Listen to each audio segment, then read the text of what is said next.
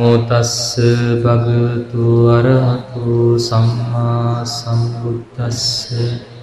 නමෝ තස්ස භගවතු අරහතු සම්මා සම්බුද්දස්ස. නමෝ තස්ස භගවතු අරහතු සම්මා සම්බුද්දස්ස. නමස්කාර වේවා පුතුරුවනට සමදා බුදු හිමි සරණ යමි නමස්කාර වේවාදන් රුවනට සමදා සතහම් සරණ යමි නමස්කාර වේවා සංඝ වුවනට සමදාමා සංඝ සරණ යමි. නමස්කාර වේවා තුනුරුවනට සමදාති සරණ සරණ යමි. යමෙක් ලොවේ සුවපත්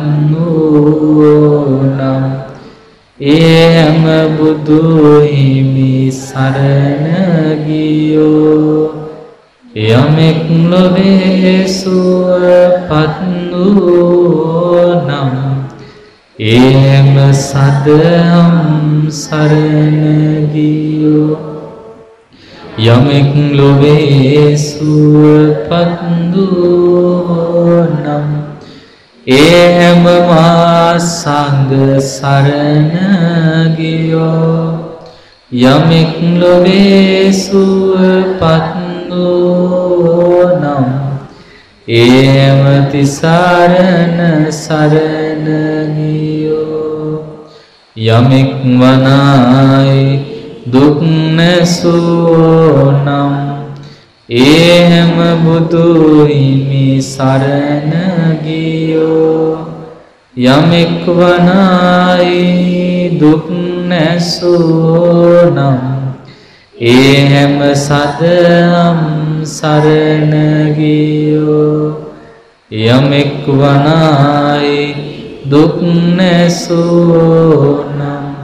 වනායි දුක් නැසූනම් ඒම වාසංග සරණ ගියෝ.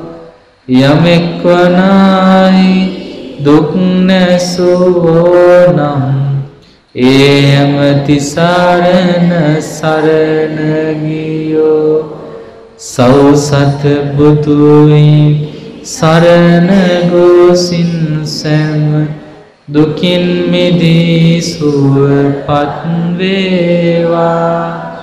සෞසත සදහම් සරණ ගොසින් සෑම දුකින් මිදී සුවපත් වේවා. සෞසත මාසා සරණ ගොසින් සෑම දුකින් මිදී සුවපත් වේවා සෞසතති සාරණ සරණ ගොසින් සෑම් දුකින් මිදී සුවපත් වේවා සාත් සාත් සාත් පින්වත්නි අද පුන් පොහෝ දින සදහම් වැඩසටහනේ අවසාන භාගයට අපි දැන් පැමිණලා තියෙනවා. ඉතින් මහා වරුසා වැහැලා බොහෝ විහාරස්ථානවල සිල් භාවනා වැඩසටහන් මෙතකින් સમાપ્ત වෙලා ඉවරයි. අපි එනකොටත් එහෙමයි. මග දිගට සුදු රෙදි ඇඳගෙන උපාසක උපාසිකාවෝ සීතල වැඩි නිසා ගෙදර යනවා. මොකක් වැඩි නිසායි? සීතල වැඩි. දැන් හීතලට ටිකක් නිදා ගන්න තමයි යන්නේ. සිල් ගත්තට මොකෝ නිදා ගන්න ඕන දැන් හීතල ආවා. ඉතින් මම ගිහපු තැනත් හීතල වුණා. එතනත් හීතලයි මටත් හීතලයි යාළුවටත් හීතලයි ඊට පස්සේ මම මොකද කරේ කට්ටියව නැගිට්ටෙව්වා. ආච්චිලා තමයි හිටියේ. දැන් මේ අපහැදෙන්නේ බවුන්ද මොකද්ද කරේ කියලා බැලුවා. මම නැගිටලා මම කිව්වා මගේ ළඟට ලං වෙන්න. දැන් ඒතකොට හීතල මොකද වෙන්නේ? ඔව් හීතල අඩු කරන්නේ මම ලං වෙන්න කිව්වා. මම කියන එක උන්දලට ඇහෙන්නේ නැහැ. දැන් කට ඇරන් හිටිය මොකක් හරි උපදූපයක් තමයි ඊතලට මොකක් හරි කරලා තමයි කියලා දැන් හිටියේ වැඩේ හරි ගියේ නෑ. ඔව් මයික් එකත් ඕපුණා. මොකද අකුණු ගන්න නිසා පස්සේ මං කිව්වා එහෙනම් කට්ටිය ලං වෙන්න. දැන් ලං වෙලා කතා කරනකොටත් ඒ ටිකක් තියෙනව නේද? දැනෙන ගතියක්. දැනෙනවනේ හොඳට එතකොට. අපේ ස්පර්ශය ලං උනේ නැහැ. නමුත් හඬ ලං වුණානේ. උපාසකම් වලට හරි දැන් සතුටුයි මොකද ස්වාමීන් වහන්සේ මැද උපාසකම් වල මා වට කරගෙන. තුන් දෙනෙක් හිටිය උපාසක මහතුරු යාලා ආරක්ෂාවට හිටියා. මොකොත් උනේ නැහැ. ඇවතක්කාරිය උනේ නැහැ. මේ පණ වේරගෙන ආවා. එතකොට මේ දැන් ප්‍රශ්නේ තමයි එයාලට මාව දැන් බෙදා ගන්න බැරි කත්යක් આવොත් මෙහි කට්ටිය බය වෙනවා. වට කරගත්තේ කවුද? කියන ගැටලුව අපිට ඇති වෙනවා. දැන් එහෙම වැස්ස කියලා අපි වැඩේ ඇතෑරියේ නැහැ. ඇතෑරියේ නැහැ කියන්නේ මම හිටපු නිසා ඇතෑරියේ නැහැ. නැත්තම් දුවලා ගෙදර කට්ටිය. ඉතින් අකුණු ගැහුවත් උනා. මේකටත් ගැහුවද? ආ උඩ ගියා. කට්ටිය උඩ ගියා. භාවනාවෙන්ම උඩ ගියා. දැන් බය වෙනවනේ වෙනද නා. ඇයි? මැරෙයිද ගහමන් කෝ දිව්වොත් කොහොමත් මැරෙනවා. දිව්වොත් ඒත් අකුණු ගහනවනේ දුවන්න එපා. ඒ නිසා බණ අහන ගමන් මලොත් දෙව්ලොව යන්න පුළුවන් මේ අම්මලට. ඒ නිසා මාත් ඉතින් මැරෙනවා මැරුණොත් ඔක්කොමත් එක එකපාර පහළ වෙන්න පුළුවන් එක විමානයක. නේද? නේද? වෙන්නේ ඔක්කොම එහෙම වුණොත් අර තියෙන සීතල ගතිය ඔක්කොම ටික මෙහි ප්‍රශ්න ටික එහෙ ගියාම විසඳෙනවනේ. මං කොහොමද යකුණු ගහන්නේ ඉතින් පව්කාරයෙක් ඉන්න එපා. දැන් කවුරු හරි එක පව්කාරයෙක් හිටියත් දැන් ලං වුණා වැඩි නිසා අපිටත් අකුණ වදිනවනේ. ආ එහෙම ප්‍රශ්නයක්. දැන් හොඳ වෙලාවට අකුණු ගැහුවේ නැහැ ඉතින්. දැන් සාදු කියලා අනුමෝදන් වෙන්න බය වෙන්න එපා. අපි එහෙ පිරුව විරිය පාරමිතා. අපි වීරය කළා. වහිද්දි සද්දේද්දි අපි භාවනාවක් දීලා බැරිම තැන සක්මන් භාවනාවත් උගන්වලා ඒ අය සක්මනුත් කෙරේවා. දැන් පොඩි කරුණාවක් අපිට මොකද මේ මිනිස්සුන්ට දෙයක් නැතුවනේ. දැන් මෙහි තරම් සතුරු නෑ හොඳේ. රැවටෙන්න බය වෙන්න එපා. මේ තරම් සතුටක් මට ලැබුණේ නෑ. මොකද මේ අය නම් හරි ලේසි. ඒ අම්මලා ටිකක් මහන්සි වෙලා ළඟට අරගෙන කතා කරලා සක්මන් කරවලා කියා දීලා ළමයින්ට වගේනේ. ආන්න පොඩි දෙයක් අද මං කරගෙන කියලා දීලා පොඩි දෙයක් නේ ලොකු දෙයක්. මොකද බණ ගොඩක් කිව්වට වඩා වටිනවනේ භාවනාවක් කරෝප එක. බණ කියනව කියා ගන්න බැරි වුණා. මොකද වැස්ස නිසා සද්ද වැඩි. මුකුත් ඇහෙන්නේ නැති වුණා. ඊට පස්සේ කොහෙවත් නොකරපු විදිහට හිටගෙන තමයි අද මේ වැඩේ අපි කළේ හිටගෙන භාවනාව. මොකද්ද? සක්මන් භාවනාව. හිටගෙන. දැන් මෙහෙ කරේ නැද්ද අද සක්මන් භාවනාව? එළියට පයනම් කරයි කියලා ආරංචි වුණා. හෙට මෙහෙට දුව දුව උදුළු වරගෙන උදුළු වරන් කාණු කපලා ඔබ බේරගත්තා කියලා මට දැන් කිව්ව කට්ටිය. එළියට පොය. දැන් අතුලින් නෑ දන්නේ නෑනේ වතුර ආවා කියනවා. හොඳට එයාලා වැඳගෙන මේ බණ අහනවා. හරේ ගලනවා එළිය. ඉතින් ඔබ වේදගත්ත සෙරප්පු වලින් පවා වතුර ඇද්ද කියලා එක අම්මගෙනින් මට දැන් කිව්වා. ඉතින් මේ හැමෝටම පුණ්‍යානුමෝදනා කරනවා. දැන් මේ ඉතුරු කොටසවත් කරගන්න ලැබුණේ නැහැ. ලැබෙන්නේ නැහැ. ඔය දොර කොටින් මෙහෙට වතුර ආවනම්. එහෙනම් නාන්න තමයි වෙන්නේ කට්ටියටම. එකටම. ඉතින් එහෙම නොවි. දැන් ඒ වහින වෙලාවේ චේතනා සම්පත්තිකෙත ගෙවිලා ගියානේ. දැන් වහින්නේ නැහනේ. ඒක ඒ වහින වෙලාවේ ඔබ ආරක්ෂා කරගත් වැඩ අපි පින් දෙන්න ඕන. සසරේදී උපද්‍රවයකින් තොරව සුවසේම ධර්මය අහන්න දකින්න අවබෝධ කරන්න. ඒ හැමෝටම ලැබේවා කියලා අපි ප්‍රාර්ථනා හොඳයි. එහෙනම් ලැබේවා කියලා කියන්නේ නැහැ. කොට ලැබේවා කියලා කියන්න උනා මොකද ප්‍රාර්ථනා කරන්න වෙන නිසා. ඒ ආශිර්වාදයක්. හරි ඒසේ වේවා. දැන් මේ මහන්සි වෙච්ච අය දැන් ටිකක් හතියගලා දැන් මේ බණ අහලා මහන්සි නැති කරගන්න. මොන පාරමිතාවද වැඩුණේ? වීරිය පාර. අද විශේෂයෙන් වීරිය වැඩුණා. ඉතින් අපිට එක එක පරීක්ෂණ එනවා. සබාදහමි සහ සමහර දෙවිවරුත් අපිට උසුළු විසුළු කරනවානේ හිඳපල්ලා දෙන්නම්. තෙමිලා කැරකිලා යන්න දෙන්නම් භාවනාව දෙපිටින් යන්න. අද දැන් දුන්නානේ හරිනේ. දැන් ගොඩාක් පන්සල්වල අද පෙරදුනා කට්ටිය. දැන් දැන් ගෙදර ගිහින්. හාමුදුරුවෝ සතපිලා ගුලි වෙලා. තනියෙන් කවුරුත් නැහැ මොනව කරන්නේ? තනි තනිකඩ ජීවිතේනේ ඉතින් උපාසකම් වල ඒ විදියට ඒ සැපත් වෙලා ඇති ඒක මම දැක්කා යනවා. ඒකයි මම මේ කිව්වේ. දැන් ඒකෙන් ඔබ සතුටු වෙන්න විහෙරකලා ආරන්නේ සිල් සමාදන් වෙච්ච ඔබට. එහෙම හීතලාවයි කියලා ගෙදර යන්න හිතුණාද නෑ නෑ නෑ. මොකද අපි යම් ඔබට ගෙදර යන්න නැති වෙන්න බෙහෙත දැන් දීලා තියෙන්නේ. උදෙන්ම දුන්නනේ පැය කීයක්ද? පැය 3ක් විතර දුන්න බෙහෙත්. ඉතින් එහෙම වෙලත් යනවනම් වැඩක් නෑ. අර අය යන්නේ ඇයි? බෙහෙත දීලා නැහැ හාමුදුරුවෝ හරියට. වෙන බෙහෙත් දීලා තියෙන්නේ. මේ දෙන්න ඕන එක දුන්නා නම් යන්නේ නැහැ කවදාවත්. වැස්සේ තෙමීගෙන පින්කම් කරපු හැටි මම ඔබට කලින් කිව්වනේ. අපි එක වතාවක්. කොහෙද රුවන්වැලි ආසයි බලන්න දැන් ජීවිතේ මට අද වුණත් මතකයි 2004 වර්ෂේ කටින පින්කම් වෙලාවේ අපි ගියා කටින පින්කම් චාරිකාව ගල්දුවාරන්නේ යනවා ස්වාමීන් වහන්සේලා 29ක් යනවා ওই චාරිකාවට මේ ඔක්කොගෙම ඇවිදගෙන පුහුල් වැල්ල ඇල්ල කන්ද ඔය ටික ඉවර කරගෙන අපි වැඩියා එදා වැඩියේ නිමලවට නිමල වාරන්න තමයි අපේ ගල්දුව චාරිකාවේ අන්තිම පින්කම තියෙන්නේ. මොකද මේ පින්කම දෙන්නේ ඉල් පොයටමයි. එතනින් පස්සේ පින්කම් නැහැ. අන්තිම පොය දවසේ ඉල් පොයට පෙර දවසේ හවස තමයි නිමලවට සැපත් උනේ. එතකොට මට වයස අවුරුදු 17යි. පොඩි වයසේ. අපි ගියා ඒ නිමල වාරන්නේ හරි ආසයි ගල්ලෙන් තියෙනවනේ ඉතින් කාලේ. ඉතින් මුලින්ම ගිය දවසනේ නිමලවට ඒ සතුට වැඩිකමට ඇවිත්තා.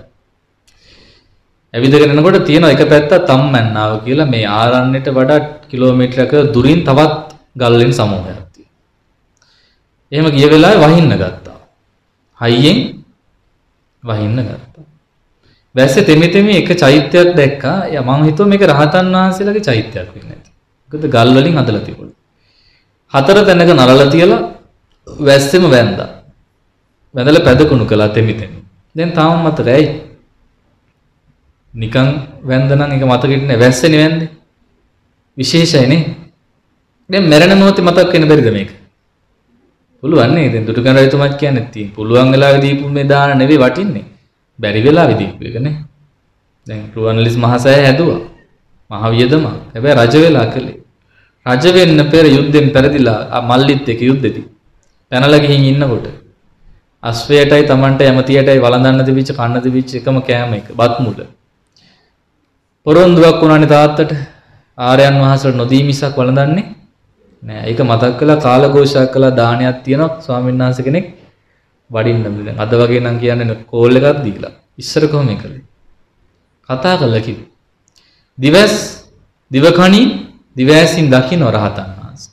පුවගි පුවගු දිවයින මේ රටෙත් නෙවෙයි ඉන්දියාව. හිටපු රහතන් වහන්සේ කෙනෙක් තමයි ඔය ගැහුවේ. ඇහිලා මානසිකාර කරලා අහසින් වැඩියා.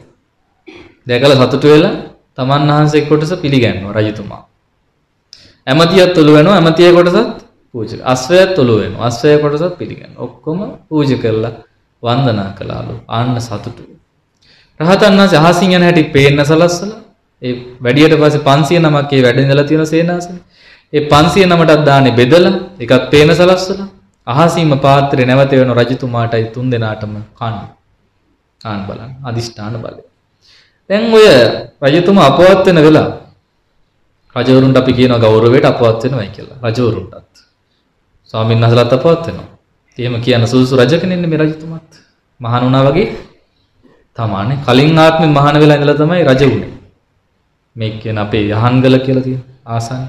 යහන්ගල ඒ චෛත්‍ය හදන්න ගල් කණුවක් උස්සලා තමයි උන්වහන්සේ අසනීප වෙලා තියෙන්නේ. ගිය ජීවිතේදී. වඩු මහත්තයෙක් ගිහි ජීවිතේදී. ඉතින් ඒ වඩු ගල් කාර්මාන්තය කරන නිසා ගල උස්සගෙන ගියා ගල් කණුව කොන්ද පොඩ්ඩක් ගැස්සුණා. අසනීප වැඩි වෙනකොට තමයි තිස්ස මහ වෙහෙරට වැඩි. එහි වැඩ ඉන්න කාලේ දැන් අපි ගොඩක් අය දන්නේ මේ චූටි ස්වාමීන් වහන්සේ කෙනෙක් කියලා. සාමණේර කියන්නේ පොඩි අර්ථෙන් නෙවෙයි. වයසට ගියත් උපසම්පදා නොවුනොත් සාමණේරයි. ආ වයසට ස්වාමීන් වහන්සේ කෙනෙක්. වයස ගෙවිලා අපවත් වෙන ඉන්නකොටනේ විහාරමාදේවි කියලා ආරාධනා කළේ මව් කුසට වඩින්නට. ඒක නිසානේ වැඩියනේ. කොහොමද දැනගත්තේ වැඩිය බව? යා වැව් වැව් කණ්ඩිය දිගේ යනකොට මේ රෝද එක පැත්තක් එරුණා. දේවී ඉන්න පැත්ත තමයි එරුනේ. බරක් දැනුණා. ගිහින් බලනකොට ස්වාමීන් වහන්සේ අපවත් වුණා. ඒ මහා පුණ්‍යවන්තයා තමයි අපේ රට ජාතිය එක්සේ සත් කළේනේ බේරගත්තේ. මේ උපාසකම්මලත් ඒ කාලේ ඉන්නේ නැති නේද? එහෙම හිතෙනවා හිටියා වගේ කියලා. යුද්ධයට යන ළමයි හදලා දුන්නා වගේ මතකයක් තියෙනවා. ලුණු මිරිස් හැදුවා කියලා මතකද? නෑ නේ. අපිට නම් ටිකක් දැනෙනවා එහෙම යුද්ධයට ගියා වගේ වගේ එකක්. නේද? කඩුවක් බැරෙන කෝට්ටක් හරියන පස්සේ යන්නේ නැතිනේ. වැටෙන ඇයට හරි ගහන්න නැතිනේ බැරිම නේ. මැරලා වැටිච්ච ඇයට හරි ගහන්න බැරි. එහෙනම් ඒ සේනාවේ පුණ්‍යවන්තයෝ හිටියා. මොකද ඒ වෙලාවේ අපි කටයුතු කළේ අපේ රට විතරක් නෙවෙයි ආගම සියල්ල බේරගෙන මේ රට ශාස්ත්‍රීක කළා මන රජතුමා. දුට්ටු කැමරු රජතුමා. ඉතින් එතුමාට පින් දෙන්න ඕනේ. ඉතින් එතුමා ගැන අපි සිහි කරපු නිසානේ. ඉතින් සඳහන් වෙනවා ඉතිහාස පොත්වල මෛත්‍රී බෝසතාණන් වහන්සේගේ දකුණ ශ්‍රාවකයන් වහන්සේ වෙන්නේ අපේ දුටුගැමුණු රජතුමා බව. සාදු කියලා අනුමෝදන් වෙනවා. එහෙම නොවෙන්න ඔහොම දෙයක් කරන්න පුළුවන්ද? ඔහොම යුද්ධයක්. දසගුණයකට වඩා වැඩි සේනාවක් එක්ක පොඩි සේනාවකින් යුද්ධ කළා දින්නේ. මොන බලයෙන්? පුණ්‍ය බලයෙන්. ඒ නිසා එතුමා පවා සීකරන මම මේ හද පුරවන ලෙස ඇනේ මට මතක් වෙන්නේ මැරෙද්දිත්. අර එදා නැති බැරි වෙලාවේ දීපු දානය. ඒ නිසා අපිටත් එහෙමයි. අමාරුවෙන් කරපු දේ තමයි අපිට මතක් වෙන්නේ. මතක හිටින්නේ. එහෙනම් මේ වැස්සට බය වුණා නම් අපි පරාදයි. මේ වැස්ස කියන්නේත් මොකද්ද? සබාධමෙන් එන බාධාවක් නේ. අපි කියනනේ වැස් මැසි මදුරු පීඩා, අවු වැසිසුලන් නේ කතාවට නිකි දැන් අදාව මොකද්ද? වැසිසුලන්. හීතල. මොකද්ද කරන්නේ? ඉවසන්න. දැන් දමල ගහලා ගියා නම් වහිනවා වැස්සට තෙමෙනවා මේක කරන්න බෑ කියලා. දැන් මං එනකොට ළමයි දෙන්නෙකුත් එළිය ඔළුව පියද පියදිට මං ඔය තෙමුණද?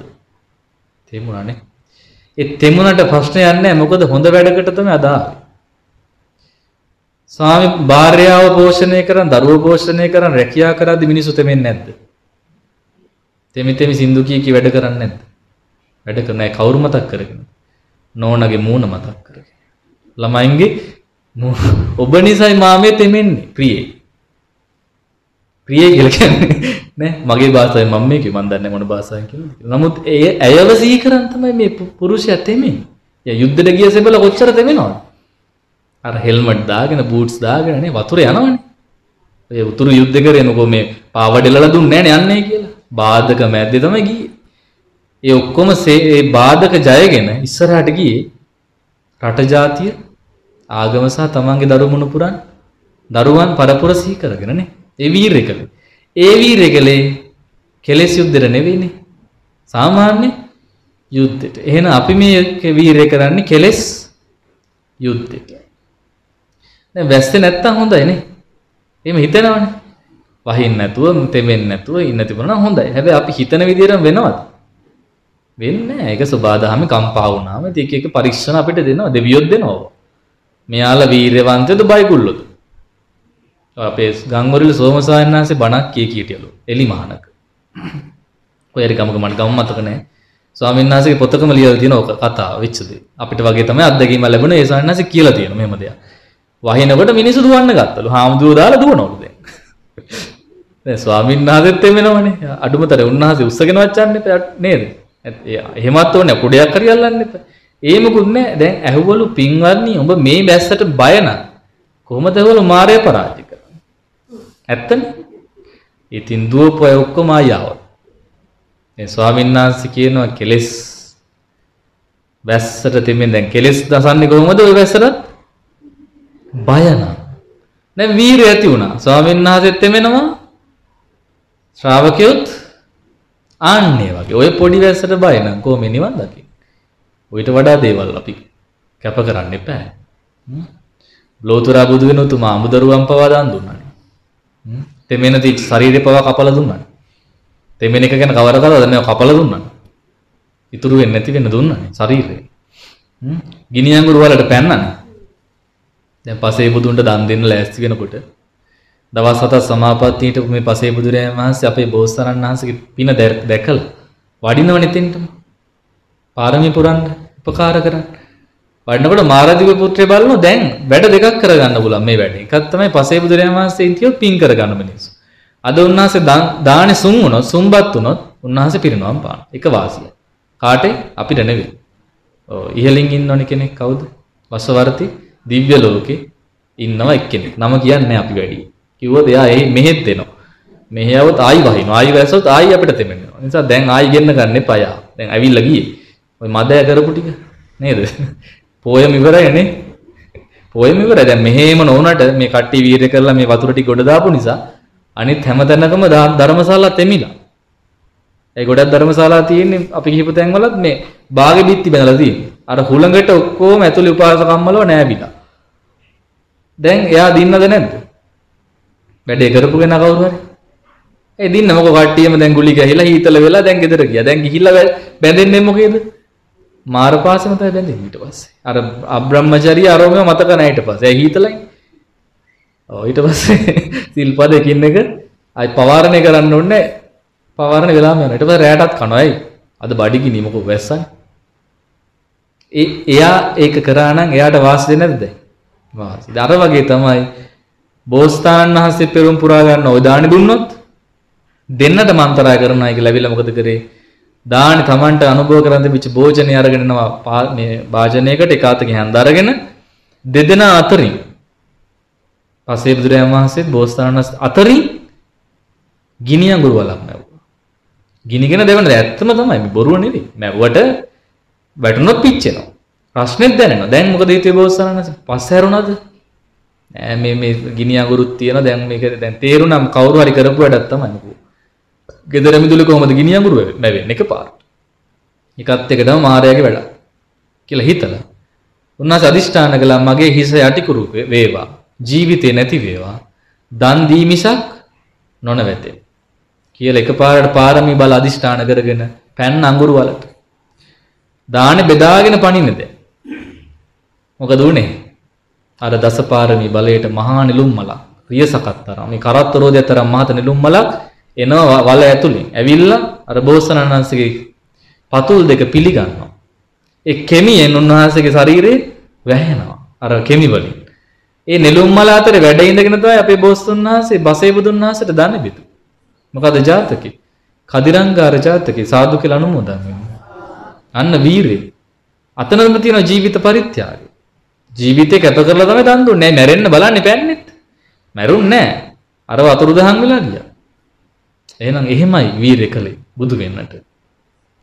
එහෙනම් ඉතින් අපි ගැන මොන කතාවද නේ? අපි මොනවද කරලා තියෙන්නේ? අපි ඉතින් මේ වැස්ස කියන එකට වතුර කියන එකට බය වෙන්න ඕනේ. නෑ අකුණක් ගැහුවත් ඉතින් ඉන්න ඕනේ. දිව්වා කියලා වැඩකුත් නෑනේ. මොකද දිව්වා කියලා අකුණ ගහන්න නැතුව ඉන්නේ නෑනේ. දුවන දුවන තරන්ට ගහනවා ඊට පස්සේ. ඔව් පව්කාරයෙක් ඉන්නවා. ඉතින් අපිටත් වදිනවා. ඒකයි මං කිව්වේ. ඉතින් තමන් බොරු කියලා වගේ ඒවා කරලා තියෙනවා. ඉක්මනට එළියට බහින්න. නැත්නම් අපිටත් වදිනවනේ. එන ගහනවා කියන්නේ සමහර අය කරන්නේ වඩ නේද? එහෙම දේවල් කරලා තියෙනම් අපි ගේ කරුණාවෙන්වත් බහින්න. හරි. එහෙමනම් එහෙම වුණත් මොකද කරන්න වෙන්නේ? බේරෙන්න පුළුවන්ද? අකුණු ගැහුවොත් බේරෙන්න පුළුවන්? බෑ යන්න වෙනවා. පරලෝ යනවා. ඉතින් බුදුගුණවත් සීකර කර හිටියොත් හොඳයි නේ. එහෙනම් බණ අහන ගමනේ අකුණු ගැහුවොත් පිච්චිලා මැරෙයි අර කිව්වගේ අර උපාසකම්මලට කිව්ව 20ක් වෙරි හිටියේ මදි හැබැයි 20ක් නම් 1000ක්වත් ඉන්න ඕනේ නේ. එහෙ යනවනම් ඒ 1000 හැදෙනවනේ. 1000 2000 ස්වාමීන් වහන්සේ මොකද්ද කියන්නේ? දිව්‍ය ලෝක යනකොට මං කැමති වුණත් නැති වුණත් දිව්‍යාංගනාව ටික මම ගියොත් මම දන්නවා දැන් ගොඩාක් තැන්වල බණ අහපු කට්ටිය ඉන්නවා මාව පිරිවරා ගන්න තමයි. ඉතින් මේ පිරිවරා ගත්තයි කියලා ප්‍රශ්නෙකුත් නෑ. මෙහි වගේ ප්‍රශ්න නෑ. ඉතින් මොකද්ද මං කරන්නේ දැන්? දිව්‍යාංගනාවනේ වැඩියෙන් ඉන්නේ. දිව්‍ය පුත්‍රයෝ තමයි අඩු දැන් මෙතනත් පේනවනේ වැඩියෙන් ඉන්නේ කවුද? දිව්‍යාංගනාව. වෙන්න ඉන්න. දිව්‍ය පුත්‍රයෝ අඩුයි. පැහැදිලිද? පේනවද ඒක වෙනසක්? උදෙත් මං කියලා දුන්නානේ. ආ එහෙනම් හොඳයි සාදු කියලා අනුමෝදන් වෙන්න. එහෙනම් අකුණු වලට බයද දැන්? නෑ බය වෙන්න එපා. දඹදිව යනකොට කෙනෙක් මැරෙනවා. යන අතරේ සාරි චාරිකාවේ නෙවෙයි මේ මේ බුද්ධ වන්දනාව යන ගමන් කෙනෙක් මැරෙනවා. දැන් අන්තිම දවසේ මැරුණොත් ඉවරයි. සාරි කොටියම තමයි ඉපදෙන්න ගිහිල්ලා. ඒ සාරි බදාගෙන ඉන්නේ 10ක් 12ක් බදාගෙන ඉන්නේ. ගිනිල්ලා මේ විකුණ ගන්න පුළුවන් කියලා දැන් ඔය ගන්න වැඩිපුර සමහර අය. බිස්නස් එකටමත් යන අය ඉන්නවා. සාරි බිස්නස්. වන්දනාවත් කරගෙන ඒක දඹුලු කියලා තලගොයිත් මරන් ඉන්න යනවනම් එතකොට ප්‍රශ්නයක් තියෙනවා. මං කියන්නේ සැදැහැ සිතින් ඔබ දාවදි යනකොට මැරුණොත් කොහෙද යන්නේ? අනිවාර්යෙන් දෙව්ලොව යනවා. සුගතියේ යනවා. වැටකොළු මල් තුනක් අරන් එනවා එක අම්මගෙන රුවන්වැලි මහසෑයට පූජා කරනවා. වැටකොළු මල්. වෙන මල් නෙවෙයි වැටකොළු මල් අපි පූජා කරන්නේ නැහැ. නමුත් මේ අම්මට තිබුණේ මොන මල්ද? වැටකොළු මල් තුනක්. ලැබිච්ච එකනේ මල ඕන මලක් පූජා කරන. සමහර අය වද මල් හොඳ නැද්ද? මල මොකක් වුණාම මොකෝ කෙහෙල් මලක් හරි කමන්නේ නැගිහිල්ලා පූජා කරන්නේ. වැටකේ යමල්නේ දැකලා තියෙනවනේ. මේ මලේ නෙවෙයි ප්‍රශ්නේ තියෙන හිතේ. මලනේ මල ලස්සන නම් සුවඳ නම් ප්‍රශ්නයක් නැහැ. තියෙච්ච මල මොකද වැටකුළු මල. වැටකුළු මල් සුවඳයි නේ ඒක තමයි. මම ඉඹල නෑ තාම බලන්න ඕනයි මත්. වැටකුළු වලක් තියෙන තැනකට ගියොත් ආයි දවසක හැන්දෑවට පිපෙන්නේ. හරි සුවඳයි. ඒ මල අරගෙන යන මේ අම්මට මල පූජා කරගන්න ලැබුණද? මල් තුන. නෑ. කුලප්පුවේ චෙල දෙනක් කියලා ඇන්න. සෑය පෙනිපෙනි. චේතනාව තිබුණේ මහා සෑයට මල් පුදනවා. මැරුණේ මොන අදහසින්ද යා? මල් පූජා කරනවා. ඒ වෙලෙම ගිහිලා දිව්‍ය දිව්‍ය ලෝකයේ මහානුභාව සම්පන්න දිව්‍යාංගනාවක් වෙලා ඉපදුන ඇවිල්ලම වැන් දරුවන් ලිසෑට. දැන් මෙහි මල කඳ තියෙනවා අරේ අරේ ඇවිල්ලා වඳිනවනේ. පුදුමයිනේ. ආශ්චර්යනේ. එහෙනම් එවැනි වෙලාවක මැරෙන්න තියෙන එක හොඳයි. එහෙනම් අද වැනි දවසක කකුණු ගැහුවා කියලා බය වෙන්න ඕනේ. ගෙදරදී අකුණු ගැහුවොත් බය වෙන්න වෙනවා. මොකෝ ඉන්නේ ඉතින්. දැවි දැවි තැවි තැවි ඉන්නේ ගෙදර. කෙලෙස් වැස්සෙන් තෙමි තෙමි ඉන්නේ. රාග දේශ මෝහ බරිතවන ඉන්නේ. පිළිගන්නවද? තනියෙන් ඉන්න අයට නඩු ඇති. දැන් මේ අම්මා තනියෙන්ද ඉන්නේ? රෑ දෙකේ බණ අහන. තනියෙන් කියන්න බයයිනේ. බය නැද්ද? ආ එන කවන්නේ. ඔව්. එන දොරවල්ලෙන් වහගෙන ඉන්න දැන් අදින් පස්සේ දැන් දන්නව කට්ටිය තනියෙන් තමයි ඉන්නේ කියලා. ලිපින එක මොකද්ද කියනවද පොත්? ලිපින. ඔව් කියන්න එපා නේ. බයයි. ටිකක් බය වුණානේ. දැන් බය නැහැකොට බය වුණා. හරි. ඒ තනියෙන් ඉන්න කෙනාට කෙලස් අඩුයි. ඇයි ගැටෙන්න තියෙන අරමුණු ප්‍රමාණය? රැට අහන්න. රෙඩිකේ බණ යනවා. උපාසකම්ම නිදි. නින්ද යනවා ඒක තමයි. මන් දන්න එක. කමන්නේ නැහැ දෙන්නේ මොකද්ද වෙන්නේ? කොහොමත් රේඩිය කියන්නේ යන්නේ බණ. ඒක යන්ත්‍රයක්නේ. දැන් මම බණ කියනකොට නින්ද ගියෝ මට ඒක ප්‍රශ්නයක්. ඇයි? ආ ඒක බාමුද. දෙවියන්ට පින් දෙන්න චුට්ටක් හරි. ප්‍රශ්නයක් නැහැ. අතිරේක ලාභනේ. ඔව්. නෑ ඔය වයසට කොහොම නින්ද යන්නේ නැහැ නේ හරියට. ඔව්. හැන්ද ඇහෙනවනේ. දැන් අපේ තින්නවා 71 ස්වාමීන් වහන්සේලා දෙන්නෙක් ඉන්නවා. එයාලටත් එහෙමයි නින්ද යන්නේ නැහැ. වයසට යනකොට නින්ද යන්නේ නැහැ. නින්ද යන්නේ තනියෙන් බයට නින්ද ඔව් ඒක නම් මෙහෙමයි දැන් අපිට කොයි වෙලාවෙ හරි බණපදයක් ඇහෙනවනේ ආ ඒක හොඳයි දැන් අහන්න නැතුව ඉන්නවට වඩා හොඳයි නින්දෙන් ඇහැරිලා හරි අහන්න ලැබෙනවා නම් කියලා අපි සාදු කියලා ඒක පිළිගමු නේ අනුමෝදන් වෙමු. හොඳයි. සාදු කියන්නකෝ එන රේඩියෝ එකේ යන බණ අහන්න කමන්නේ. දැන් මෙතන වගේ අහන්න ලැබෙන්නේ නැහැ නේ දැන් ඒකනේ සජීවීක කියනකොට තියෙන වාසිය. අපිට නින්ද යන්නේ නැහැ. වීරියත් ඇති වෙනවා. ස්වාමීන් වහන්සේත් පේනවා. ඔයම දේවල් තියෙනවා. එහෙනම් මේ කුසලයම කරගන්න ගමන් අපිට මරණය සිදු වුණොත් කියන කතාව තමයි අපි කතා කරේ. දැන් ඒක ගැන දන්නවන්නේ නේද? එහෙනම් කවදාවත් ආයි බය වෙන්න එපා. සීල් සමාදන් වෙන ගම අකුණු ගැහුවා කියලා දුවන්න යන්න එපා. දුවන්න කියලා මගදී වැදුනොත් එහෙම ප්‍රශ්නයක් වෙනවා. ඒ නිසා අකුණු ගහනකොට මෙතන වෙලාම ඉන්න බණ අහන්න, භාවනා කරන්න, මං කො පිම්බීම හැකිලිම් බලන්න, අස්වාස ප්‍රස්වාස බලන්න. දැන් බැලුවද ඊට පස්සේ? තාම බලන්න වෙලාවක් ලැබුණේ නැහැ නේ. මං දෙන්නම්. තව ටිකකින් වෙලාව දෙන්නම්. ඒකත් දෙන්න ඕන මේ අයට. මොකද නැත්තම් කරන්න වෙන්නේ නැහැ නේ ඔක ඉදර ගිහිල්ලා. එනයි භාවනාවට අපි හැරෙමු තාටිහිකින්. මොකද දැන් ආරාධන දෙකක් තියෙනවා. දැන් වෙලා මදිත් එක්ක. එකක් තමයි නන්දකෝ ආද සූත්‍රය කියන්නේ කියලා එක උපාසක මහත්තයෙක් ආරාධනා කළා. තව එක්කෙනෙක් ආරාධනා කළා සේක සූත්‍රයේ කරුණු 15 විතරක්. මොකද ගුවන්විදුලි දේශනාවේ දෙවණි එක අහලා තිබුණා. මෙවර ගිහපු දෙවණි දේශනාව. ඉතින් මැසේජ් පණිවිඩ ආවද අපේ උපාසිකාවන්ට? ආවද? සමහර අය දෙන්නේ නැති. දාන පොතේ නම් තිබිච්චයට මං යවුවා. ඉතින් අනිත් අයත් එහෙම දුරකථන අංක දීලා යන්න. ලියලා දීලා යන්න පුළුවන් නම් පොතක. එතකොට මට එවන්න පුළුවන්. මොකද පණිවිඩ එවන්න බෑනේ හදිස්සියේ. එ르දි බලෙත් නෑනේ තාම. එහෙමනම් එවන්න ඇවිල්ලා හරි කියන්න තිබුණා. දැන් මේ තාක්ෂණයට අනුව දුරකථන අංකේ තියෙනවා නම් මට පොඩි පණිවිඩයක් එවන්න පුළුවන්. ඉතින් එහෙම ආපු අය අහන්න නැති. සේක සූත්‍රය 1 සහ 2 කියලා කොටස් දෙකකට අපි දේශනා දෙකක් කරා වෙලන් සේවයේ දෙවනි දේශනාවට සිත පැහැදිලා තියෙන එක උපාසක මහත්තයෙක් ගියා කිව්වා ඒ දෙවනි කොටස හොඳයි. දැන් පළවෙනි කොටස හොඳයි ශ්‍රද්ධාව තියෙන අයට. මොකද බුදුරජාණන් වහන්සේ වඩිනව පෙනුණා, නැවිලා පෙනුණා, ඒ ගමන් විලාසම වුණා. ඒ ටික නිසා. දෙවනි කොටස අපි විස්තර කරේ ඇත්තටම ආයතන 6 ගැන තමයි ලොකු විස්තරයක් කළේ. ඉතින් ඒ ගැනත් අපි කියන්න. ඊට කලින් අපි දැන් අර අලුතෙන්ම ආපු භාවනාව සිහිය ගැන දැන් සිහිය පිහිටීම ගැන අපි උදේ කතා කළානේ. කොහෙටද පිහිටවන්න කියලා අපි යෝජනා කළේ ඔබට. නාසිකාග්‍රයට හෝ බඩ කියලා කොහොමද එකක් කැතයි වගේනේ අපි කියමු කුස කියලා කියමුනේ කුසට කුසත් එකයි බඩත් එකයි මොකත් එකයිනේ කොහෙද තියෙන්නේ බඩ? අපේම ශරීරයනේ. දැන් අනුන්ගේ බඩවල් දිහා බලන්න යන්න එපා. කාගේ බඩ දිහාද බලන්න? තමන්ගේ බඩ. මේක පිම්බෙනවද නැද්ද?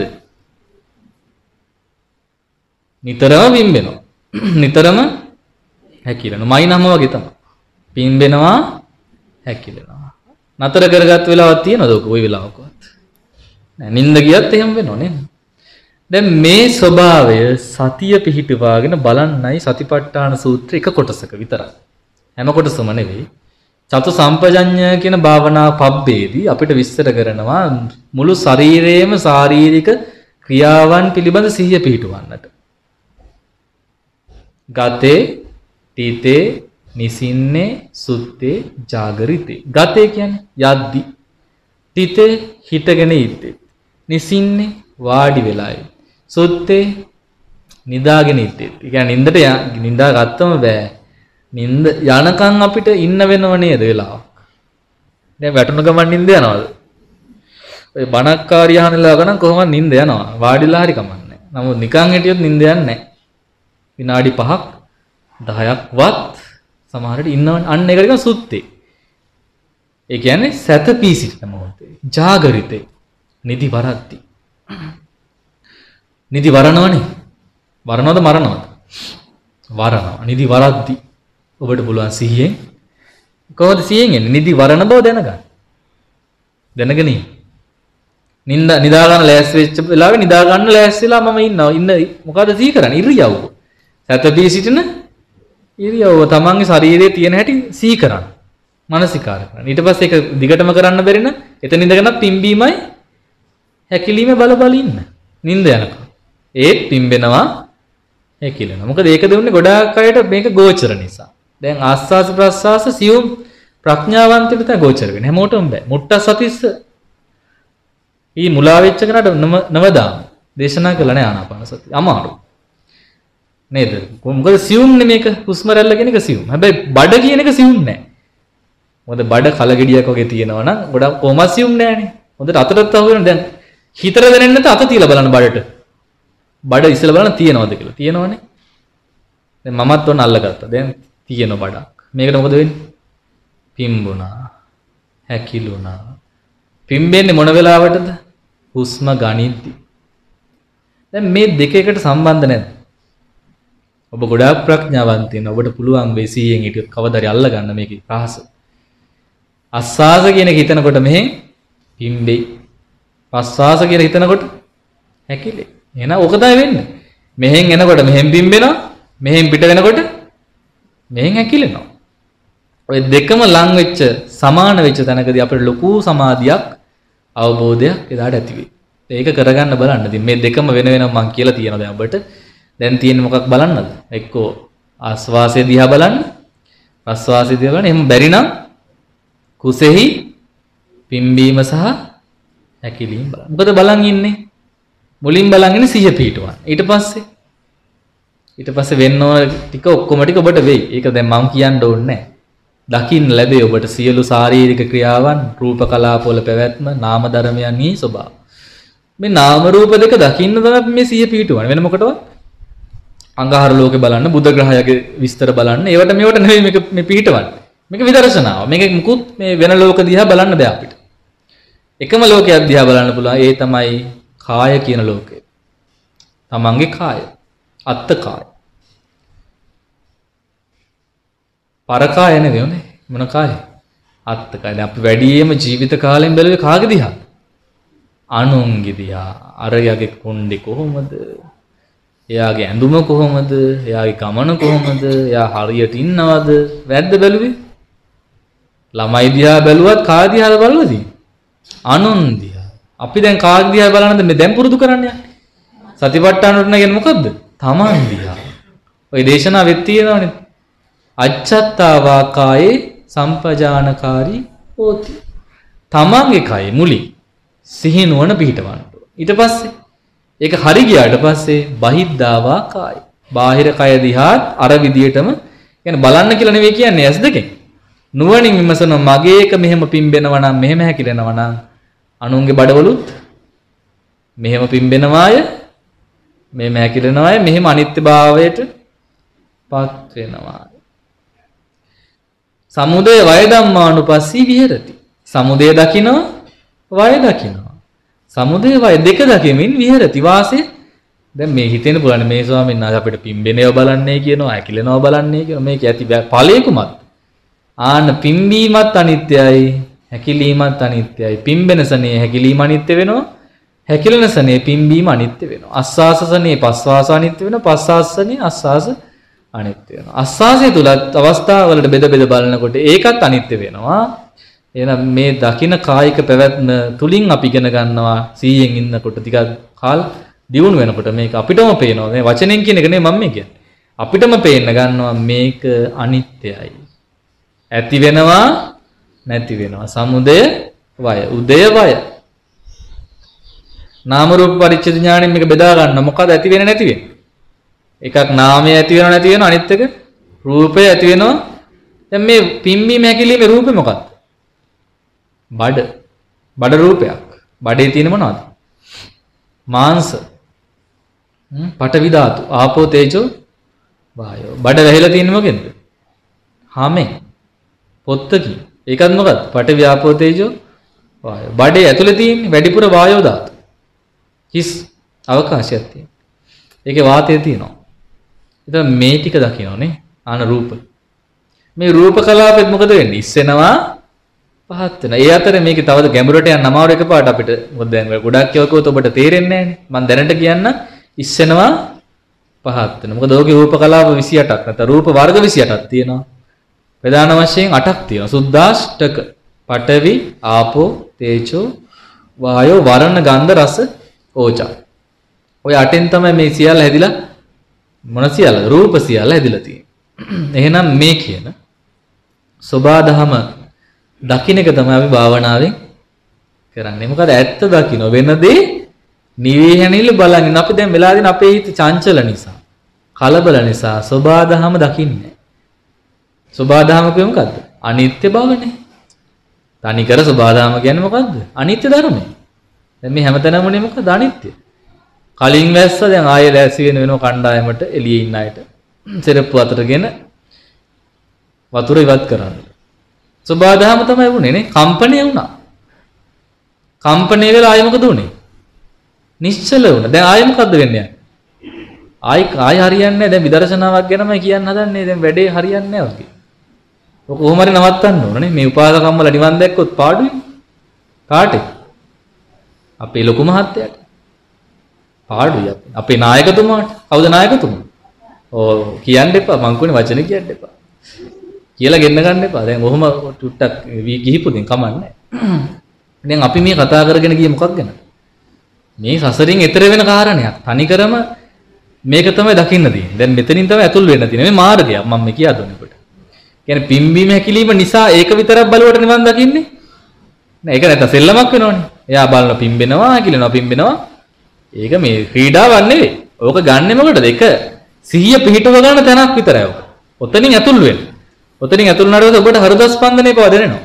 පස්සේ මේ ඇතුලේ තියෙන ඉන්ද්‍රියවල චලනය පව පෙනහළු වල චලනය අනිත් අක්මාවේ හැම දෙයකම චලනයන් දකින්න ලැබෙනවා. ඒ ඉස්සෙල්ලා දැනෙනවා ඊට පස්සේ S දෙකෙන් වගේ ඔය ආලෝක සංඥා විහිදුවලා මේ ශරීරය විනිවිද දකින්න පුළුවන් තත්ත්වයකට එනවා. ඒ දැන් නෙවෙයි දැන් බලන්න යන්න එපා. දැන් බලන්න බොරුවකින්. ඒ කියන්නේ මවාගත්ත ගන්න දැන් බලන්න. යම් දවසක ඔබට එනවා විදර්ශන ආලෝකයක්. ඒ විදර්ශන ආලෝකයෙන් පුළුවන් මේ හැම ඉන්ද්‍රියකටම විනිවිද දකින්නට. කලබල වෙන්න එපා. හොඳ ඉස්සරහට වෙන දෙයක් මම මේ කිව්වේ. නැත්නම් බලන මොකද්ද මේකෙන් වෙන්නේ නේ? ඔන්න ඕකයි වෙන්නේ. හිත පිහිටවනවා, සිහිය පිහිටවනවා. ඊට පස්සේ මේ ඉන්ද්‍රියවල තියෙන තව ගැඹුරු තැන් වලට අපිට යන්නට පුළුවන්. හදවතේ ගැස්ම, පපුවේ වේදනාව, පපුවේ ගැස්ම, මෙතන මෙතන කතා කරනකොට නම් මේ උගුරේ චලනයක් වෙනවනේ උගුරේ ගැස්ම පේනවද? උගුර ගැස්සෙනවද? ගැස්සෙනවා. දිව කෙල්ලෙනවා. දැන් ඔය භාවනාව භාවිතා කරද්දී අපේ ආචාර්යයන් වහන්සේලා අපිට කියලා දෙනවා මුලින් එක වැඩක් කරන්න. හරියට. මොකද්ද කරන්න පුළුවන් වැඩේ? අපේ මල්ලි නම් හොඳට කරාව ඉස්සර. මට මතකයි. දත් මදින එක. දත් ගැලවෙනකම් මිනිහා මදිනවා දත්. පැයක් මදිනවා හරියටම පැයක්. කුරුදන කුරුදනකනේ රදනක කුන්තක පුරස්චාරක ඉඳලා එකින් එකට මදිනවා. තාමත් එහෙමයි. යා හිමින් තමයි වැඩ කරන්නේ. දැන් ඕක ගන්න පුළුවන් අපිට භාවනාව. කොහොම ගන්න? දත් නැදීමේ ඉරියව්. හොඳට මදිනවා දැනගෙන මදිනවා. බුරුසුව ගත්තා. බෙහෙත් ටික දැම්මා. තිව්වා. මැද්දා. හෙට මැද්දා, මෙහෙට මැද්දා, දිව මැද්දා නේ. මදින්න පුළුවන් නේද? කොච්චර පුළුවන්ද මදින්න සාමාන්‍ය? සමහර අය මදින විනාඩි 15 මදින ඇත් තියෙනවනේ. ඒ කියන්නේ ඒ ක්‍රියාවලියන්නේ ඔක. දැන් මම ඔබට කලිනුත් කියදී නාන කොටත් පුළුවන් කියලා. කුණු වතුල්ලනේ කියන්නේ. ඒ වගේ නිදහසේ කරන්න පුළුවන් වැඩ තියෙනවා. කොහොමද බාත්රූම් එකේ තමයි ගොඩක් වැඩ නිදහසේ කරන්න පුළුවන් තැන මොකද? එළියට ආවම නිදහස දෙන්නේ නැහැ මිනිස්සු අපිට. එක එකව කියනවනේ. දැන් මෙතෙන්ට තමයි ගොඩක් අය නිදහස හොයාගෙන යන තැන උදේට උනත්. ගොඩක් පිරිමි අය වුණත් එහෙමයි. ගිහිල්ලත් කියන්නේ කල්පනා කරන්නේ හොඳ සිතුවිලි පහල වෙන කොහෙට ගියා? වැසිකිලි කැසිකිලි කෘත්‍යයට ගියා. සමහරට නිදි සමහර අය ගිහින්. ඕකේ. ඇයි නිදි? නිදහස නිදා ගන්නවත් තියෙන මෙතන විතරයි කියලා. අම්මන්නේ ගෙදරට ඉතින් එක්කෙනාට එක ගානේ බාත්රූම් තියෙනවා නම් ප්‍රශ්නයක් නෑදයි මේ එක ඔක්කොටම එකක් නම් තියෙන්නේ නිදහස නිදා ගන්නවත් වසන්ත මහත්තයෝ ලැබෙන්නේ නෑ. ඇවිල්ලා දොරට තඩි බානවනේ. ඔව් වැඩේ හරින ඉක්මනට එන්න. තව වැඩ තව අයටත් තියෙනවා දැන්. ඔතන මේ විනය ක්‍රමයට ගත්තට පස්සේ මේ වැසිකිලි කැසිකිලි කිස කියන්නේ වතක්. එක්තරා චාරිත්‍රයක්. කොහොම කරා? ඇතුලේ එක්කෙනෙක් ඉන්නවනම් එයා මොනවා හරි කර්මයකනේ ඉන්නේ. අපි කඩාගෙන විදගෙන කිව්වොත් මොකෝ වෙන්නේ? එයාගේ කර්මය අතරමඟ අකර්මණ්ඩ වෙනවා. අකර්මණ්ඩ වෙන ඇඟට හොඳයිද? ඇඟටත් හොඳ නැහැ.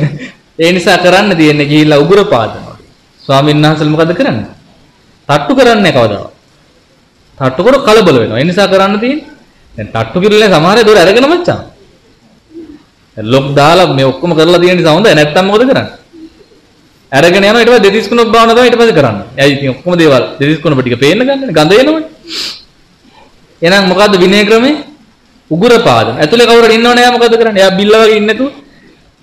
එයා ආ මේ විදියටම සංඥාවේ උත්තරය සමහර අය නේ වතුර බාල්දිය අරගෙනම ඉන්නවනේ. එතකොට ඉතින් සංඥා දෙන්න දෙයක් නැහැ. ඒතර බෝම්බ සද්දේම ඇහෙන්නේ නැති නිසා තමයි ඒක කරන්නේ. සද්ද වැඩි නම් වතුර බාල්දියට පුරවනවා. දිගටම පුරවනවා නේ. දැන් වත පේනවද ඔබට වත? මොකද්ද කියන්නේ? ආන්න එක තමයි ක්‍රම චාරිත්‍රය. ඒතර වැස්කිලි භාජනේ වතුර ඉතුරු කරලා ඉන්න එපා කියනවා. ඇයි? මොකද ඒක තමන්ගේ කාර්යයනේ. ඒක ඉවර කරලා. අද අලුත් එක්කෙනා වුණනම් පුරවගෙන එනේ. වෙනම දෙයක්. දැන් අද කාලේ නම් පුරවලා දෙන්න දෙයක් නැහැ. මොකද ටැප් එක තියෙන නිසා ඉස්සර එහෙම නැහනේ. ඉස්සර වෙන භාජනයකට පුරවලා ඒකෙන් තමයි අරගෙන යන්න ඕන. දුරින් ගියන නිසා. ඒතර වැසිකිළිය වටේ සුද්ධ කරන්න ඕන. මේ වැසිකිලි පෝච්චිය හොදන්න ඕනනේ. ගෙදර එක නම් හොදනෝනේ. පිටතනකට ගියොත් පොදු වැසිකිලි හොදන්නේ නැහැ නේ ගිහලානේ. ඔව් ඒව දාලා හොදන්න යන්න ඕනේ. වතුර එකක්වත් දාන්න කියලා මම දැකලා තියෙනවා කරුණාවෙන් ගහලා තියෙනවා. වැඩේ කරගත්තනම් වතුරත් ගහන්න කියලා. ඒක සිහි කරලා දෙන්න ඕනද සිහිය තියෙනවනම් එහෙනම් උච්චාව පස්සාව කම්මේ සම්පජානකාරී විවේකයි තමන් කරන වැසිකිලි කර්මය කැසිලි කැසිකිලි කර්මය සිහියෙන් කරන්න. දැන් මට හම්බෙච්ච ස්වාමීන් වහන්සේ නම් මෙහෙම ලස්සනට කිව්වේ නෑ. වෙන වචන වලින් කිව්ව මම ඔබට ඒක කියන්නේ නෑ. මොකද මෙතන කියන්න බැරි නිසා. ඒ වැඩේ හරියට කරන්න සිහිය දැන් කොහොමද සිහිය පිටන්නේ? ඔන්න එනවා. සම්පජඤ්ඤ භාවනාවට මම එනවා නැවත. ඔබට කලින් මම කියලා දීලා තියෙන මේකේ විස්තර භාවය.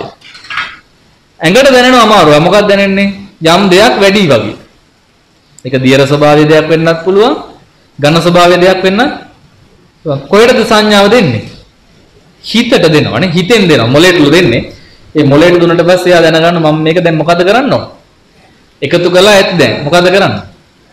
බැහැර කරන්න ඕන. මොකද මේවා ගැන ආසාවක් නෑ දැන් අපි සල්ලි එකතු කරාට බැහැර කරන්නේ නෑනේ. දැන් මේ වගේ එකතු කරාට වැඩක් නෑනේ. මොනවද දැනෙන්නේ වැඩිපුර මේවයි. ගඳනේ දැනෙන්නේ. දැන් ගඳ ගහන ඒවා අපි තියා ගන්නවද ගෙදර? නෑ. එහෙනම් ඒ අදාළ ස්ථානේ හොයාගන්න. මොකද ස්ථාන? වැසිකිලි. හෝ කැසිකිලියනේ. දැන් අහලා තියෙන මේ වචන. වැසිකිලිය හෝ කැසිකිලියනේ. මේ දෙකටම එකක් පාවිච්චි කරන දණුත් තියෙනවා. ඉතින් එතකොට ඒ අදාළ ස්ථානට ගිහින් ස්ථාන ගත වෙන්න ඕනද නැද්ද? ගත වෙනකොට මේක gedara නෙවෙයි පොදු තැනක් නම් මොකද්ද ඊට පස්සේ අපි 100 තියා ගන්න ඕන. දොරක් තියෙනවා නම් දොර ඩගුලු දාගන්න ඕන. දැන් තස්මේනියා ප්‍රාන්තෙට ගිහින් ඔන්න කතාව දැන් මතක් කරන කොරන් දෙන්නේ. කතාව මතක් වෙන්න ගත්තා. තස්මේනියාවට ගිහිල්ලා ඕස්ට්‍රේලියාවේ ප්‍රාන්තයකට ගියේ. එතන අපි උද්‍යානයකට ගියා අපේ උපාසක මාතුරුත් එක්ක මේ උද්‍යානේ බලන්න. මල් ගස් ඒව තමයි තියෙන්නේ. එක සුදු නොවන කෙනෙක් ඔය කියන තැනට ගිහිල්ලා එයාට දොරේ ලොක් එක දාන්න අමතක වෙලා. දැන් මටත් එහෙම තැනකට යන්න ඕනලා මමත් ගියා. දැන් ගියාම දැන් දෙකම එක තැන තියෙන්නේ. මාත් එක්ක ගිහපු උපාසක ළමයට අමතක කරලා අරක තල්ලු කරා. එයා බැලුවේ නෑ මේක මොන જાතියයට තියෙන එකක්ද කියලා බලන්න අමතක කළා. මෙයා තල්ලු කරනකොට සුද්ධි කෑ ගැහුවා. දැන් මොකද්ද බැගුනේ මිනිස්සයා? බය වුණානේ. අරයත් බය වුණා මෙයා බය වෙච්ච පාර දැන් අර වැඩේ කරන්නත් උන්නේ අපිට. මොකද බය වෙච්ච පාර සුද්ධි බෙල්ලෙන් අල්ලගත්තු රිදියට බෙල්ල කියලා ඉක්මනට මල් වෙන වෙනත් කොනකට අපි යන්න ඕනේ. දැන් ඒකේ වැරද්ද කාගේද? සුද්ධි කියවරක්ද මොකෝ තමන් වැඩකට ගියා නම් හරියට ඒ කාර්යය ඔව් ලොක් දාගන්න ඉතින් ලොක් තියෙන්නේ ඒකද? දැන් ලොක් කැඩලා නම් කරන්න දෙයක් නැහැ නේද? දැන් ලංකාවේ පොදු වශයෙන් ලොක් තියෙනවා. කොටු එහෙම ගින් ඇතිනේ. පිට කොටු නෑ සමහර ඒවාට. ඉතින් කරන් දෙයක් නෑ එක අතකින් එක අල්ලගෙන තමයි අනිත් කාර්යයන්හි යෙදෙන්නට වෙන්නේ නැත්නම් යාළුවෙක් එක්කෙනා උඹ දොර තල්ලු කරන් ඉඳපන් උඹට මං ගාණක් දෙන්න. අරයට 10 උඹට 10. කොහොම හරි කමන්නේ දැන් 100 පිටට නම් මෙතෙන්ට ගියේ එයා දැනගන්න ඕන ආරක්ෂක විධිවිධාන සම්පාදනේ දැන් බයක් තියෙද? දැන් බයක් නෑ මම මේ මුකුත් නෙවෙයි කියන්නේ මේ සතිපට්ඨාන ගැනයි කියන්නේ වෙන මුකුත් නෙවෙයි. දැන් තස්පේනියා සුද්ධිරුණේ මොකද සතිපට්ඨාන තිබුණේ නෑ මාත් එක්ක උපාසකයලත් සතිපට්ඨාන තිබුණේ නෑ දෙන්නම බය වුණා ඊට පස්සේ වැඩේ කරගන්නුනෙත් උනේ නැහැ දිව්වා. ඇයි දිව්වේ මොකද මේ රටේ මිනිස්සු නෙමේ අපිට අල්ලගෙන කැවුවොත් එහෙම. හරි සතිපට්ඨානේ නැති වුණා. සීය නැති වුණා. දැන් අනිත් තමයි බහැර කරන දේ නියම ස්ථානට බහැර කරන්නත් ඕන. එහෙම නොවුනොත් ඒකත් ප්‍රශ්නයක්. ඒකටත් මොකක්ද තියෙන්න ඕන? සතිපට්ඨාන තියෙන්න. සීය තියෙන්න. දැන් සීය ඇතුව එතෙන්ට බහැර. බහැර කරාට පස්සේ සීය තියෙනනේ අදාළ ස්ථාන පිරිසුදු කරගන්න. සුද්ධ නම් පිරිසුදු කරන්නේ වතුරේ නෙවෙයි. එයාලා කරන ක්‍රමය ඔබ දන්නවනේ. ඔව් ලංකාවෙත් කළු සුද්ධ ඒවා පාවිච්චි කරන නමුත් අපිට නම් අපි කියන්නේ වතුර තියෙද්දි මොකටද දුක් විඳින්නේ? අවශ්‍ය නැහැ. හැබැයි පොස්ලු වරක. මොකද පොස් එක? ඒ টয়ලට් පේපර්ස් වලින් පිහ දැම්මොත් පොස්. වතුරෙන් හේතුවත් ගොඩේ. හැබැයි ඇලෙනවා වගේ ටිකක්. පොස් පැඩි වෙලා. එහෙනම් එවැනි දහජරා පුරුදු සමහර අයට තියෙනවා. ඉතින් ඒ රටට ගියාම ඒ හොදන උපකරණ නැහැ. මොකද කරන්නේ? වෙනම භාවිතයකට වතුර අරගෙන තමයි ස්ථානගත වෙන්න වෙන්නේ. ඉතින් ඒක 100 තියෙන කෙනා කලින්ම වාජනේ පුරවගෙන හදිස්සි වෙලා දිවුවොත් වාජනේ අමතක වෙනවා. මොකද එත්තකන් ඉන්න එපා. මොකෝ ඉන්න එපා කියන්නේ. මේක දැනුම් දෙනවනේ කලින්ම. දැනුම් දුන්නාට පස්සේ වාජනේ පුරවගෙන නිදහසේ ගිහිල්ලා ඒකත් පැත්තකින් තියලා අදාළ කාර්යයක් කරලා ඒව පිරිසුදුත් කරගෙන එන්න ඕනේ. පැහැදිලිද?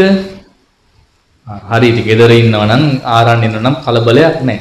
පරි ගමනක් ගිහිල්ලා නම් ගමනක් ගිහිල්ලා වෙලාවට එතෙන්ට එන්න බැරි වුණා. හරි අමාරුවෙන් දෙකට තුනක් නැමිලා මේක හිර කරගෙන ඉඳලා තමයි දුවන්නේ දැන්. ඒ දුවන කෙනාට මොන බාල්දිද? මතක් වෙනවද? බාල්දි කියන තව කවුරු හරි කෙනෙක් පස්සෙන් යන්න වෙනවා. එතකොට මේක සුදුසු විදියට නෙවෙයි කරේ. දැන් සම්පජාඤ්ඤ හතරක් තියෙනනේ ගෝචර.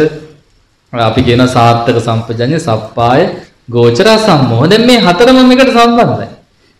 මේක සාර්ථකද? වැසිකිලි කැසිකිලි කිස කියන එක සාර්ථක වැඩක්ද? ඔව්. නියම විදියට කළොත් සාර්ථකයි. අනියමින් කළොත් අර වගේ කලබලයට කරන්න කිව්වොත් අසාර්ථකයි. ගෝචරය කියේ මොකක්ද කමඨහනක් ගෙන ඕන මේ වැඩේ කරන්න. මොන කමඨහනද? ඔතෙන්දි සුසුත බුදුගුණ වගේ එකක් ගන්නවද නැත්නම් මුත්තන් කරීසන් නෙපේ එක තැනක මුත්තම් පේනවා අනිත් පැත්තෙන් කරීසම් පේනවා කියමු. කරීසම් මොන සුවඳයිද? දැන් කවුරුත් දැනලා නැහැ වගේ ඉන්න කට්ටිය. ගාඳායි. පරිප්පු ගඳයි.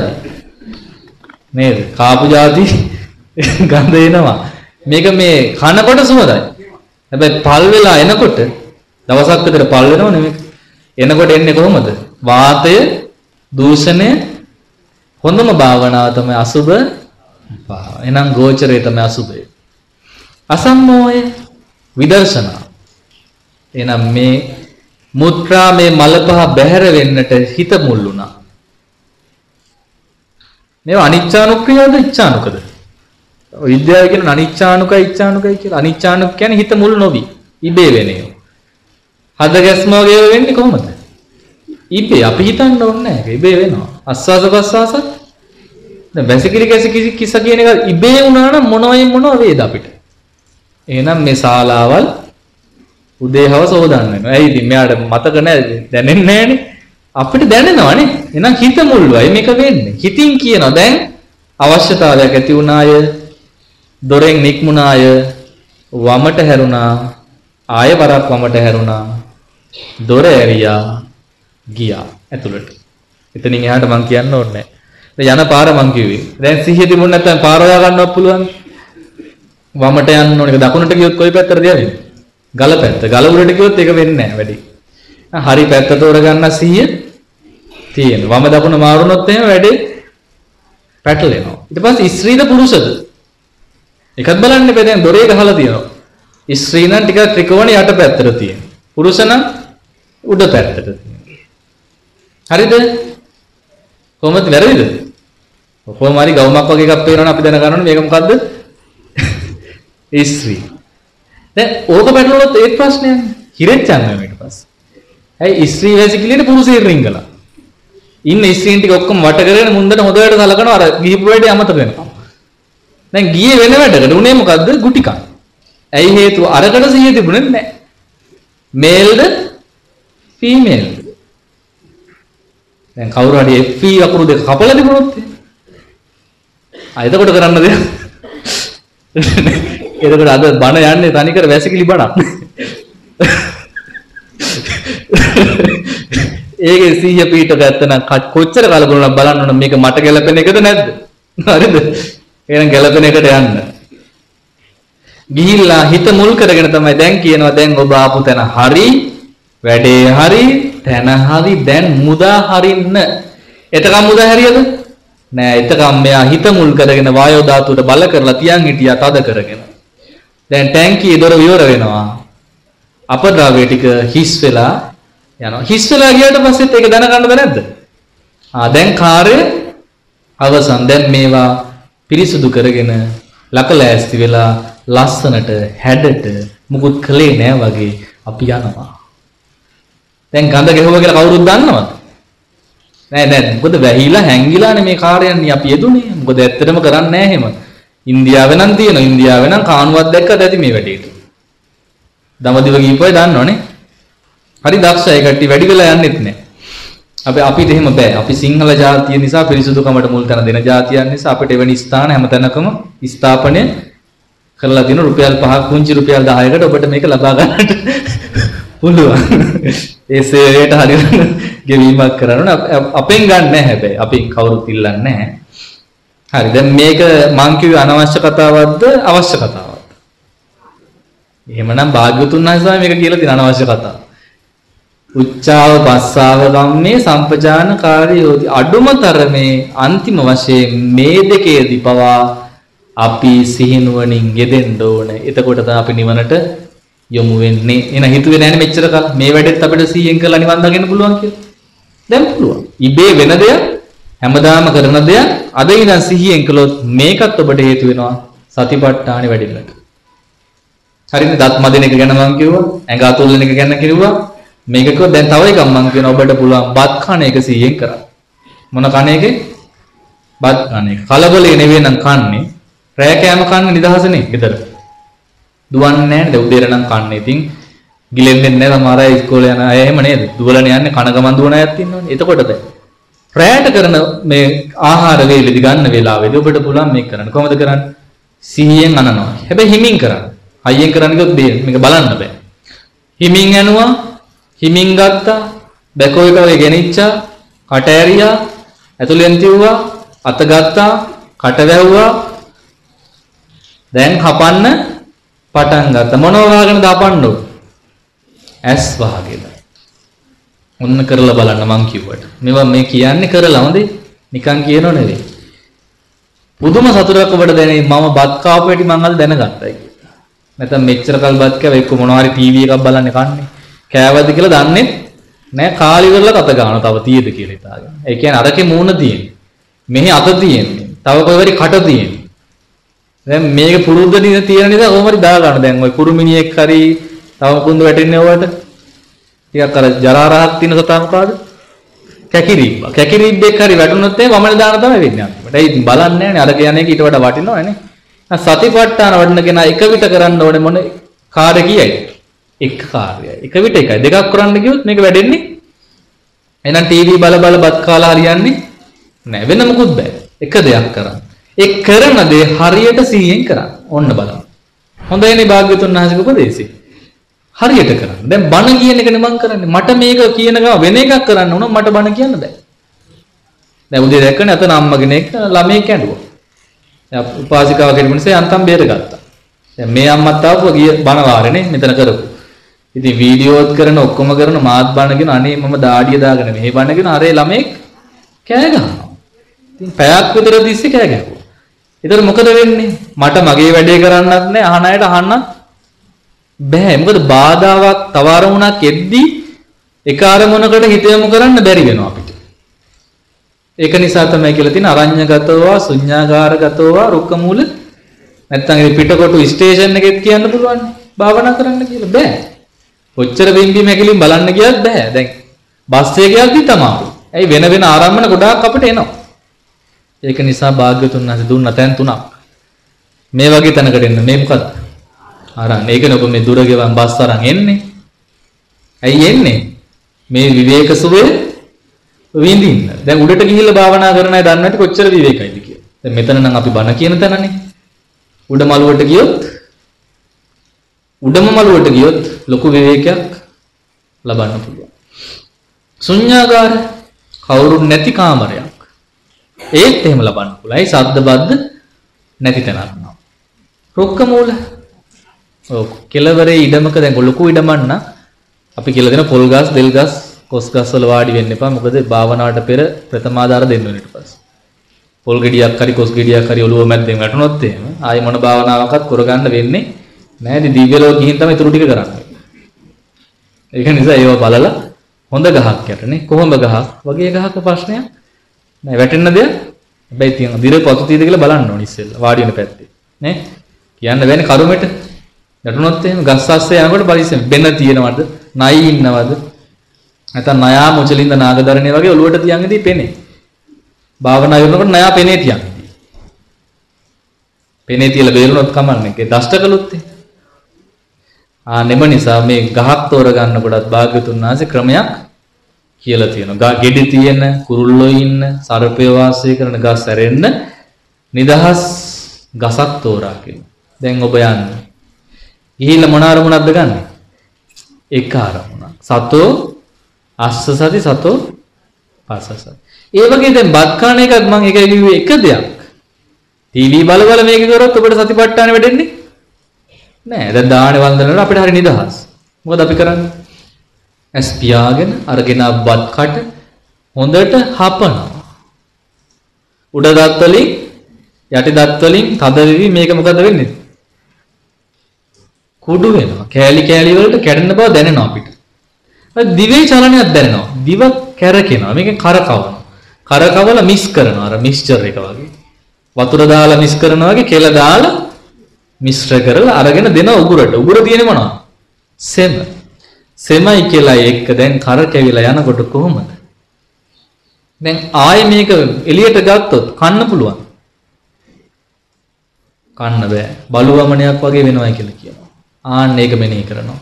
ඒක දැනගෙන සමහරට අපිට දැනෙන ඇතුළට යන හැටිත්. සිය තියනවා නම්. ආමාසගත වෙනවා. දැන් ඔන්න සාමාන්‍ය ජීවිතය ඔබට පුළුවන් නිවන් මඟ දියුණු කරන්න. දත් මදින ගමන් පුළුවන්. කුණු අතුල්ලන ගමනුත් පුළුවන්. රෙදි අදින ගමනුත් පුළුවන් බත් කන ගමනුත් පුළුවන් උපාසක අම්මල එළවලු කපන ගමනුත් අදින් පස්සේ ඔබට පුළුවන් සතිපට්ඨානය වඩන්න. අපි ඉස්සර hina වුණා ඉතින් අර සායනදල පොත්වල මේ අපිට ලියලා තියෙනවා දැක්කම කපනවා කපනවා කියලා හිතන්න ගලකෝ අපි hina වෙනවා. ඉතින් ඇයි මේක මේ ඇයි කපන භාවනාවද? නමුත් දැන් තේරෙනවා ඇත්ත ඒක.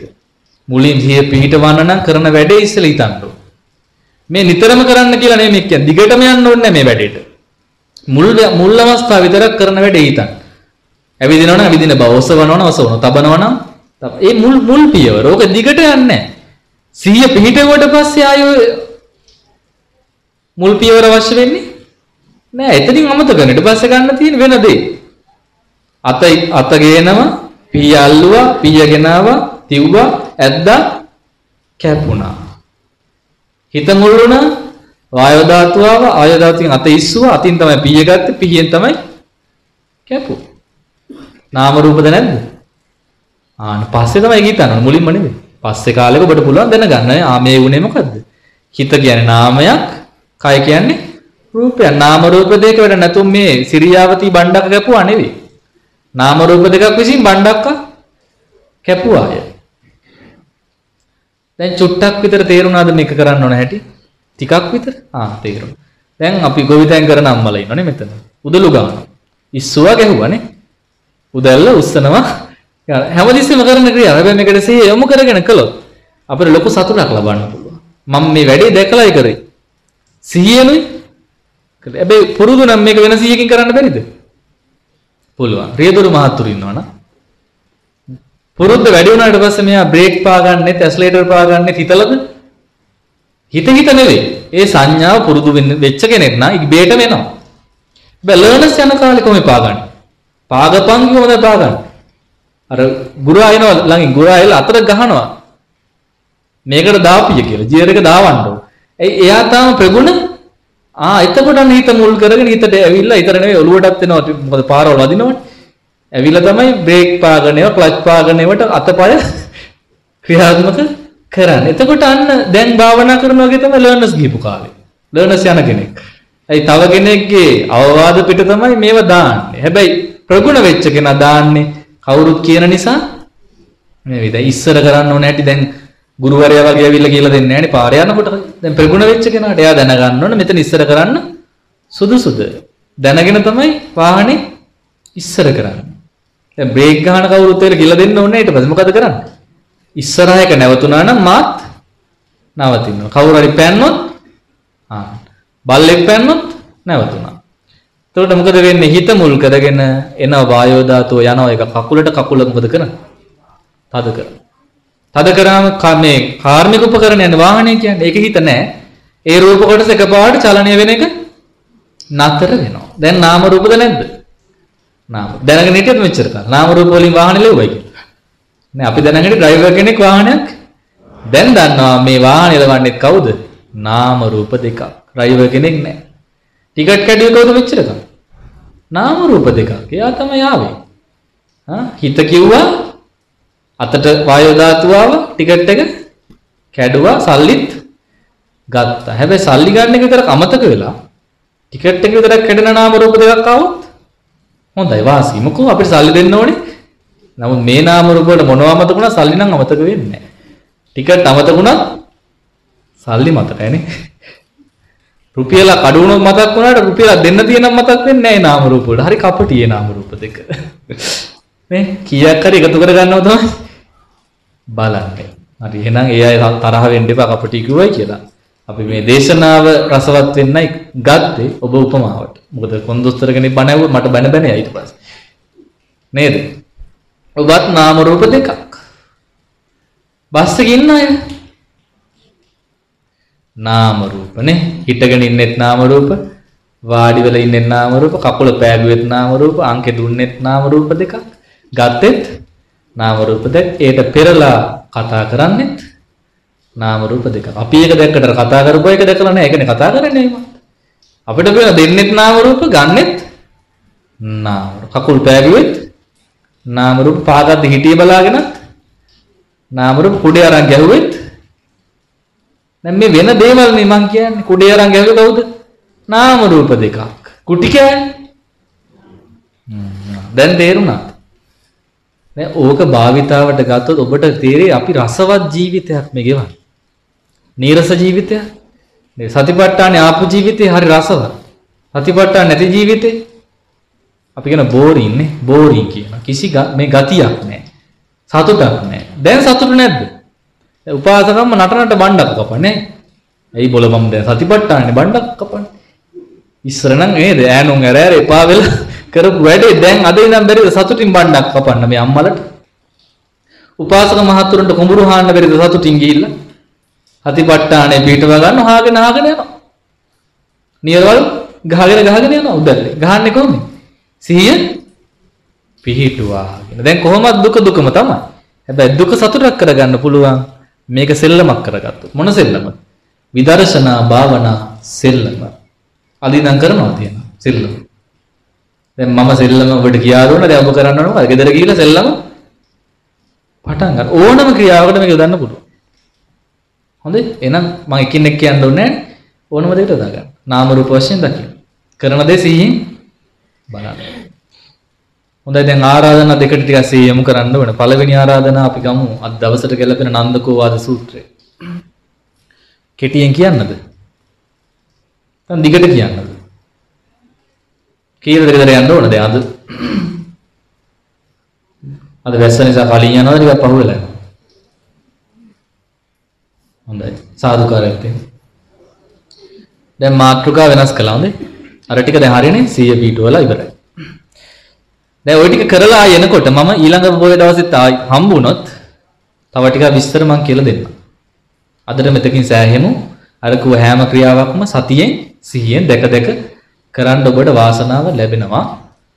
ලැබේවා කියලා සාදු කියලා ප්‍රාර්ථනා දැන් මේ නන්දපෝවාසුරේ තියෙන්නේ භික්ෂුණීන් වහන්සේලා සම්බන්ධ දේශනාව. අද අපි අහුවා මහා ප්‍රජාපති ගෞතමී දේවියට 500ක් රාජකුමාරිකාවන්ටත් පැවිදි උපසම්පදාව ලැබුණා. කවද්ද ලැබුණේ? බිනර පුන් පොහෝ දිනක. දැන් මේ උපාසිකාව ටික එන්නේ කොහේ ඉඳන්ද? කිඹුල්වත්පුරේ ඉඳන්. කොහෙටද ආ විශාලා මහනුවරට. මහා දුකක් විඳලා පයින් මාව. ඇයි කලින් ඉල්ලලා දුන්නේ නැහනේ? අපි දුකසේ යමු කිව්වා. එතකොට දෙයි කිව්වා. ඉතින් කෙස් බාලානේ සිවුරුත් පෙරවගෙන වැඩේ ලේසි. ලෑස්ති දැන් මේ සැරේ අතාරින්න බලන්න නෙවෙයි ගියේ ප්‍රජාපති ගෞතම. යුද්ධෙට බැහැලමයි ගියේ. ඇඳුමු තනන් ගියේ. හ්ම් කසාවත් පෙරවගෙනනේ. පයින්ම ගියා මිරි වැඩ සංගලවල් අයින් කළා. රාජපුරුෂයවිලක අනේ දේවි වරුණි බිමින් යන්න එපා අපිට බලන් ඉන්න බෑ වඩින්න. රතෙන් එක්ක යන්න. කිව්වා නෑ නෑ රත වලින් යන්න බෑ. බෝසතුන් වහන්සේ වුණත් එදා අස්සයානාවෙන් ගියේ නොකිය ගිය නිසා. නැත්නම් උන්වහන්සේ වුණත් වඩින්න එපයි. ඒ නිසා අපිටත් යාන එපා. අපි පයින් වඩිනවා. එතකොට භාග්‍යවතුන් වහන්සේ තේරෙයි අපිට දරා ගන්න ශක්තිය තියෙනවා කියලා. කකුල් වල දිය පට්ට ඇවිල්ලා දැන් මේ දිය පට්ට පැල්ලලා ලේ ගලල් කළා. බොහොම දුකසේ ඇවිද ගන්න බෑ. ඒත් යනවා. යොදුන් ගානක් දුර. කිඹුල්වත් පුර ඉඳලා විශාල දැන් දමදිව කියපු අය දන්නවා ටිකෙන් ටික ඉස්සරහට යන්නව නේද කිඹුල් අතට යන්න. ඔබ මුලින් යන රජගහට. රජගහ පව කරගෙන යනකොට එනවා විශාලා මහනුවර. විශාලා මහනුවර පව කරාම එනවා ලුම්බිනිය. ලුම්බිනිය පව කරාම එනවා කිඹුල්වත් පුරේ ගිහින් නැද්ද? අපිට වාසනාව ලැබුණ ලුම්බිනියේ මාසයක් ගත කරන්න නිදහසේ. වස් කාලෙක. ටික දවසක් හිටි මාසයක්. ඉතින් අපි ඇවිද්ද කකුසඳ කොණාගමන කාශ්‍යප භාග්‍යතුන් වහන්සේලා උපන් ස්ථාන වලට පවා. දැන් ওই දමදේශාරිකාවේ ඔබට කවදාවත් ඒ තුන් තැනට යන්න ලැබෙන්නේ ඒ කියන නේපාලෙම ගම් තුනක තමයි ඔය තැන් තුන තියෙන්නේ. ඒවයි මොකද අශෝක අධිරාජ්‍ය පිහිටවල තියෙන අශෝක කුරුණු තුනක්.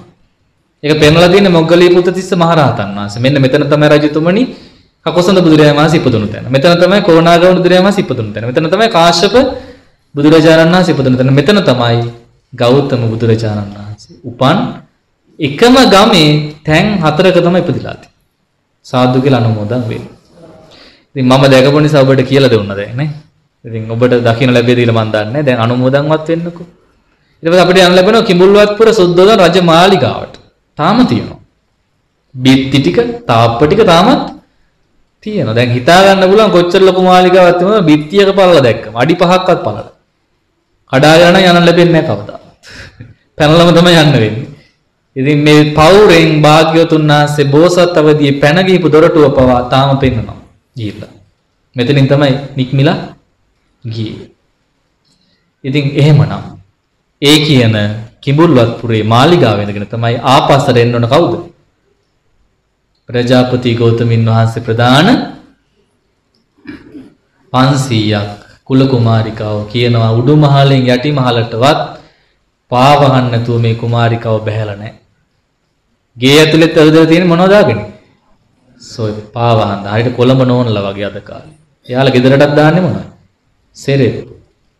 ඒ සැප වැඩි නිසානේ. දැන් අපි සෙරෙප්පු දානවා ධම්මන්තට මන් දන්නේ දානවා. දාන්නේ නැනේ. සමහර මහත්තුරින් එළියට දාන්නෙත් නැහැ සෙරෙප්පු. ඇයි පුරුදු නැහැ. දැන් කකුල් දෙකම සෙරෙප්පු දෙකක් වෙලා. නේ? හයි වෙලා නේද? දැන් අවශ්‍ය නැහැ. නමුත් මේ උපාසිකාව එහෙමයිද? නෑ පොඩ්ඩක් නැත්තම් තුවාල වෙන ශරීරයක් තිබුණේ. සුකුමාලයි. ඒ ප්‍රතික්ෂේප කරා එපාකුව කරත් දුකසේ ගියා දාඩිය පෙරාගෙන නේද කිස් දැන් කිස් නන්නේ නේ මූණු මැලවිලා. ඔක්කොම වෙලා යනකොට එනවා විශාලා මහනුවර කූටාගාර ශාලාව ඉස්සරහා වැතිරලා හිටියා. ආනන්ද ස්වාමීන් දැකලා ඇහුවා ඇයිද මෑණිවරු විපතක්ද? ඇයි මේ ආවේ? ඇයි මේ දුකසේ? ඇයි පයින් ආවේ? දැන් ලොකු ප්‍රශ්නයක් කාටේ? ආනන්ද ස්වාමීන් වහන්සේට ඥාතිවරයා. පුතුණුවන් වෙනවා ඥාතිකමට.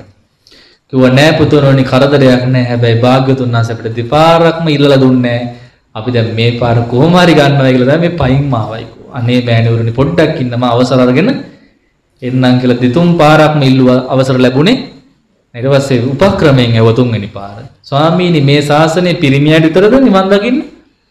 පුළුවන්. භාග්‍යතුන් වහන්සේ කිව්වා නෑ ස්ත්‍රීන්ට එහෙනම් ස්වාමීනි මේ ප්‍රජාපති ගෞතමී ඔබ වහන්සේ ගේ මෑණියන් මිය ගිහින් දින 7කින් ඒ මිය ගියාට පස්සේ ඔබ වහන්සේ බාරගත්තා. හරියට එදා තමයි නන්ද කුමාරය ඉපදුන. නන්ද කුමාරයාට කිරි දෙන්නවත් නැතුව තමන්ගේම පුතා කිරිමව්වරුන්ට බාර දීලා කිරි දෙන්නට ඔබ වහන්සේට කිරි දුන්නා. පැහැදිලිද? තමන්ගේ පුතා ඉපදුන දවසේම තමයි අම්මා ඒ කියන්නේ අක්කව මැරුණේ නේ. ඒතර අක්කගේ පුතා තමයි සිද්ධාර්ථ බෝසතාණන්. දරුසෙනෙහසින් තමන්ගේ පුතා අන් අයට බාර දී ලෝතුරා බුදුවන අපේ බෝසතාණන් වහන්සේව බාරගත්තා. අරගෙන කිරිපෙව්වේ කවුද? මේම මේ අම්මා. ඔබ වහන්සේට කැව්වේ කවුද? මේ මවයි. ඔබ වහන්සේ වඩාගත්තේ කවුද? මේ මවයි. සමහර චිත්‍රවල දැකලා දෙනේ බෝසතාණන් වහන්සේ මවයි ඉන්නවයි කියලා වඩන් ඉන්නේ. නේ? රැස් බාලාවකුත් දාලා චූටි බබෙට්ට වඩන් ඉන්නෝනේ. එහෙනම් බලන්න ප්‍රජාපති ගෞතමී කළ කැපකිරීම කොච්චරද? ඒ නිසා වටිනව නේද ස්වාමීනි මේ අම්මට සැලකී. දැන් බුදු කෙනෙක්ට උගන්වන්න ඕනද මේක? නෑ. හැබැයි ආරාධනාවක් කළ යුතුයි. බලවත් ආයාචනාවෙන් තමයි මේක දුන්නේ කියනකොට භාග්‍යවතුන් වහන්සේට දෝෂයක් එන්නේ නෑ. ඒ නිසායි මෙච්චර කල් හිටියේ. නැත්තම් කලින්ම දීලා දෙන්න සුදුසුයිනේ. පාරමී පුරන් ආපු උත්තමාවියෝ. දැන් වගේ ප්‍රශ්න නෑ ඒකයි. ඉතින් එම නිසා භාග්‍යවතුන් වහන්සේ බලන් හිටිය ඉල්ලීමක් ආයාචනා බොහොම දක්ෂව කරන නිසා කෝ එහෙනම් මානන්ද ප්‍රජාපති ඇතුළු පිරිස අෂ්ට ගරුදරම පිළිගන්න කැමති නම් මම මේ මහානකම දෙන්නම් ඉතින් පණිවිඩය අරන් ආයෙත් වෙනවා. ඇයි? මෙන්න මෙහෙම ගරුදර මටත් තියෙනවා පිළිගන්න කැමතියි. ඊට පස්සේ ආයෙ ඇවිල්ලා අහගත්තා. මොනවද අට කියලා අහගත්තා. ඉතින් භික්ෂුන් වහන්සේලා මහානකමෙන් උපසම්පදාවෙන් අද උපසම්පදා වුණත් භික්ෂුවක් භික්ෂුණී උපසම්පදාවෙන් වස් 100ක් වුණත් අර එදවස උපසම්පදා වෙච්ච භික්ෂුවට වඳින්න ඕනේ. පළවෙනි එක. ස්ත්‍රීන්ගේ මාන්නය වැඩි නිසා ඒක දුරු කරන්න තමයි ඒක දුන්නේ. නැත්නම් ඉතින් බලා ගන්න තිබුණ වෙන හරියනේ. ආ දැන් අපිට වදින්න ඕන නැත්නම් උපාස මේ මේ භික්ෂුණීන්ට. සාමණේර ස්වාමීන් වහන්සේ උපසම්පදා භික්ෂුණීට වදින්න ඕනේ. ඒක වෙනම කතාන්තරයක්. හැබැයි උපසම්පදා වෙන භික්ෂූන්ගෙන් වස් ගන්න මනින්නේ වදින්නට. උපසම්පදාව වේමම සෑහෙනවා. අද උපසම්පදා වුණත් වස් 100 භික්ෂුණියත් ගිහිල්ලා වදින්න ඕනේ අර භික්ෂුත්වයට. ඒක දුන්නේ මොක පුරුෂාධිපත්‍යයටද නෑ. ස්ත්‍රීන්ගේ මාන්නය වැඩි නිසා දැන් ඉතින් වදින්න ඕනේ. ඒක බාරගත්තද නැද්ද? බාරගත්තා. මම ඉතින් ප්‍රධානම ටික කියන්න. ඊළඟට කියනවා භික්ෂූන්ට අවවාද නොකළ යුතු අතර භික්ෂූන්ගේ අවවාද පිළිගත යුතුයි. මොකද උපාසකම්මල තරම් අවවාද කරන දක්ෂ පිරිසක් තවත් ඉන්නවා. අදත් එහෙම අද වුණත් හරියට අවවාද කරනවා. හැබැයි පිළිපදින්න අමාරුයි. ඒක නිසා භික්ෂූන්ට අවවාද නොකළ යුතුයි. භික්ෂුන් වහන්සේලාගේ අවවාද ඒ සඳහා අඩමසකට වරක් භික්ෂූන්ගෙන් අවවාද ලැබිය යුතු. ඒ සඳහා සම්මුතියෙන් සංඝ සම්මුතියෙන් පත් කරන උපසම්පදා භික්ෂුවක් තවත් භික්ෂුවක් සමග වඩිනවා භික්ෂුණී ආරාමයට වැඩියම ඒ ස්වාමීන් වහන්සේගෙන් අවවාද ලබන්නට මොනවද අවවාද? අෂ්ට ගරු ධර්මයෙන් තමයි අවවාද කරන්නේ. ආයි නැවත මතක් මොකද අමතක වෙනවනේ. ආයි මතක් කරන ආර්යාවරණේ නැගෙනවරණේ උඹලට මෙහෙම අටක් තියෙන මතක් කරගන්න. දැන් පොය කරනවා කියලා කියන්නේත් ඒකනේ. වික්ෂුන් වහන්සේලාට පනවපු ශික්ෂාපද 227 නැවත නැවත මතක් කරගන්න කියනවා. අර උපසම්පදාවට ලැබුණේ මොනවද? ගරු ධර්ම 8 ඒ කාලේ. තොර ප්‍රාතිමෝක්ෂය තිබුණේ නැහැ භික්ෂුණීන්ට ඒ කාලේ. ඒක නිසා තමයි ගරු ධර්මාට මතක් කරලා දෙන්න කිව්වා. එන අවවාද නොකළ යුතුයි අවවාද පිළිගත යුතුයි. අඩවසකට වරක් අවවාද ලබන්නත් ඕනේ. පෝය කරන්නත් එන්නට ඕනේ. ඒ නිසා. භික්ෂුන් වහන්සේලා ඉන්න තැනක මානෙක ඉන්නත් ඕනේ. අඩ යොදුනක් මානෙක. දුර ඉන්නත් බෑ. වස් සමාදන් වෙනකොට ඒත් එහෙමයි. ඉතින් ඔය වගේ කාරණා අටක් දුන්නට පස්සේ ස්වාමීන් වහන්සේ කියලා ප්‍රකාශ කරාම කිව්වා ස්වාමීනි නාලා සැරසෙනු කැමති තරුණයෙක් තරුණියක් මල්දාමයක් යම්සේ හිසින් සිරසින් බාර ගන්න කැමැත්තෙන්ද එසේ මම දොහොත් මුදුනේ තබා මේ සියල්ල පිළිගන්නවා කියලා පිළිගත්තා. එය පිළිගැනීමමයි ප්‍රජාපති ගෞතමියට මහානකමත් උපසම්පදාවත්. අනිත් භික්ෂුණීන් 500 භික්ෂුන් වහන්සේලා වෙතින් උපසම්පදාව ලැබුවා. අෂ්ටවාචික ක්‍රමයට භික්ෂුණී සංඝයාගෙනුත් භික්ෂු සංඝයාගෙනුත් තමයි ඒ අය උපසම්පදාව ලැබුවේ. ප්‍රජාපති ගෞතමිය පමණ අෂ්ටගරු ධර්මයෙන් උපසම්පදාවෙන් උපසම්පදාව ලැබුවා. එයම තමයි එතුමියගේ මහානකම සහ උපසම්පදා. පක්ෂ ප්‍රශ්නයක් ඇති වෙනවනේ. අනිත් 500 නම නම් කර්ම වාක්‍යයෙන් උපසම්පදා වුණා. ප්‍රජාපති ගෞතමීර නෑනේ උපසම්පදාව. ඒ අනුව තමයි මම උදෙන්ම මාතෘකා කළේ. යස්ස කායේන වාචාය මනසා නත්ති දුක්කටං ආදී දේශනා වෙන්නේ. මනසා නත්ති යක් දුක්කට යමෙන්ගේ කයෙන් වචනේ මනසින් දුක්කට නැත්තම් වැරදි නැත්තම් ඒ කෙනාට කියන්න පුළුවන් තමහම් භූමි බ්‍රාහ්මණ සියලු තැන්හි සංවරව එතුමියෙක්ට කියන්න පුළුවන් කෝවා බ්‍රාහ්මණ නැත්නම් රහත් භික්ෂුණියක්. ඒ රහත් ඵලය පිළින කළ එදා භාග්‍යතුන් වහන්සේ ප්‍රජාපති ගෞතමයන් වහන්සේ මෙතුමිය සාමාන්‍ය කෙනෙක් නෙවෙයි. රහත් තෙරණියක්. මේ ශාසනයේ වැඩිම රාත්‍රී ගණනක් දන්න භික්ෂුණිය කවුද? මහා ප්‍රජාපති ගෞතම කියන්නේ වැඩිහිටියම භික්ෂුණියනේ. චිරරාතඥ කියන්නේ. භික්ෂුන් වහන්සේලාගෙන් කවුද? කොණ්ඩඤ්ඤ මහරහතන්. ඒ කියන්නේ පරණම කෙනා කියන එක තමයි කියන්නේ. මුල්ම කෙනා. ආන්න එකයි. නම් මේ භික්ෂුණීන්ගේ මහමාතා ශාසනයේ මහමාතා මහා අම්මා කවුද? ප්‍රජාපති ගෞතමී වහන්සේ. එතුමිය රහත් වුණා. එතුමියගේ ඉල්ලීම හරි පුදුම ඉල්ලීම් තිබුණේ. ඔය ස්ත්‍රීන්ට ඒ කාලේ නිතර නාන්න අනුදැන වදාලා තිබුණේ නැහැ. එවැනි වෙලාවක මෙතුමිය ගිහිල්ලා ස්වාමි භාග්‍යවතුන් වහන්සේගේ ළඟට යන්නෙත් නැහැ. යටිසුලගේ ටිකක් ඈතට වෙන්න ඉන්නවා. ඇයි කියලා හෙවම ස්වාමීන් ස්ත්‍රීන් ගඳයි. මොන කවුද කියන්නේ? ගඳයි කියලා. මම නෙවෙයි කියන්නේ. ස්ත්‍රී පාර්ශවයේම ප්‍රධාන භික්ෂුණිය කියනවා ස්ත්‍රීන් ගඳයි. ඒ නිසා මේ ස්ත්‍රීන්ට උදක සුද්ධිය ජලයෙන් පිරිසුදු වීම අනුදැන වදාරන්න.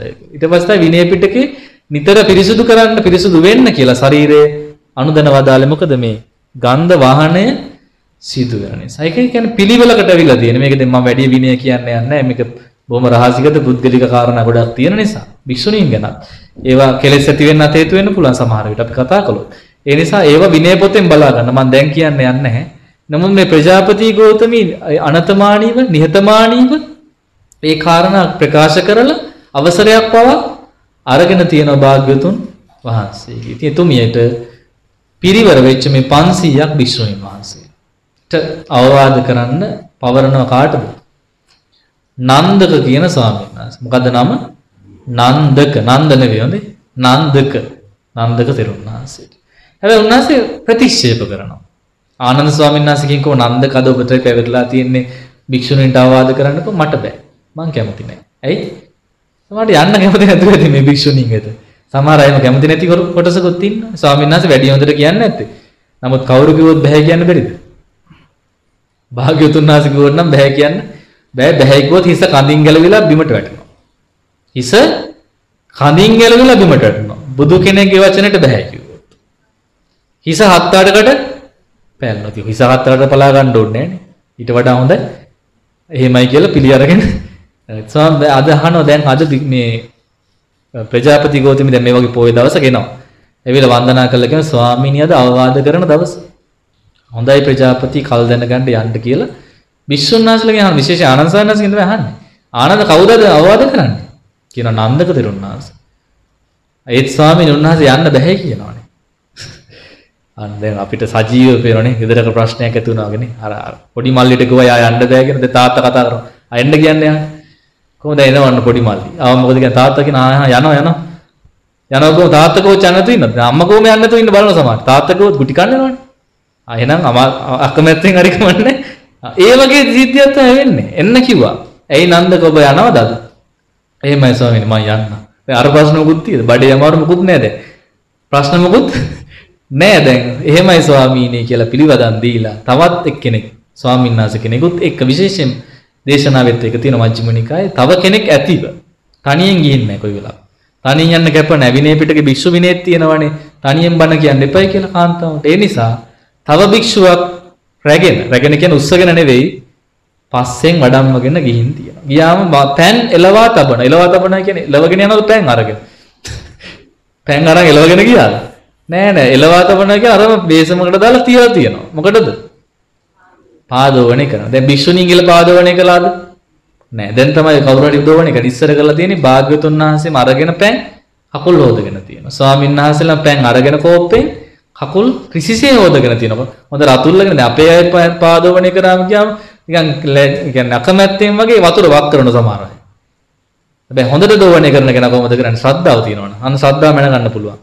පාදෝවණ ක්‍රියාවෙන් වුණත් කෙනෙක්ගේ ශ්‍රද්ධාව මැන ගන්න පුළුවන්. බැඳලා හොඳට වතුර දාලා අත් දෙකෙන් හොඳට එක අතකින් හරි අතුල් අතුල් තමයි දෝ මේ මේක හොදන්නනේ මේක නැතු චාරිත්‍ර වතුර දාන නෙවෙයි නේද මනමාලයේ සපත්තු වතුර දැම්මා වගේ නේද? සපත් දාන් අම් මනමාලයේ වතුර දැම්පෝගෙන මේ ස්වාමීන් වහන්සේ පයින් එන්නේ මඩ ගෑවිලා ඇති. එහෙනම් යටිපතුලේ ඉඳන් ඔක්කොම හොදන්න දැන් මෙතන දෝවණේ කරන අය හොදන දැන් මේ මහත්ය දෙයතිවද එයා මම කකුල ගණිතීත් හොදන මගේ කකුල. වැඩිපුර නේද?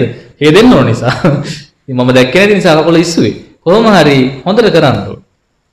දැන් ඒක වෙන්නේ නැති නිසානේ තමන්ම අරන් හොදගෙන තියෙන ඉස්සර. දැන් භික්ෂුණී ආරාමයට ගිහින් ප්‍රශ්නයක් නැහැ. වතුර එලවා තබනවා. ස්වාමීන් වහන්සේ ආසනේ වාඩි වෙනවා. වතුර භාජනේ වතුර අරගෙන කකුල් දෙක හොඳට හොද ගන්නවා. පාවකම් පැලැන්දේ නැහැ ඉස්සෙල්ලා. හොඳට හොද ගන්න. සමහර තෙල් පවා ගල්වනවා පාවල. තෙල් ගල්වනවා. තෙල් ගුලා තිබිලා තියෙනවා. තෙල් බට තිබිලා තියෙනවා. තෙල් ගානවා. ගමනක් ගිහින් ආ ගෝලයා කරන්නේ මොකද්ද? කකුල් දෙක හොඳට හොදලා අර ගුරු ස්වාමීන් වහන්සේගේ කකුල පුරාම තෙල් ගාලා හොඳට සම්බාහනේ දැන් ඒව නෑ ඉස්සර තිබුණා. ඒක තමයි ගුරු ශිෂ්‍ය සම්බන්ධය. ආදරේ. පියපුතු සෙනෙහස. ඇයි? දැන් දෙන්නට වෙන් වෙන්න බෑ. සිවුරු වල යන්න හිතෙන්නේ කවුරු දාලා යන්න බැරිද? තාත්තව දාලා යන්න බැඳෙනවා. ඒ සම්බන්ධය තිබුණා. දැන් අද ඒක දුරස් වෙනකොට මොකද වෙන්නේ? ස්වාමීන් වහන්සේලා දුරස් වෙලාම යනවා. එන එදා ඒක තිබුණානේ.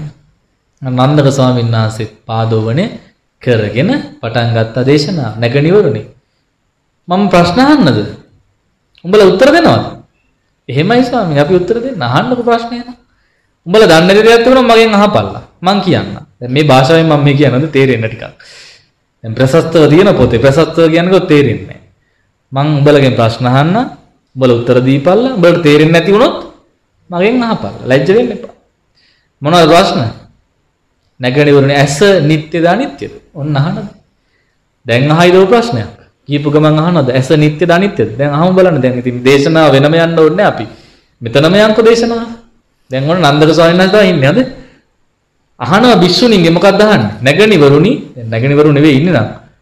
මට වඩා වයසක කට්ටිය. කමන්නේ කොහොම වේවා. නැගණිවරුනි ඇස නිට්ටයද අනිත්‍යද? උත්තර දෙන්න නැගණිවරු ටික. අනිත්‍යයි. යමක් අනිත්‍ය නම් ඒ සැපද දුකද? දුකයි. ලේසි ප්‍රශ්න ටිකක් අහලා තියෙනවා. බය වෙන දෙයක් නැහැ. දන්නවනේ කතන්දරේ. යමක් දුක නම් අනිත්‍ය නම් ඒ මම මගේ මගේ ආත්මය කියලා වසඟේ පවත්වන්න පුළුවන්.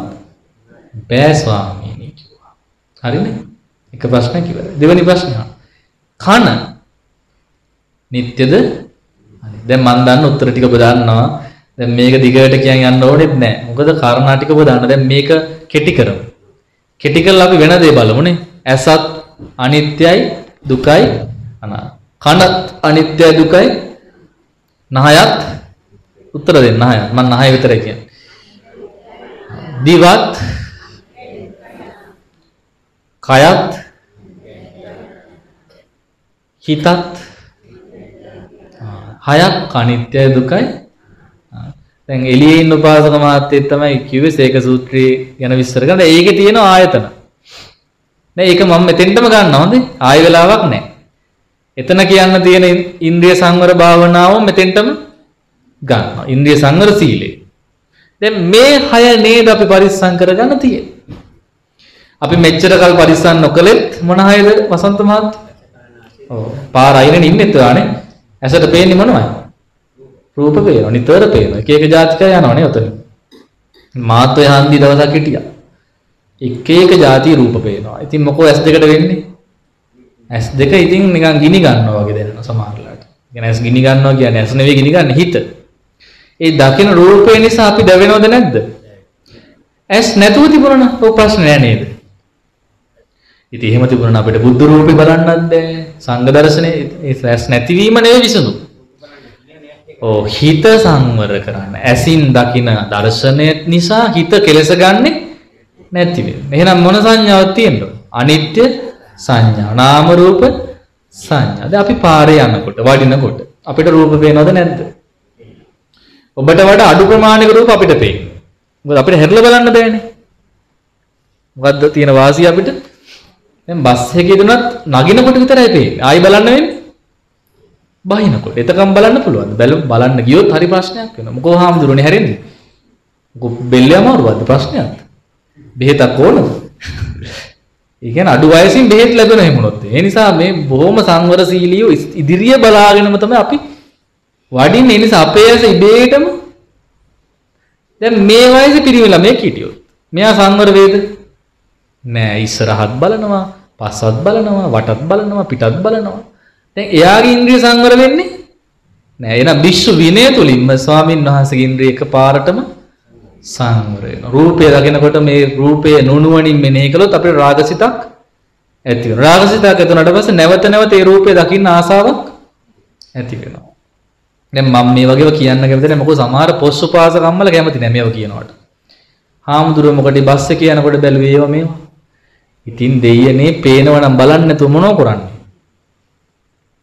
නේද? බස් එකේ ස්පියන් ගිය එකම වසන්ත මහත්තයා පාරේ ස්පියන් යන්න පුළුවන්ද? ගියොත් ඒ කානුවකට වැටිලා බෙල්ලක් කඩාගෙන තමයි ගෙදර එන්නේ. ගෙදරනේ ආරන්ට.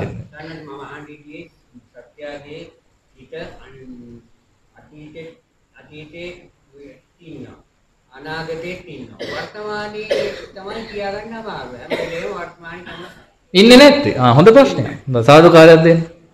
නේ එයා ඉස්සරහට අරන් තියෙන එකනේ මම. මට ප්‍රශ්න දාන්න නේද? මත් මැදට දෙන්න ඕන ප්‍රශ්නයක්. දැන් ඒ ප්‍රශ්නේ හොඳයි. දැන් අපි ඒක ඉස්සරහට අහමු. දැන් මේ යන ගමන් දැන් වසන්ත මහත්තයා නෝන මතක් වෙනවා. මතක් වෙනවා. හිටපු හැටි ඉස්සරනේ මතක් වෙනවා. අනාගතය ගැන මොනවද මතක් වෙන්නේ? දූ ගැන එහෙම මතක් වෙනවද? අනාගතේ දියණිය පුතා ගැන අනාගතය ගැන මතක් වෙනවනේ. මතක් වෙනවා. ඒ මොකද වෙන්නේ? අපි තාම සිහිය පිටවන්න පුරුදු වෙලා නෑ ඒකට දැන් අර ඒකට බෙහෙත තමයි මම අර ටිකකට කලින් කිව්වේ. දත් මදින්න සිහියෙන් බත් කන්න සිහියෙන් නේ? බඩු කිරන්න සිහියෙන්. දැන් බඩු කිරනවද බඩු කිරනවා මේ දවස්? දැන් කිරන්නේ දැන් මොනවා කිරන්නේ? නිකන් ඉන්න නිදි කිරි කිරි ඉන්නවා. ඔව්. වහලා පාර දිහා බලාගෙන නෑ. ධර්ම ධර්මය. ආ හරි. ඒක දැන් මම දැක්කේ නෑ කාලෙක ඒවා පාර යනකොට. ඒක තමයි. දැන් බීම බෝතල් ලැබෙන්නේ නෑ නිසා මට. කඩේ වහපු නිසා හොඳයි සිහිය පිටවම අපි උත්සාහ ගන්න ඕනේ. දැන් සිහිය නොපිටවීම නිසා තමයි අතීතයට යනවා අනාගතයට යනවා. වර්තමානේ නැහැ. වර්තමානෙත් එන හොඳ රූපයක් වගේ ඇස් ඉස්සරහට ආපුවම වර්තමානට ඉක්මනට එනවා ඒක. වර්තමානයේ තමයි ඉන්න බලන්න. ඉන්න බලන්න. හිත දැන් හිත කියන දේ හැම වෙලේම කය ඇතුලේ තියාගන්න බෑ. ඔව් කය ඇතුලේ තියාගන්න. ඔය තියාගන්න මට ප්‍රශ්න. ආනේ අරමුණ තමයි මන් දුන්නේ. පිම්බීම හැකිලි. අස්වාස පස්ස. දැන් නිකම් බලන් ඉන්නේ පැස් පියාගෙන එක්ක හුස්ම අනයන දිහා බලන්න එක්ක පිම්බීම හැකිලිම දිහා බලන්න. හැමෝටම තමයි මම මේ දැන් වසන්ත මහත්තයා පොදුවේ එයා ඇහුවේ කාගේ ප්‍රශ්නයක්ද? මේ සියලු දෙනාට තියෙන ප්‍රශ්නයක්. සිත තියෙන වර්තමාන අනාගතේ නැත්නම් අතීතේ නේ වර්තමාන නැහැ. වර්තමානයේ නෑ. දැන් තියෙන්නේ නැත්නම් කොහෙද? තියෙන්නේ නැද්ද? තියෙන්න ඕන තැන. තියෙන්නේ වර්තමානයේ නෑ. තියෙන්නේ නැත්තෙම තියෙන්න ඕනේ නැති තැන. දැන් ඔන්න එනවා සංඥා ටික අපිට. මොනවද එන්නේ? ගෙදර යන්න ළඟයි. වදිනවා දැන් ඒවා. දැන් වදිනේව වහ ගන්න නැත්තම් ඉන්න වෙන්නේ නැහැ මෙතන බණක් කියාගෙන. නැත්තම් ළඟ තියෙන බෑග් වල තියෙන දේ ඇදලා බලන්නකෝ ඒක සයිලන්ට් ගාද නැද්ද කියලා. ඕෆ් කරන්න එපා බය වෙනවා. ග්‍රාහකයා බය වෙනවනේ. ඒ නිසා ඔය සද්ද නැති කරගන්න. දැන් වසන්ත මහත්තයා මොකද වෙන්නේ? වර්තමානයේ පවතින්නේ නැහැ. පවතින්නෙම නැහැ. තියෙන්නේ කොහෙද? එක්ක අතීතේ එක්ක අනාගතේ. ඒකට තමයි කුසලාරම්මණයක් ගන්න කිව්වේ. අපි සරලව දුන්න බුදු ගුණ වඩන්න කිව්වා, මෛත්‍රී වඩන්න කිව්වා. ඒවදි වෙන්නේ මොකද්ද? අර අතීතයට ගිහපු ආරම්මණය හිත වර්තමානට එනවා. අරහන් ගුණයට එනවා. සුවපත් වේවා කියන වචනෙට එනවා. දෙතිස් කුණ භාවනාවටත් එනවා. මරණ සතියට ඕ ඔක්කොම මම කරන්න කිව්වා. ඒ කරන්න කිව්වේ. මුලින් පුහුණු වෙන්න. දැන් මෙච්චර අවුරුදු 14ක් අපි මේ ආරණ්‍ය හදලා කියා දුන්නේ සමත භාවනාවනේ වැඩිපුර. නේ ඔබ දන්නවනේ. ඔබට පුළුවන් නේද මේක භාවිතා කරන්න අවශ්‍ය අවශ්‍ය වෙලාවට. ශ්‍රද්ධාව මදි වෙලාවට බුදු ගුණ වඩන්න. තරහ යන වෙලාවට මෛත්‍රිය වඩන්න. කෙලෙස් ඇති වෙන වෙලාවට රාගය ඇති වෙනකොට අසුබේ වඩන්න. මතක් වෙන්නේ නැහැ. කරනවානේ ඒ භාවනා කරන නිසා තමයි අර දේවල් හිතෙන අතීතේ හිත තියෙන්නේ අනාගතේ හිත තියෙන වර්තමානයේ හිත මේ කියාගන්න අමාරු කියලා හිතෙන්නේ. ඔව්. ඒක නිසානේ දන්නේ. භාවනා කරන්න ගියාම තමයි අපිට තේරෙන්නේ මේක අමාරුයිනේ කරගන්න. ගුණාව බෙදන් ඉන්න අමාරුයි. ගුණා නිතරම උඩ මේ පුප්පනවා, පනින්න හදනවා, අනින්න හදනවානේ. ඕමනම් ඉන්න බෑ යන්න ඕන කියලා එයා දඟලනවා. ඒ දඟලන එක තේරෙන්න අපි සිහිය පිහිටවන්න උත්සාහ කරන්න ඕන. උත්සාහ කරනකොටනේ අමාරුයි කියලා තේරෙන්නේ. අද උත්සාහ කළා විනාඩි 5ක් අවුදේ. මෙයා උත්සාහ කළානේ. අනිවාර්යෙන් මේ කියන સિદ્ધාන්ත ඔබටත් ඔය සෙතේම වෙන්නේ නැදිනේ. හිත හෙට පයින්නවා මෙහෙට පයින්නවා. දැන් මොකද මේ ගෙදර ඉඳගෙන මේ මොකද සමත භාවනා විසුම් භාවනා කරලා ආවේ නෑ නේද? කුඹුරු කෙටුවා, ගෙදර වැඩ කළා නේද? කර්මාන්තයන් යෙදිලා මෙතෙන්ට එන්නේ. දැන් ටිකක් දවස ගෙවෙනකොට හිත පිහිටනවා ටික. හැබැයි උදේ පාන්දර දෙනකොට මේක මොකද වෙන්නේ? ආරම්මණයන්ට යන්නත් පුළුවන් නොගිහිපුවාත් ඇති මට පොදුවේ කියන්න බෑ හැමෝගෙම ගියයි කියලා. හිත හිත දියුණු පින තියන අය හිත තියාගන්න පුළුවන්. පින මදි කෙනාට තමයි සිය පීටුවන අමාරු. ඇයි එයාට පුරුදු නැහැ. එහෙනම් මේක අදාද පුරුදු කළොත් අරමුණකට ගන්න හිත අපිට පුළුවන් මේ සතිපට්ඨානේ පිහිටාගෙන දැන් සතුටින් ඉන්න කියලා මං කිව්වා ස්වාමීන් වහන්සේලා ටිකක්. ඇයි ඒ? සිහිය පිහිටවපු නිසා. සතියෙන් ඉන්නේ. දැන් එතන මම දැක්ක තව දේවල් ටිකක් වඩු වැඩ කරනවා. මැෂින් වලින් ලී කපනවා. කවුද කපන්නේ? මේ ස්වාමීන් වහන්සේලා. එක පැයක් දෙන බර වැඩ කරන්න. අර කපන එක සීයේ කපන්න ඕනේ. නැන ගහන්න ඕනේ. ඈ ඔක්කොම කරන්න ඕනේ. ඒ පැය බෑ. දවසම මේ ලී කප කප හිටියොත් එහෙනම් භාවනාවක් කරන්නේ නැහැ. එතකොට අර කර්මාන්තයේ ප්‍රමාණයකට යෙදෙන්න ඕන. කුටි හදන්න ඕන. නේද? පිළිසකර කරගන්න. දැන් මෙහි බට කරනවා අපේ එක සායනස කෙනෙක් උඩ ඉනම් පහළට බට හදා හද යනවා. දැන් බට භාවනාව තමයි කරන්න තියෙන්නේ. කපනවා, අලවනවා. ඇයි ඉතින් රිලව් ඇවිල්ලා ගහලා යනවා. බැන බැන ඉඳලා හරියන්නේ නැහැ. වතුරත් එපා. ඉතින් හදන්න දවස ගානේ හදනවා. ෂොකට් ගේන හැමතිස්සෙම ඇයි? ෂොකට් පූජාව, එල්බෝ පූජාව කොට කරගන්න පුළුවන් මොකෝ නිතරම ඕන වෙනවා. ජොයින් කරන්න ඕන වෙනවා. ස්ලෝන් ගන් එහෙම නිතරම ඕන වෙනවා. දැන් ඒ ස්වාමීන් වහන්සේට මේක සිහිය පිටවගෙන කරනවා නම් මොකක්ද ඇති වෙන්නේ? හරදරයක් කියලා හිතෙන්නේ නෑ. අන්න ඒක තමයි අර වැඩවලදි කරන්නේ. කුටි පිලිස කර කරනකොට, සිමෙන්ති අනනකොට, ගැරල් බඳිනකොට නේ එහෙම වෙනවා. අපි මේ කර්මාන්තවල පමනකට ඉඳ නැත්තම් දානේ වන්දල වලදලා තෙල් වැඩි වුණාම තෙල් පිට වෙන්නේ නැති වුණාම ලෙඩ වැඩි වෙනවා. ඉතින් ඒ නිසා පැයක් විතර අරගන්නවා කර්මාන්තයන්හි යෙදෙන්නට. ඒ කර්මාන්ත වැඩි වුණාමත් හිත විසිරෙනවා. කර්මාන්ත නැති වුණාම තීන මිද්දට වැටෙනවා. ඒ නිසා සමබරව තමයි ඒ ගුරු ස්වාමීන් වහන්සේලා අපට කර්මාන්ත දෙන්නේ. ඉතින් මොකක් හරි කර්මාන්තයක් දෙනවනේ. ඒක ලී වැඩ, වඩු වැඩ මොනවා හරි ඇති. ඒ තියෙන දේ කරලා ඒක කරන්නේත් කොහොමද? සිහිය පිහිටුවා. හොඳට බලලා කරේ නැත්නම් අත තැලෙන්නේ නැද්ද? මිටි පාරක් ගහනකොට. ඇණයක් ගහන මිටියෙන්. සිහියෙන් නොගැහුවොත් ඇනේ පැත්තක අත වෙන ඇඟිල්ල තමයි ගහලා තියෙන්නේ. ඉතින් තැලිලා නිල් වෙලා ලේත් ඇවිල්ලා ලොකු විපතකට තමයි දැන් අත් කපා ගන්නයි මේ ලෝක කපන කට්ටිය. අනිවාර්යෙන් ඔබ දකිනවා හිත කොහේ හරි ගිහපු නිසා තමයි කැපුණේ. දැන් අපි දන්න සහෝදරයෙක්ගේ කොරියාවේදී ඇඟිලි හතරක් කැපුණා. මොකද කියලා හේතුව එවම gedara මතක් වුණාලු. gedara ප්‍රශ්න මතක් වුණා. බඳින්න නෝන මතක් වුණා. දැන් ඒ ගෑනු වෙනා මතක් වෙච්චකම අතපවා මොකෝ උනේ? කැපිලා ගියා නේ. ඒ කියන්නේ මතක් කරන්න සුසු දේවල් නෙවෙයි වැඩක් කරනකොට බය ඇති වෙනවා. ඒකයි වෙලා තියෙන්නේ. බඳින්න කලින් ඕම් බය නම් බැන්දම කොහොම බයක්? බෙල්ලම ගලවලා එනකොට ඊට පස්සේ.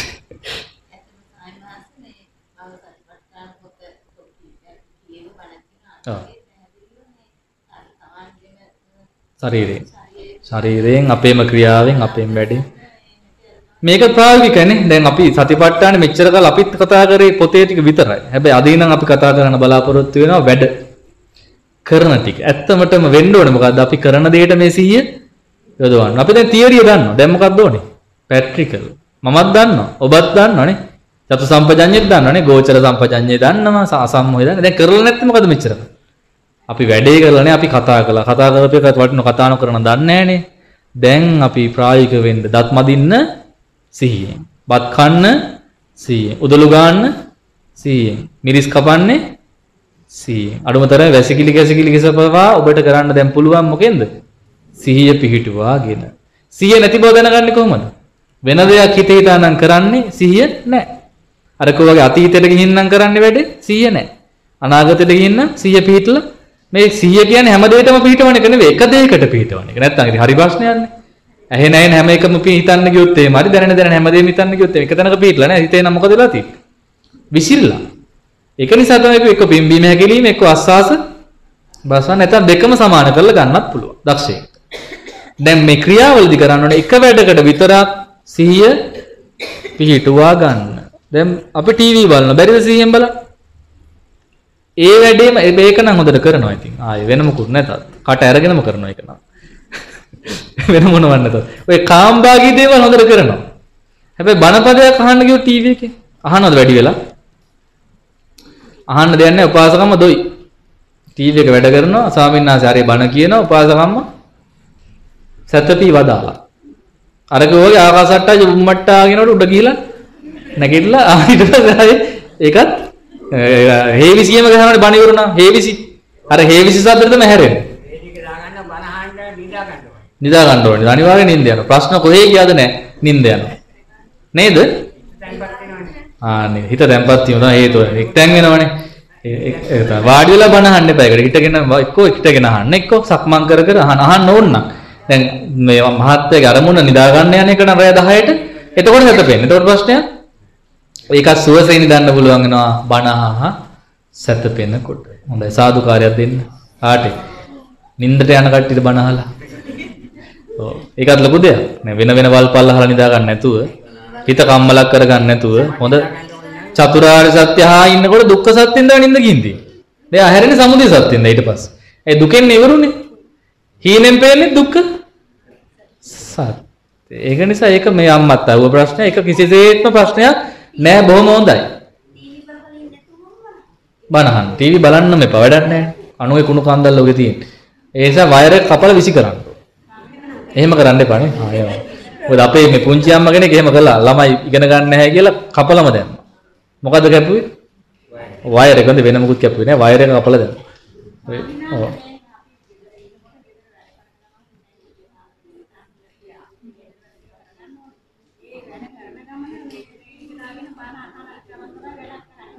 ඔව්. මම කිව්වනේ දැන් මොකද්ද කිව්වේ? මුකුත් නැතිකොට ඒක හොඳයි. මුකුත් නොකරන එකට වඩා ඒක කරන එක හොඳයි. හැබැයි හොඳම නැහැ කියන්නේ 100%ක්ම හොඳයි කියන්නේ නැහැ ඒක. නමුත් නැති එකේ එහෙම හරි කුසාසිතක් මොකද බණ්ඩක් කපන ගමන් එක ශරණයකදී හරි ඔකට හිත යනවනේ. නේ? දැන් හිත යන්නේ කොහොමද? ශන ශන වශයෙන් යන්නේ. එක ශරණයක බණට යන එක ශරණයක බණ්ඩක් වලට යන එක ශරණයක මිරිස් වලට යනවා එක ශරණයක වැඩවලට ඒ දැන් මේ දෙක තුනටම යවන ගමන් තමයි. එතකොට වැඩේ අසාර්ථක නමුත් පොඩ්ඩක් හරි හොඳයිනේ. අහන්න නැතුවම ඉන්නවට වඩානේ. එහෙම හොඳ. හැබැයි අපි අහනවන හරියටම අහන්න කොහමද? සියලු වැඩ අත්තර අර මොකද්ද තියෙන්නේ? නොනගතේ වගේ. ඔව් කාබි වැඩ අත්තර උතුරු දිශාව හරි නැගෙනහිර දිශාව හරි බලාගෙන ඒක රේඩියකට වැඳගෙන හරි කමන්නේ අහන්න එහෙම ඇහුවොත් තමයි ඔබට වැටහෙන්නේ. බණ ඔලුවට යන්නේ. S2 පියන් අහන්න පුළුවන් තවත් හොඳයි. මොකද ස්වාමීන් වහන්සේ පේන්නේ නැති නිසා අපිට ආරම්භණයක් ගන්න දෙයක්වත් නැහැනේ උතනින් ඒ නිසා අපි රේඩියෝ දිහා බලන් ඉන්න ඕනේ නැහනේ. ටීවී එක නම් බැලුවට කමක් නැහැ. හොඳට S2 පියාගෙන බණ අහන්න. අරමුණ ගන්න. දැන් අපි කියාගෙන ගියේ මොනවද? ආයතන 6 ගැන. දැන් මෙතන හොඳ උපමා ටිකක් තියෙනවා මේ ස්වාමීන් වහන්සේ. අපි ඒකත් මතක් කරගමුකෝ තිරයක් තියෙනවා. තිරය කියන්නේ වැටිය නේද? පහන් වැටිය. පහනේ තෙලුත් තියෙනවා. දැල්ලකුත් තියෙනවා. ස්වාමීන් වහන්සේ අහනවා. තව එළියකුත් අහනවා. භික්ෂුණීන් වහන්සේලගේ අහන නැගණිවරුනි තෙල් අනිත්‍යද නිට්ටයද? තෙලුත් අනිත්‍ය වැටියත් අනිත්‍ය දැල්ලත් හරි එහෙමනම් තෙලුත් අනිත්‍ය වෙලා තියෙද්දි වැටියත් අනිත්‍ය වෙලා තියෙද්දි දැල්ලත් අනිත්‍ය වෙලා තියෙද්දි යම් කෙනෙක් කියනවා ඒකෙන් එන එළිය නිට්ටයයි කියලා ඒක හරිද? ඔන්න ලස්සන උපමාවක්. හොඳ හොඳට මතක තියාගන්න. මේක නන්දක ස්වාමීන් වහන්සේ දීපු උපමාවක්. උන්වහන්සේගේ ප්‍රතිභාවෙන් දීප එකක්. මතක තියාගන්න. නන්ද ගෝසුරුදී ලස්සන උපමාව තමයි මේක. තෙලුත් අනිත්‍ය නම් වැටියත් අනිත්‍ය නම් දැල්ලත් අනිත්‍ය නම් එළිය විතරක් නිත්‍ය වෙනවද? නෑ. එළියත් අනිත්‍යයි එහෙනම් ඇසත් අනිත්‍ය නම් රූපයත් අනිත්‍ය නම් විඥානෙත් අනිත්‍ය නම් ඒ දකින ගත්තු වේදනාව විතරක් නිත්‍ය වෙනවා. ඒකත් සංඥාවත් වේදනාවත් ඔක්කොම චේතනා සම්පත් සියල්ලම අනිත්‍යයි. තේරුණාද? දැන් ඇසට දැන් කතාවට යමුකෝ අයිමත්. ඇස තියෙනවා. ඇස කොහෙද තියෙන්නේ? කනේද? ඇස තියෙන ඇසේ. ඇස කියන්නේ මොකේද උතෙන්දි? මේ මේ මස් ඇසට නෙවෙයි කියන්නේ මෙතන ඇස කියලා. මේ ඇසේ තියෙනවා එක තැනක කළු ඉංගිරියා නේ චූටි තැනක්. ඇහි බබා කොහොමද ඔබ දන්නේ මේක? බබා. මොන බබයි? ඇහි බබා. ඇහි බබා. මේ බබා වැහුණම තමයි අපි කියන්නේ සුදාව. සුදෙන් වැහුණම මේ බබාව මොකද වෙන්නේ? පේන්නේ නැහැ. ඊට පස්සේ මොකද කරන්නේ? සැත්කම් කරලා කපනවා. සුද කපල ඉවත් කරනවා. කාච දාන. දාන්නේ කවුද දැන් රැක් ගන්නවද? බබාව. මොන බබා? ඇහි බබා. මේකට අභිධර්මයේ කියන්නේ චක්කු ප්‍රසාද. උකුණු හිසත් තරම් පොඩි සිදුරක්. මේකෙන් තමයි ආලෝකය පතනය වෙන්නේ ඇහැ තුලට. උතන තමයි රූප පේන තැන. අන්න එතෙන්ට තමයි ඇස කියන්නේ. එතෙන්ට රූපයක් වැටෙනකොට දැන් අපි ගමු මොකද්ද වැටලා තියෙන්නේ? ඔබට මොකද්ද වැටලා තියෙන රූපය? සම්මුතියෙන් කියන්නේ. කවුද ඉන්නේ දැන් ඔබේ ඇසේ? ඔව් මේ ස්වාමීන් වහන්සේ ඉන්නවා. මොන ඇන්ගල් එකෙන්ද ඉන්නේ? වම් පැත්තෙන් ඉන්නට වම් පැත්තේ ඇන්ගල් එක පේනවා දකුණු පැත්තේ හැට දකුණින් පේනවා කෙලින් ඉන්නට කෙලින් පේනවා. ඔක්කොටම එක වගේ පේනවා. නෑ වෙන වෙන ආකාරයි. මොකද මගේ වම් පැත්ත එක විදියයි දකුණු පැත්තේ තව විදියක් කෙලින් බැලුවම ඔය හැමෝගෙම මෙහෙමයි මාව හරියටම දැකලා ඉන්නේද? නෑ. ඔබට පේන්නේ මගේ වර්ණ රූපේ විතරයි. වර්ණ රූපේ ඔපය විතරයි. ඇතුළ දැක්කද? පිටපැත්ත දැක්කද? පිටපැත්ත බලන්න නැගිටලා ඇවිල්ලා. බලන්න වෙනවා. දැන් කියන්නේ ඒකයි අපිට ආලෝකේ වැටෙන පරාසය විතරයි සංඥාව දෙන්නේ අපිට. දැන් මගේ මම මාව හරියටම දැකලා නැහැ හැබැයි මම දැක්කයි කිව්වට. උපාසකම්මලගෙත් ඔක්කොම ටික මම දැක්කේ නෑ. පේන්නේ ඔපේ විතරයි. ඕක ඇතුලේ මොනවද තියෙන්නේ? ආන බඩවැල් ඒ කතන්දරේ යට තියෙනවා. ඒක ඒක දැක්කේ නෑ නෑ ඇස ඇසට වෙන්නේ මොකද නිතරම? ඇස රැවටෙනවා. ඇස රැවටෙන්නේ මොනවට? රූපවලට. අපි රවට්ටන්න කට්ටිය ලෑස්තිද නැද්ද? ලෑස්ති. සල්ලි දීලා මහන්සි වෙන්න අනේ රවට්ටා. සැලොන් යනවා අනේ පේෂල් දානවා. ඇහි ගම ගලවනවා උගුල්ලවනවා තියෙන දෙන්නෙම නැහැ. මේ මේවා දැන් පොඩි පොඩි ගෙඩි පවා ගලවනවා අර කටු වලින්. ඔව් ඇහැ රවට්ටන්න. වෙන මොකටද අපිව රවට්ටන්න. මේ අපේ ඇස් එයාගේ ඇහැ රවට්ට ගන්න නෙවෙයි එයා ගලවන්නේ. දකින්න කෙනාගේ ඇහැ රවට්ටන්න. අපි මෝඩය වුණොත් අපිට මොකද වෙන්නේ? අපි ඇහැ තුලින් රැවටෙනවා දෙව්ලොවෙන් බට සුරංගනක් වැනිය ගිරන්න වර්ණනා කරන ඊට පස්සේ. තොල්පෙදි නාදලු සමය. දැන් මේ කවියෝ එදා ඒව වර්ණනා කළේ මොකෙන්ද? අවිද්‍යාවෙන්. විද්‍යාවෙන් විදර්ශනා යෝගීෙක්ට ඔක වර්ණනා කරන්න දුන්නොත් ආපෝ අසුචි ටිකක් තියෙනවා. කුණු වෙලා යන පටවියාපෝ තේජෝ වායෝ ඔබේ මුහුණේ ඇත. දැන් කවිය ලස්සනද? නෑ කවිය කැත වෙන එතකොට. දැන් ඔය කිව්ව සංදේශ කාව්‍ය ලස්සන වෙන්නේ නැහැ. සැලලීනි සංදේශයේම ලස්සන වෙන්නේ නැහැ. විදර්ශනා යෝගීෙක්වත් ඔක ලිව්වනම් එහෙම ලියන්නේ මොනවද? ඇස්වල පටවිය ආපෝ තේජෝය. දැන් ඇහිදම දේදුණු සමද? නෑ. එහෙනම් ඇහැ රවට්ටන්න නම් ලෑස්ති අපිත්. ලෝකින් ඈත රවට්ටන්න නම් ලෑස්ති වෙලා ඉන්නේ. අපි හොඳට උඩින්ම රැවටෙනවද නැද්ද? අත උඩින් රැවටෙනවා. ළඟදි මට ආරංචි වුණා මේ සමහර ස්ත්‍රීන්ගේ ශරීර අවයව වලට වෙලන්සැලීම කොටස් තියෙනවලු. ඒ කියන්නේ ඒව පොඩි නම් විශාල වෙලා පේන්නේ. දැන් මොකද කරන්නේ? ඒ වගේ ආයිත්තන් අරගන්නවා. අරගෙන මොකද කරන්නේ? ඇඳ ගන්න. ඇඳගෙන පාර යනවා. දැන් පිරිමියයි මොකද කරන්නේ? අම්මෝ කියලා බලන් ඉන්න. මොනවද බලන් ඉන්නේ? කුෂන් එකක් දිහා කුෂන් එකක් දිහා බලන්න. දැන් කුෂන් කියලා එහ ගන්නවද? දැන් කුෂන්ද කියලා බලන්න මොකද කරන්න ඕන අපි? අතින්ම ගිහිල්ලා අල්ලලා බලන්න. එහෙම අල්ලන්න කිය කොහෙද නවතින්නේ? වැලිකඩ හිර ගෙදර. දැන් ඉතින් අල්ලන්න කියලා වැලිකඩ යන්නත් බෑ. රැවටෙන්නත් බෑ. එහෙනම් මොකද හොඳ විසඳුම? විදර්ශනාව මේවා අල්ලන්න යන්න ඕනේ නෑ. කොච්චර ලොකු වුණත් කමන්නේ කොච්චර ලස්සන වුණත් කමන්නේ මොකද තියෙන්නේ? පටවි ඔව් කුසනුත් පටවි ආපෝ තේජෝ වායෝ මස් තිබුණොත් මසුත් දැන් ලොකුයි කියන්නේ මොකද්ද? මස් ටිකක් වැඩි. මස් වැඩි කියන්නේ දුක වැඩිද නැද්ද? මේ නුවණින් විමසන්න වැරදිට නම් ගන්න එපා. මේ ඔක්කොම කියන්නේ ඔබේ යහපත. නැත්නම් ඔබ හිතන්නේ මේ මට මේක කියන්න ඕන කොට මං කිය මොකද සමහර පිටරට අම්මලා හිතනවා මේ ලෙඩක් තියෙනවා කියලා. මම ලෙඩක් නෑ මට. ඒක හොඳට දකින්න මේ ඇත්තනේ මම මේ කියන්නේ. ලොකු කියන්නේ මොකද්ද? මස් ලොකුයි. මස් ලොකුයි කියන්නේ පට ව්‍යාපෝ තේජෝ වායෝ වැඩි. දුක වැඩි. ඒ උස්සන් ඉන්නත් එපා. හදිසිය ලෙඩක් වුණොත් කරේ තියන් වචන්නත් බෑනේ ඇයි? මස් ගොඩක්. දැන් අපේ ආච්චි අසනීපුණ එක් තැනම හරි බරයි. දැන් කෙට්ටු ආච්චි කෙනෙක් වුණා නම් නේ අතින් හරි උස්සන යන තිබුණ තනි අතින්වත් කරේ තියන් යන්න බැරිය. මෙයා උස්සන දෙන්නෙක් ඕන.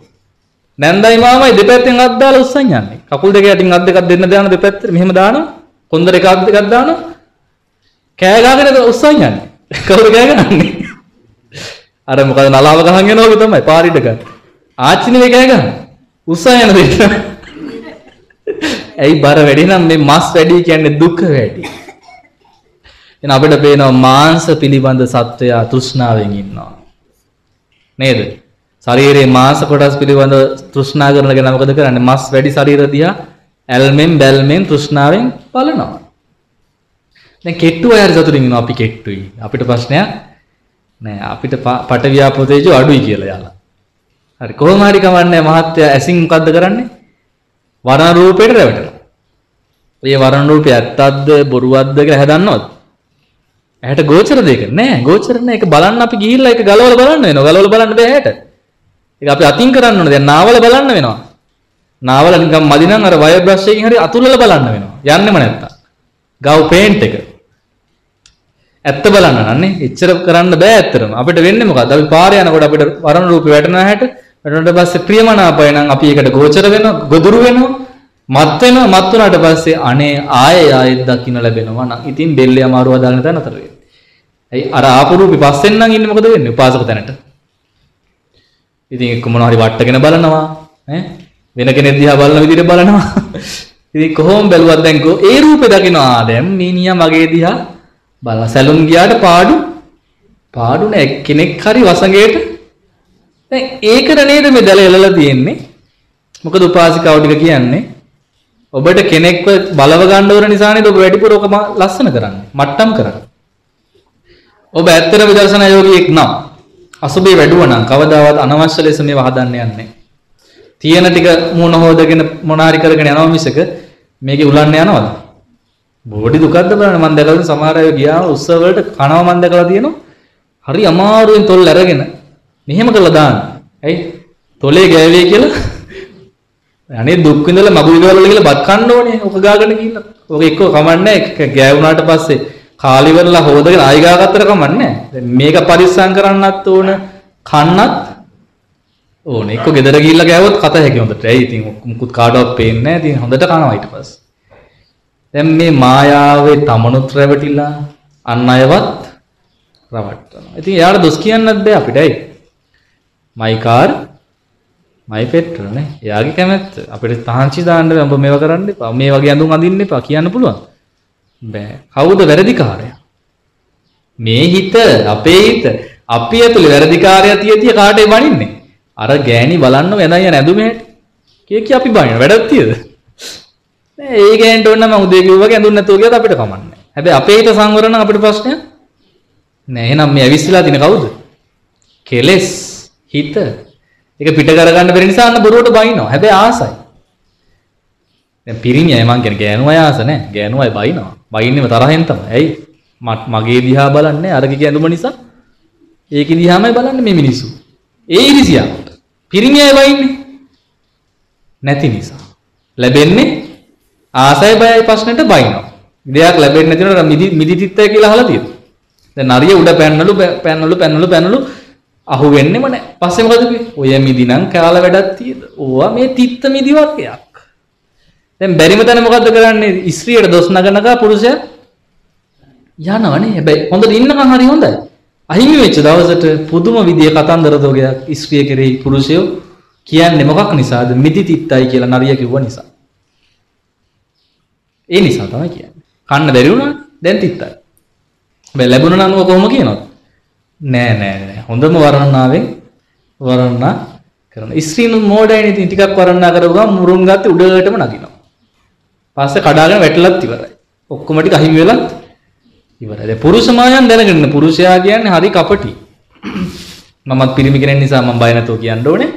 අපේ පාර්ශවයේ කපටි. ඒ නිසා එයාලා පුළුවන් තරම් ස්ත්‍රීන්ව වර්ණනා කරයි. ಗುಣ කියයි. ලුණු වැඩි වුණත් කියන්නේ කොහොමද? කෑම වලට නෑ නෑ ලුණු නෑ. හරි ගානට තියෙන රසයි. ඇයි මේ මේ ඔක්කොම කියන්නේ? වසඟෙට ගන්නකම් විතරයි. දැන් කසාද වල ගෙදර ගියාම ලුණු මොකෝ වෙන්නේ? ලුණු වැඩි ඊට පස්සේ. ඊට පස්සේ රණ්ඩු. කන්න වෙන්නේ දත් නැතුව තමයි බත් කන්න වෙන්නේ ඊට පස්සේ. කාටද? නෝනට. ඒ නිසා ලුණු ප්‍රශ්න තියෙනවා. අපේ ගෙවල් වලත් තිබුණා. ඒක මම මේ කියන්නේ. නේද? තියෙනවා නේද? සීනි ප්‍රශ්න තියෙනවා. කෑම ප්‍රශ්න තියෙනවා. දැන් හැබැයි කසාද බදින්න කලින් අර කිරිපැණි කාලේ වසගෙනක් දුන්නොත් කනවා. උඹේ යතින් දෙනා වසත් කන්න ඇයි මුලාවක මහත්. එහෙනම් මේ දෙගොල්ලෝ දෙගොල්ලොන්ට රැවටිලා යන ගමනක්. ඉතින් මම මේක නොකිය මම ගස්ගල් පර්වත ගැන බණ කියන්නද කියලා මම අහන්නේ මේ බයිනායගෙන් මේ ලෝකාස්වාද රතියරද නැත්ද මිනිස්සු බැඳලා තියෙන්නේ? මොකේද? මේ ලෝකාස්වාද රතියර තමයි බැඳලා තියෙන්නේ? නේද? දැන් නිලුක් මහත්තයා තාම බැඳුන්නේ නැහැ. එයා බලන් ඉන්නවා දැන් අමුතු විදියට. මොකොත් දන්නේ කල්පනානේ. දැන් බැඳිලාද දන්නෙත් නැහැ. මම දන්නේ නැහැ. අහන්න බැරුණා විස්තර. දැන් අදිෂ්ඨානෙන් හිටිය මහාන වෙන්න ඕන අම්මට සලකලානේ පරිස්සමෙන් යන්න ඕනේ. ඔය යනකොට එහෙම පාරේ. කොහොම යන්න ඕන? විදර්ශනා? මානසිකාරය. මොකද කට්ටිය බලන් ඉන්නවා මේ වගේ සත්පුරුෂ උපාසක මහත්තුරුන්ව දැලේ. දාග මොක හොඳයිනේ මිනිස්සයා. හරි හොඳ සත්පුරුෂ බණහන ගෙනානේ. කිසි කරදරයක් නැහැනේ එහෙම වෙලා තිනවා මම මේක නැවත නැවත මේ ප්‍රසිද්ධ වේදිකාවේ මනතුරෙන් ගෙව්වේ.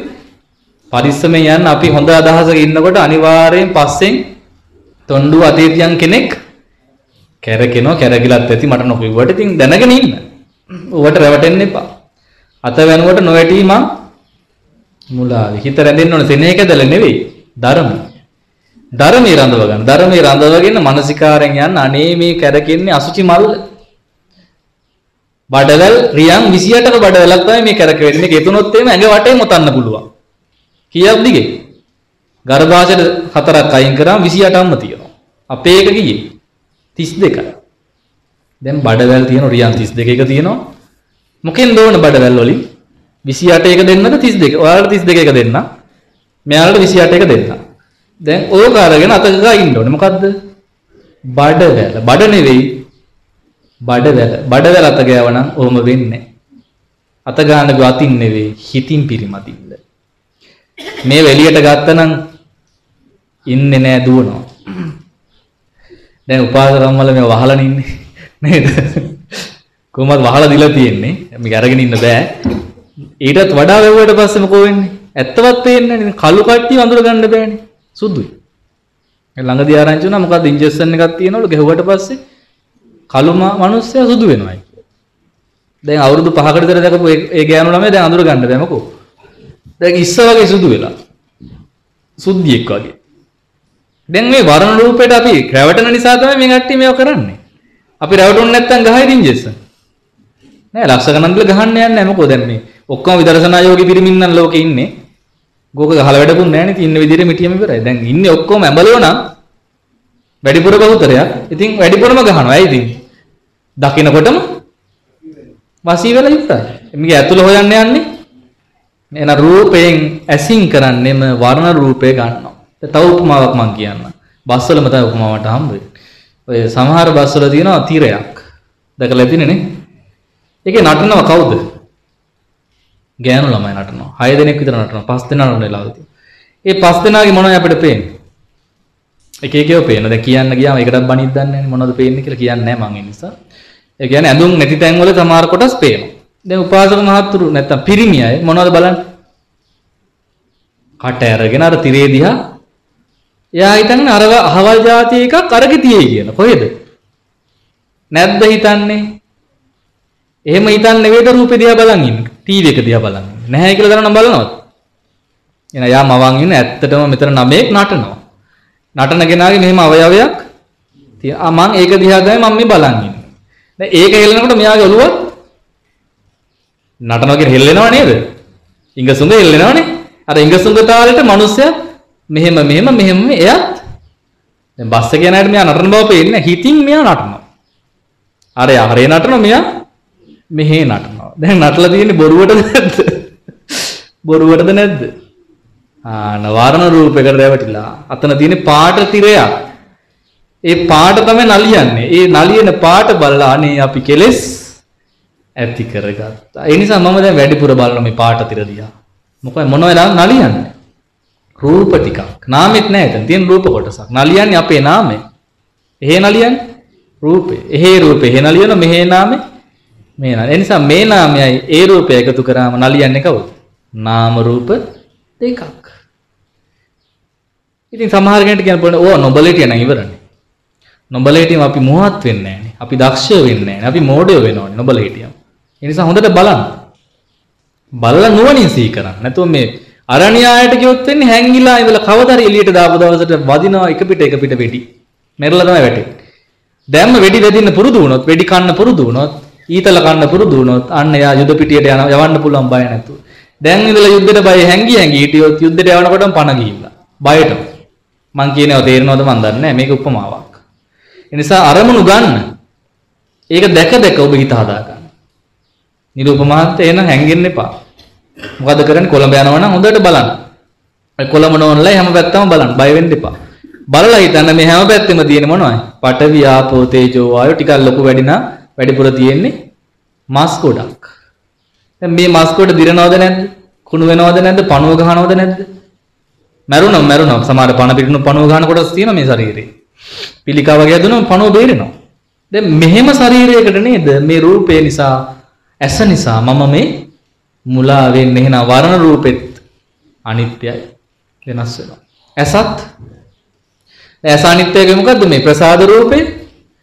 චක්කු ප්‍රසාදේ අනිත්‍ය වෙනවනේ. කස් කාලෙකද කියන්නේ සුදාව කියනවා දැස් පේන්නේ නැහැ කියනවා. ඔය ගොඩක් කල් ගිහිල්ලා පෙනිච්ච දෙයක්. නමුත් සනයක් ක්ෂණයක් පාසා චක්කු ප්‍රසාදයත් අනිත්‍ය වෙනවා. ඒක දැකපු හිත දැනගත්තේ මොකෙද? චක්කු විඥාණය. ඇසයි රූපයයි චක්කු විඥානය. මේ තුනේ එකතුවෙන් තමයි වේදනාවින් දිස්පර්ශයත් එක්ක වේදනා. මේවා වෙන වෙනම නෙවෙන්නේ. ඒක නටනකොට නැට වෙන්නේ අපි වෙන වෙනම ආව නම් එච්චරික්ම නැට වෙන්න බෑනේ. යා නටද්දි අපි නැටවිලා ඉවරයි. ඇයි? එක ක්ෂණයක මම වෙන වෙන කරලා කිව්ව මේ වචන ටික මේ ක්‍රියාවලිය එක ක්ෂණයක වෙනවා. එක ක්ෂණයක. ඒක නිසා අල්ල ගන්නවත් වෙන්නේ නෑ වේදනාව ලැබිලා ඉවරයි, නටලත් ඉවරයි, දැකලත් ඉවරයි, කෙලෙස් ඇති වෙලත් ඉවරයි. එහෙනම් දැක්ක කියන්නේම ස්පර්ශ වෙලා ඉවරයි. රූපයක් දැක්ක කියන්නෙම ස්පර්ශ වෙලා එහෙනම් මේකට විසඳුම භාග්‍යතුන් වහන්සේ දුන්නේ නැහැ අපිට ඇස්පියන් ඉන්න කියලා. කිව්වේ මොකද්ද? නුවණින් දකින්න සිහිය පිටවන්න. රූපය දිහා සිහියෙන් බලන්න. දැන් මේක දන්නකොට අපිට රූප වලට බය වෙන්න ඕනේ නැහැ. හොඳට බලන් ඉන්නවා. ඇස් තරගෙනම හොඳට බලන්න. ඒ බලන් ඉන්නේ කොහොමද? විදර්ශනා මානසිකාරය. නුවණින් දකින්නයි කියන්නේ ඒකයි සිහියෙන් දකින්නයි කියන්නේ. එහෙනම් මේක ප්‍රියයි මේක මනාපයි මේක අද හවසට ගෙදර අරන් යන්න ඕනේ. මේක මගේම කරගන්න. දැන් මේක විදර්ශනා මානසිකාරයද? නෑ මේක මොට්ට මානසිකාරය. මෝඩ කකතීරු මානසිකාරය. සසර පුරා කරපු මානසිකාරය. ඒක කරලානේ දැන් මේ අමාරු වැටලා ඉන්නේ. ගෙදර අරන් යන්න ගිහිල්ලා නේ. දැන් එකක් ගෙදර අරන් ගිහිල්ලා ඇතිද රූප? මදි. තව තව ඒව වුණ වෙනවා. හැබැයි පුළුවන් ද ගෙනියන්න? බෑ. හිතින් විතරක් කරන් යනවා ඊට පස්සේ. ගෙදර ගිහලා හිතින් මානසිකාර කරනවා. වසන්ත මාත්‍ය. අතීතේ මානසිකාර කරන කොහොම කරන්නේ? කොළඹදි දැකපු රූප ගෙදර ගේනවා. දැන් අපි ඉන්නේ කොහෙද? හම්බන්තොට. එයා හිටියේ කොහෙද? කොළඹ. දැන් දැන් මෙහෙ නැද්ද එයා? ඉන්න මොකේද ඉන්නේ? මානසිකාරේ ඉන්නවා. අර නෝනව තාමත් කොළඹ නෝන එහෙ ඉන්නේ. ආ තාම බත් කාලේ අසපර නිදි. අපි තාම මේ දුක් විඳවනවද නැද්ද? රාගයේ දුකක්ද නැද්ද? රාගය ඔබට ඇති වෙලා තියෙද නැද්ද ජීවිතේ? අහිමි වෙච්ච රාගයක්. හිමි වෙච්ච එකක් නම් ප්‍රශ්නයක් නැහැ. ඒක එහෙම වෙලා සංස්කෘතිය යනවා. හිමි නොවෙච්ච ප්‍රේමයක්. අපි එහෙම කියතර ලස්සනයි වචන දැන් රාගයයි කොම් බයයි වගේ. හිමි නොවෙච්ච ප්‍රේමයක් තියෙනකොට මොකද කරන්නේ? එයාගේ සැමරුම් ළඟ නැද්ද? ලේන්සු නැද්ද ගෙවල් වල? අනේ මන්ද තියෙනවද දන්නේ කියන්නේ. නේද නැතුව ඇති දැන් නම් නැතුව ඇති. දැන් ෆොටෝ නැද්ද? තියෙනවා නේ. දැන් අපේ බාප්පට අහිමි වෙච්ච ප්‍රේමයක් තිබුණා. මෙහෙ කාලයක් වාසය කළ අපේ බාප්පා. ඉතින් මෙයා එවපු ලියුමක් තිබුණා එනෝනා. අහිමි වෙච්ච නෝන කෙනෙක්. හිමි වෙච්ච කෙනෙක් නෙවෙයි අහිමි ප්‍රේමයක්. මේක රත්තරන් වලට වඩා මෙයා පරිස්සම් කළා. මොකද්ද? ලියුම පෙට්ටගම් වල දාලා කවර වල දාලා. හැබැයි මම හොරාට බලන මේකට ගුවන් ගිහිල්ලා. අවුරුද්ද ඉතින් ගුටි කාලා ඉවරයක් නැති වෙනවා. ඉතින් මේක හිතේ තියාගෙන අපේ බාප්පා කසාද බැන්දේ නැහැ. කසාද බැන්දේ නැහැ. කවුරු හිතේ තියන්නේ? අර අහිමි වෙච්ච පෙම්මන්. ඒ කියන්නේ බැන්දයි නෝනා. ඒ ගෑනු ළමයා බැන්දලා ආයේ මහත්තයා මරුණාට පස්සේ ආයෙත් අලුත් වුණා හිත. ආයෙ බලාපොරොත්තු වෙලා ආයෙ ඉද ඔයා. නෑ ආවේ නෑ. දැන් අවුරුදු 60 60කට ළඟයි බාපට. තාමත් ඉන්නේ කො මොන චේතනාවද? අර අතීත සැමරුම් මතකේ තියාගෙන අර ලියුම දිහා බල බල තාමත් ආස්වාද කර කර ඉන්නවා. එයා මේ ජීවිත ආස්වාද කළේ නෑ. කොච්චර යෝජනාවක් කැමති වුණේ නෑ බලන්න හිත බැඳුනට පස්සේ දෙයකට කොච්චර අමාරුද ගලවන්න මේ දුකෙන්. දැන් මෙයා විඳින සැපද දුකද? රැයට මේක මානසිකාර කරද්දී යාට තේරෙන්නේ සැප වගේ. හැබැයි මොකද්ද වෙලා තියෙන්නේ? ගින්නක්. එහෙනම් මේ රාගය මොකද්ද? ගින්නක්. අහිමි වෙච්ච දේවල් හිත හිතා හිත හිතා අපි දුක් විඳින. ඒ නිසා තමයි ලෝකේ ලංකාවේ වැඩිපුරම විරාගී හිත බිහි වෙලා තියෙන්නේ. විරහ විඳිනවනේ කට්ටිය නේද? ඒ නිසා විරහ විඳින්න ඕන නිසා ගායකයෝ, පද රචකයෝ හදලා දුන්නා අහිමි වීමේ දුක වැටහෙන ගීත. වැඩියෙන් මහන්නෙත් මොනවද අපි? අපි දන්න ගායකයෙක් කියන අපි පාසල් සමයේ අජිත් මුතු කුමාර. එයාට මිනිස්සු කිව්වේ බස් අජිත් කියලානේ. ඇයි එහෙම කිව්වේ බස් වල හැම බස් එකේම දාලා තිබුණේ සුදු වරලියා මලනේ එක එක මල්නේ තිබුණේ. දැන් මේවා අපිත් පාසල් සමයේ ඇහුවා ඒක මම මේ බය නැතුව කියන්නේ. ඇත්තටම අපිත් දුක තුනී කරගත්තා. දැන් අපිට දුකක් දැනෙච්ච වෙලාව අපි මේවා ඇහුවා. දැන් ධර්මයේ දන්නේ නැහනේ. දැන් අපේ දෙවියා කවුද? අජිත් මුතු කුමාර ප්‍රෙම්මතුන්ගේ දෙවියා. මෙයාව තියාගෙන අපි සමරනවා. දැන් නිින්ද යනකම් පාඩම් කරන කාලේ මෙයාගේ දැන් මේ සින්දු දාගෙන අපි අහන යාළුවෝ. දැන් අහන ගමන් කවද මතක් වෙන්නේ අර? හිතේ තිබිච්ච ගෑනු ළමයා මතක් වෙන. තාම ප්‍රකාශ කරලවත් නැහැ. මොකද අප්‍රකාශිත ප්‍රේමයක් කියා ගන්න බයයි. ගහයිත් දන්නේ නැහැ, කුඩෙන් ගහයිත් දන්නේ නැහැ, මුකින් ගහයිත් දන්නේ නැහැ. ඒ කාලේ බයයිනේ. අවුරුදු 16ක් ඒත් බයයි. ඒ නිසා ප්‍රකාශ කළා නැහැ. තාම අපර ගීත ආහ ආස්වාදේ අපි එහෙම විඳින බව දන්න නිසා තමයි මේවා ලියලා තියෙන්නේ. ඇයි එතකොට ප්‍රසිද්ධ වෙන්නේ? නේද? දැන් එයාට සරුවුනේ නැද්ද ජීවිතේ? සරුවුණා. සරුවුණා. එතකොට බලන්න මේ ගායකයාව ප්‍රසිද්ධ වුණේ මොකෙන්ද? විරහයෙන් අපි අපේ නැන්දලගෙන මොකද්ද බං ඔය අඩවැඩියා වහපන්. දැන් නැන්දට ඇඩියාවක් වුණාට අපිට ඒක ප්‍රේමය මිහිරක් වෙනානේ. මම මේ අතීත ගැන කිව්වා. දැනුත් තරුණයන්ට තරුණයන්ට ඔක ඇති. ඒතර දැන් තියෙන ගීත වෙනස් ඇති. කොහොම නමුත් දැන් මට ඇහුණා දැන් ළඟදී මේ මිය යන්න සූදානම් පෙරදුම අරන් කියලා. ඊයේ ඇහුණා. ඊයේ බස් එක යනකොට මම මේ බල බලා මේ යකා මොකද්ද මේ කරගන්න යන්න කියලා. පවුනේ දැන්. සමරන් එනවාද සුදු මල් අරන්. දැන් යන්න ලෑස්ති වෙන්න මොනව අරගෙනද? සුදු මල් අරන්. දැන් පෙම්මන්තිර මෙයා කියන ඔයා සමුව අරන් ගියා. මාත් ඉන්නේ මාත් සමුව අරන් යනවා. හැබැයි යන්නේ පෙට්ටියක බහැලා. දැන් මේක හොඳ ආදර්ශයක්ද? දැන් මේක ਵਿਚාර කරන තරම් වචන පේලියකුත් නෙවෙයි. හොඳටම එකපාරටම පේනවා මේකේ වෙන්නේ මොකද්ද මේ මිනිහා දැන් මැරෙන්නයි මේ දඟලන්නේ. ඉතින් මැරියන්කෝ. කාටේ පාඩු? සුදු මල් අරන් එන නෝනට පාඩුද? ඒ ගෑණි සුදු මල් අරන් එයිද? ආවොත් ගුටි කාලා මැරෙන්නේ නැහැ පිටත්. ඒක නිසා මැරෙන්නේ මන් නිසා නම් මම යන්න ඕනද? යයිද?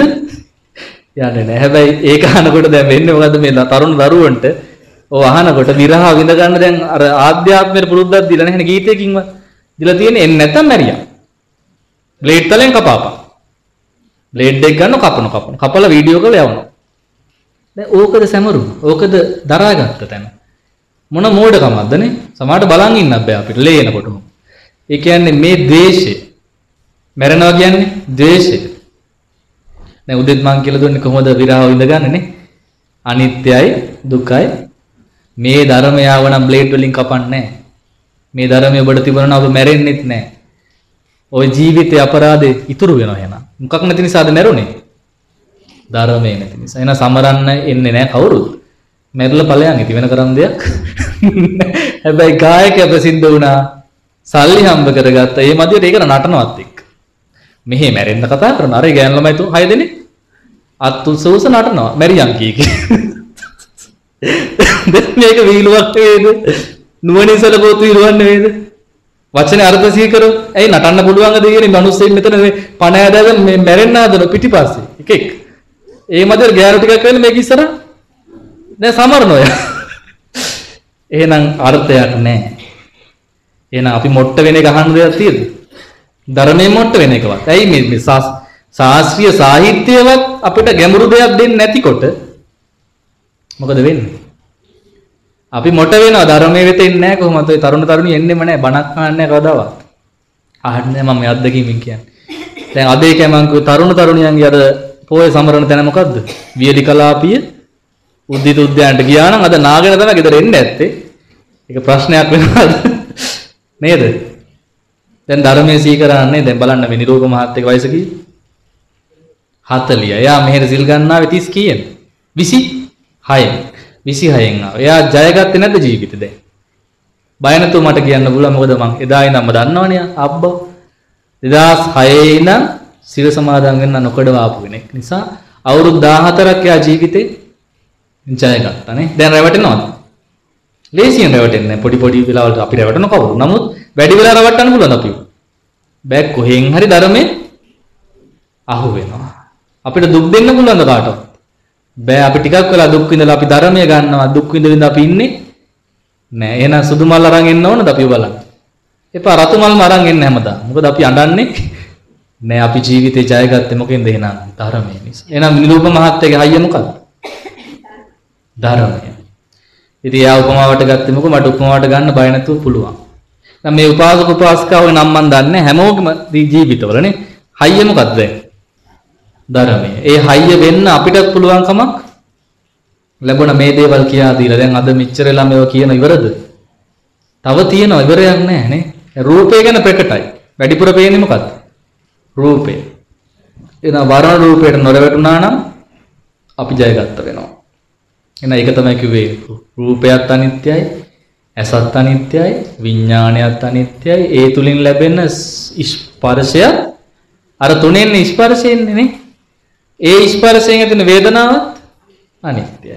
ඔය ඔහොම පද ගලප ගලප කියන්න වෙන්නේ නැහැ. මොකද එක ශනියකින් මේ ටික වෙලා අවසන් පස්සේ හරි හිතනවා දැන් ඇති වෙච්ච සැප වේදනාවත් අනිත්‍යයි. ඒ ලස්සන රූපය, ඒ ලස්සන S2 දකින්නකන් සැපයි.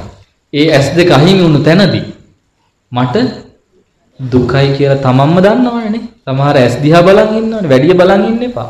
මත් වෙනවා. ස්ත්‍රී පුරුෂ වශයෙන්වත් පුරුෂ පුරුෂ වශයෙන්වත් ස්ත්‍රී ස්ත්‍රී වශයෙන්. මොකද දැන් තුන තුනම බුදුබණේ තුනම නෑ හොඳේ. බුදුබණවල තියෙන ස්ත්‍රී පුරුෂ රාගය කියන. දැන් අපිට කියන්නලා තියෙනවා ස්ත්‍රී ස්ත්‍රී රාගය, පුරුෂ පුරුෂ රාගය කියලා කියන්නේ. මොකද අද සමාජයේ එතෙන්ට වැටලා තියෙනවා. දැන් කියන පිරිමි ළමයින්ට ආදරය කරනවා පිරිමි ළමයි. අහලා තියෙ පාසකම්. අහලා නැද්ද? තියෙනවා. ක්ලබ් තියෙනවා වෙනම දැන් කොළඹට ගියාම තියෙනවා වෙනම. පුරුෂ සංගම්. ස්ත්‍රී සංගම්. ඒකට එන්න අවසර තියෙන ස්ත්‍රීන්ට විතරයි. පුරුෂයෝ යන්නේ නැහැ ඒකට. දැන් මේ විකෘති වෙලා ගියාට පස්සේ මනස අපිට කියා දෙන්න වෙනවා. එහෙනම් ගැහැණු කෙනෙක් වුණත් වැඩි වෙලා ගැහැණු ළමයේ දිහාවත් බලන් ඉන්න එපා. දැන් භයානකයි තත්ත්වය. මොකද මොන අපාය යන්න වේද? දන්නේ නැහැ. ඒ නිසා ඕනවට වඩා කාගේවත් දිහා බලන් ඉන්න ඕනේ නැහැ නේ. මොකද එපා කියන්නේ හිතේ රැවටීම, මුලාව, වසඟ වීම ඇති වෙන්නට පුළුවන්. දැන් ශබ්දය ගැන ගමු ඊට පස්සේ දැන් දෙවෙනි එකට එනවා. අර ටික ඔක්කොම අනිත්‍යයි නේ. එහෙනම් තෙල් අනිත්‍ය නම් වැටියත් අනිත්‍ය නම් දැල්ලත් අනිත්‍ය නම් එහෙනම් එළියත් අනිත්‍යමයි. ඒ වගේ තමයි ඇස රූපය විඥාණය ස්පර්ශය වේදනා මේ ස්පර්ශය කියන මේ ටික අනිත්‍ය නම් ඒ ලැබෙන වේදනාවත් අනිත්‍ය. වැඩි වෙලා තියෙනවද? නෑ නෑ. ඇසට වැඩිපුර ලැබෙන මොන වේදනාවද? හිතන හැටියට. සැප වේදනා තමයි ලැබෙන්නේ ගොඩක් අයට. ඇයි? අපිට දැන් තාක්ෂණ දියුණු නිසා ඕන රූපයක් බලන්න පුළුවන් කැමති එකක්. දැන් මහත්ය පිටරට ගියාකම නෝන ලංකාවේ ඉන්න. මොකද කරන්නේ දැන්? දුරයි කියලා නිකන් ඉන්නවා. නෑ වීඩියෝ කෝල් එකක් කරන් නිින්ද යනකම් දෙන්න දෙන්නක දිහා බලන් ඉන්න. එතකම් මොකක්ද ලැබෙන්නේ? සැප වේදනාව. එහෙම යන අතරේ ඒ ස්ත්‍රියගේ ටෙලිෆෝන් එකේ ඩේටා කාඩ් එක ඉවර වෙනවා. මොකද්ද වෙන්නේ?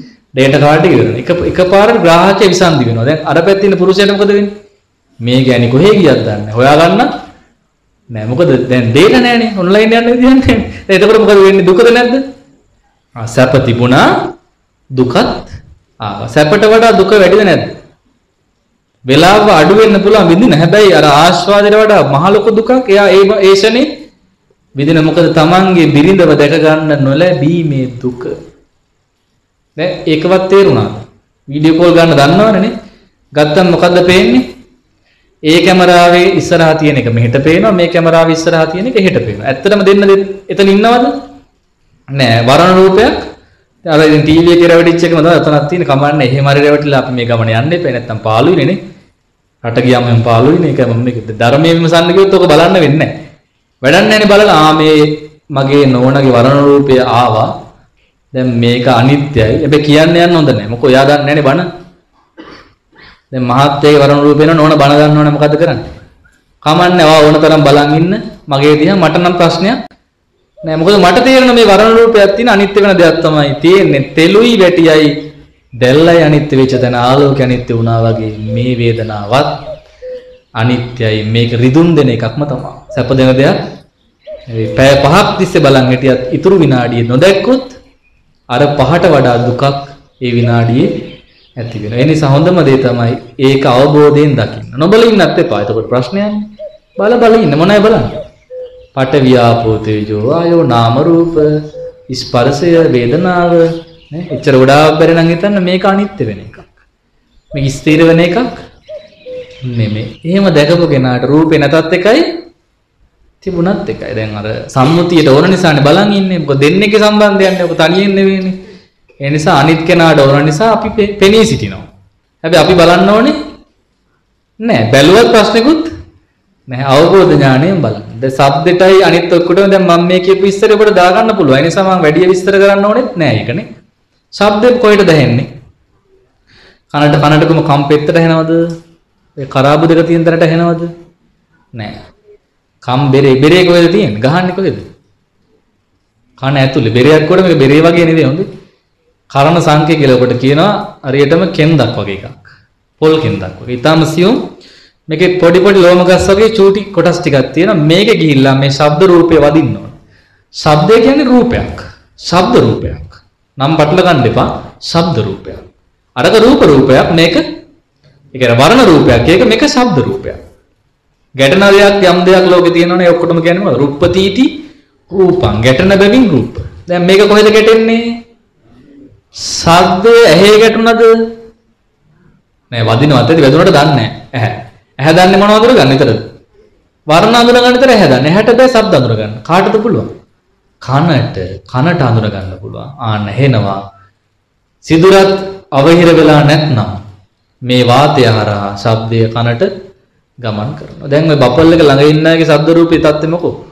කන පැලෙනවා වගේ ඇතිනේ. ඇයි බපල් එකට කන තියන්නේ? බන නිසා ප්‍රශ්නෙකුත් නෑ. හැබැයි සංඛ්‍යාතේ වැඩිම වුණොත් වෙන්නේ මොකද්ද? අර හෙන හැම ගහනකොට වෙන්නේ. අකුණු ගහන දණක ළඟට වැදුනොත් කම්බරේ පුපුරු. කම් පැලෙනවා කියන්නේ. කම් පැලෙන මැරෙන සමාන. කම්පණයට මැරෙනවා. කන් වලින් ලේ එනවා. ආන්න. එන යම් සංඛ්‍යාතයක් තියෙනවා කනටත්. කියන්නේ සෝත ප්‍රසාද දරා ගන්න පුළුවන්. දැන් මේ ප්‍රසාද රූපය මොන සද්ද අහන්නද කැමති? ඉස්සර කාලේ වගේනේ. දැන් නම් අර වීඩියෝ කෝල් නේද ඉස්සර මොන කෝල්ද? Voice call. ඉතින් ඔය පැකේජ් එකක් දාගත්තම hush to hush free හරි නේද? M to M free හරි නැත්තම් විනාඩි 10 පැකේජ් එකක් දාගත්තා නම් ඉතින් මහත්තයට තනිත් නෑ නෝනට තනිත් නෑ බත් කන්නෙත් ටෙලිෆෝන් එක කණේ ගහගෙන.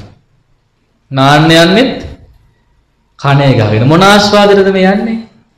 අර තමන් කැමති කෙනාගේ ශබ්දය අහන්න ඕන නිසා. එහෙමද නැද්ද? එහෙම තමයි. මං කියන්නේ මේ උපාද කම්මල එහෙම කරනවා කියන එක නෙවෙයි. එහෙම කරනවා නම් එහෙම නෙවෙයිද? දැන් දන්නේ වගේ ඉන්නේ. ඉතින් දුරින් ඉන්නකම් අහන්න ආස ළඟට ආව. වසර වහ කඳුරු වගේ වෙන කාලයක් යනවා. මොකද එකම දේනේ කියන්නේ. දැන් සමහර නෝන්ලා ගැන මහත්තුරු ගැන අනේ හාමුදුරනේ කනක් ඇහිලා ඉන්න නෑ මම මේ පන්සල් ආවේ ඒකයි. මේ විනාඩි ටිකවත් මම නිදහසේ ඉස්සර දුරකථන වලින් කතා කර කර මේ ආසාවෙන් අහපු සද්දෙම ළඟට ආවට පස්සේ මොකෝ උනේ? නීරස වුණා. ඊට පස්සේ වෙන සද්දයක් අහන්න ආස වෙනවා අපි. ඔක තමයි හිතේ ඇති. දෙයක් දුරින් තියෙනකන් හරියගේ ළඟට ආවා. නිතර දකිනකොට පියන කුකුලගේ කරමලේ සුදුයි වගේ කසාද බැඳගුණ විපද තමයි අපිට මේක නිතර පේන්න ගත්තා.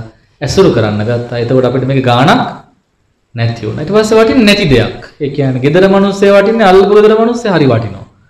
එයාව තමයි ඊට පස්සේ වර්ණනා කරන්න ගන්නේ. තමුසේ හදනවා වගේද කෑම අර අර මිනිස්සයා දැන් හරි රසයි. ඇයි වෙලා තියෙන්නේ මොකද මේ හිත නිතරම හොයනවා වෙනසක්. මේ හිතට නිතරම ඕන මොකද අලුත් දෙයක්. පරණේව මේකට එපා වෙනවා.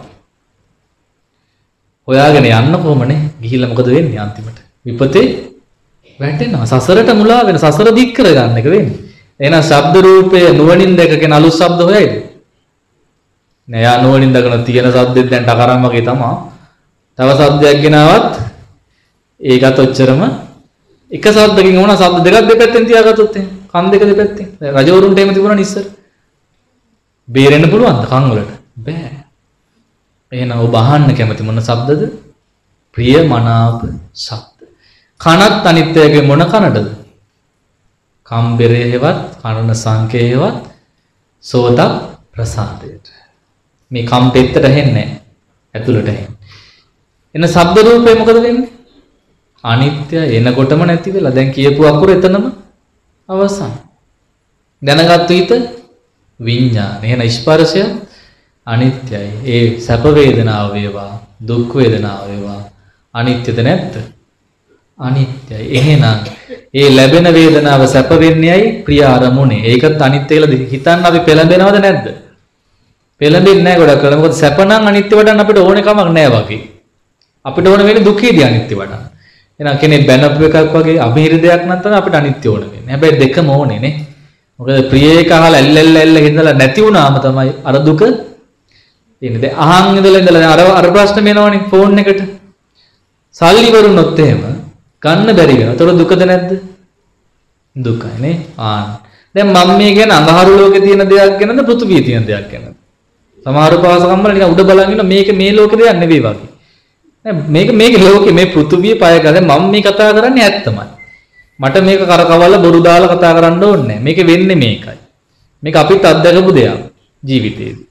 ඒක නිසා මට බොරු කියන්න අවශ්‍යතාවය නෑ. ඇත්තටම අපි කැමති නේද? සද්ධාහන. ආසයි.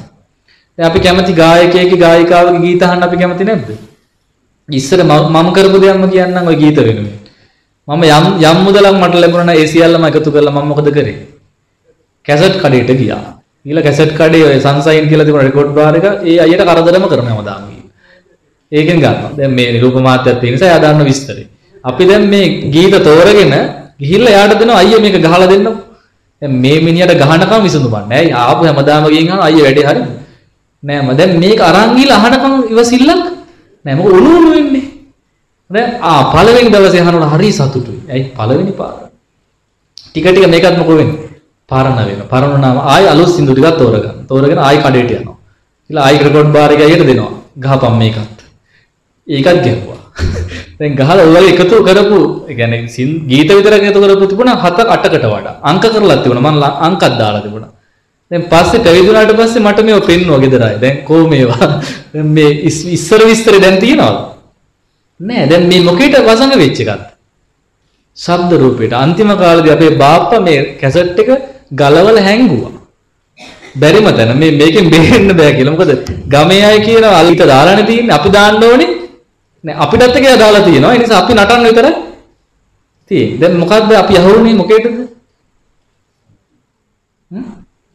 ශබ්දයට අහුණා. නැද්ද අහුනේ? ඕක වැහුව දවසක මොකද උනේ රණ්ඩුත් උනා. දැන් බලන්න කොච්චර අපි අහුල් දැන් මට බය නැතුව කියන්න පුළුවන් මට වෙච්ච දෙයක්නේ. දැන් පේන අපි කොච්චර මෝඩදනේ. නැන්දලත් එක බාප්පලත් එක අනන්ත වලි දාගෙන තියෙන මොනව වහලද? මේ අහපු සින්දුව අහපු නිසා. කෙදරින් පා තරහ වෙලා ගිහින් තියෙනවා. දැන් මේක පිට බැඳගෙන යනවා. උස්සගෙන යනවා. මොකද? ශබ්ද රූපෙට වසඟ වෙච්ච නිසා. දැන් නුවණින් දකින්නවා මම කරලා තියෙන මොන වැඩක්ද? මෝඩ වැඩක්. මුලාව. පියදලා නම් තියන්නේ. ඊතර ආදරෙන එකට. දැන් ඒ අපේ ගමේ හිටිය කැසට් හොරෙක්. දැන් සිවුරු හොරාගෙන අහලා තියෙනවනේ. මෙයාගේ නම මොකද්ද? කැසට් හොරා. බණ්ඩාර නම්. දැන් බණ්ඩාර අයියා මොකද කරන්නේ? එයා පීස් කඩෙන් ගේන්නේ අපේ ගෙවල් වල ඇවිදිනවා. ඇවිදලා හිමීට නැති වෙන වෙලාවක් බලලා මොකද කරන්නේ?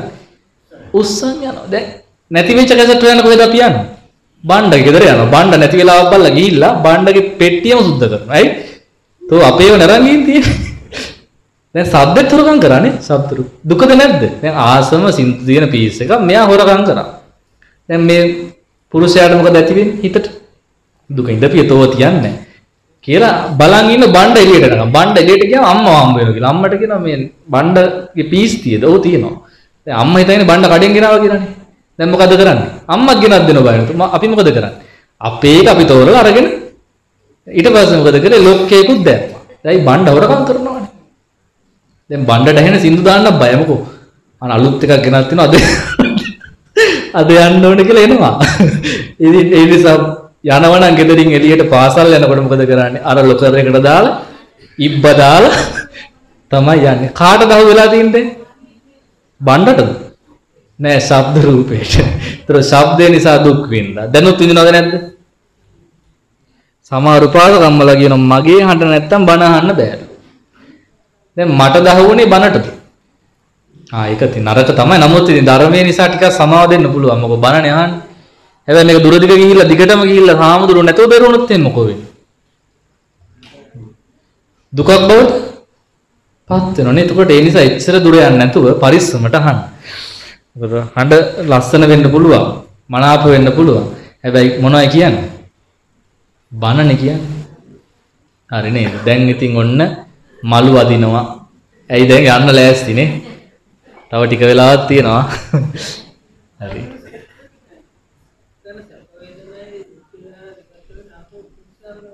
උපේක්ෂා වෙනවා. උපේක්ෂාව එන්නේ මේ ගොඩක් වෙලාවට එන්නේ ගෝචර නැති රූපෙට. ඒ කියන්නේ ප්‍රකට නැති එකට. දැන් අපි කියමු ගීතයක් ඇහෙනවා.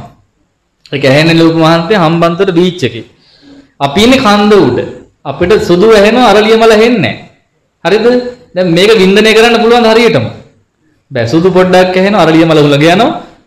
ආයෙ අනිත් එක එනවා. ඊට පස්සේ එන වැටකොළු මල. දැන් ඒක මල් දෙකක් නැවිලා තියෙන්නේ. දැන් මල් දෙක ගලප ගන්න අපිට බෑ. තාලේ ගලපෙන්නෙත් නෑ. එතකොට අරක විඳ ගන්න හරියට බෑ. ඒක දුකක් නෙවෙයි දුකකුත් නෙවෙයි සැපකුත් නෙවෙයි. ඒතර ඒක කියනවා අරමුණ පැහැදිලි නැති බැවින් උපේක්ෂාවට වැටෙනවායි කියලා. ඒ කියන්නේ යාට කරගන්න දෙයක් නැහැ. සැප විඳ ගන්නත් බෑ. දුක විඳ දුක විඳ ගන්නත් බෑ. බාගට එනවා බාගට යනවා. රූපෙත් එහෙමයි. දුරට පේන්නේ. හරියට පේන්නේ අපැහැදිලි. මොකක්ද ඇති වෙන්නේ? උපේක්ෂා මොකද රාගය ඇති කරගන්නත් බෑ, ගැටෙන්නත් බෑ. කවුද කියලා දන්නෙත් නෑ. දැන් නෝනගේ කොණ්ඩේ වගේම නෝන කෙනෙක් යනවා. හරියටම දන්නවද? පස්සෙන් පේන්නේ. හරියට විඳින්න බෑ. මොකද හරියටම මූණ දැක්කේ නෑ ළඟට දැක්කම අන්න gediya පිටින් පේනවා. කවුද කියලා අඳුරගත්තා. දැන් මොකෝ වෙන්නේ? සැප වේදනා. තරහකාරී ළඟට දැක්ක දුක් වේදනා. මිහිරි ශබ්දයක් ළඟට හොඳට ඇහුණා. කනට ඇහුණා. දැන් කනට බේස් මදි වුණාම අපි මොකද කරන්නේ? බේස් එක නේ හදන්න පුළුවන් හදනවා. ට්‍රිපල් එක හදනවා. දැන් මේ හද හද බැලන්ස් කරගන්න මොනවද පිනවන්නද?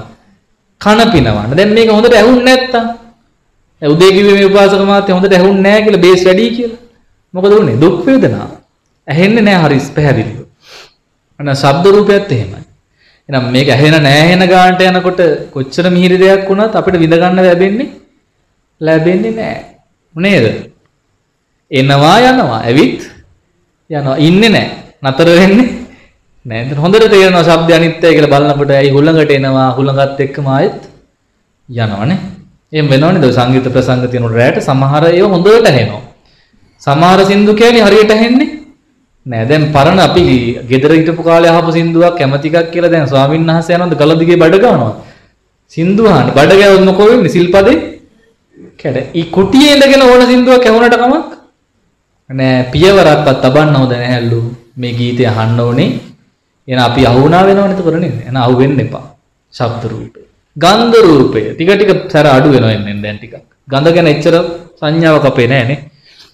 දැන් මෙච්චරලාට ගඳක් ලැබුණේ නෑනේ අපිට. සුවඳක් ලැබුණේ නෑ. එහෙනම් අපිට සුවඳට අපි මොකද කරන්නේ? ප්‍රියයි.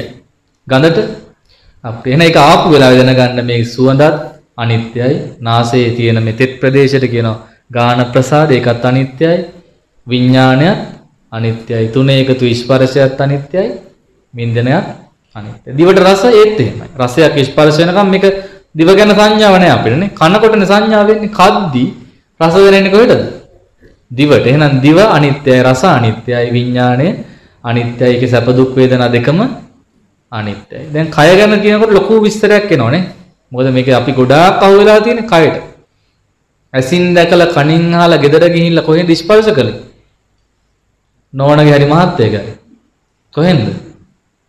කයෙන්. දැන් මම මෙහෙම කියන්නේ ඇයි? සුද්ධ විදියටම කියන්නේ ඇයි? තේරෙන්නනේ කියන්නේ. එතන තේරෙන්නේ නැති වෙන කියන්න ඕනේ නැහැ. පටවි ධාතු ස්පර්ශ කරා කියලා කොට තේරෙන්නේ නැහැ. මොකද්ද ඇල්ලුවේ අපි? මේ ශරීර කූඩු ඇල්ලුවා. ස්පර්ශ කළා. ඒකෙත් කොහෙද ඇල්ලුනේ? බාහිරින් ඇල්ලුවා. ස්පර්ශ කළා. ඒ ස්පර්ශ කරනකොට ස්ත්‍රියක් පුරුෂයෙක් මොකක්ද ඇති වෙන්නේ? සැප වේදනා. හමගාපු වරකෙක් වගේ කියලා උපමා කරන්න මේ ස්පර්ශය. ඒ තරම් වේදනාකාරී.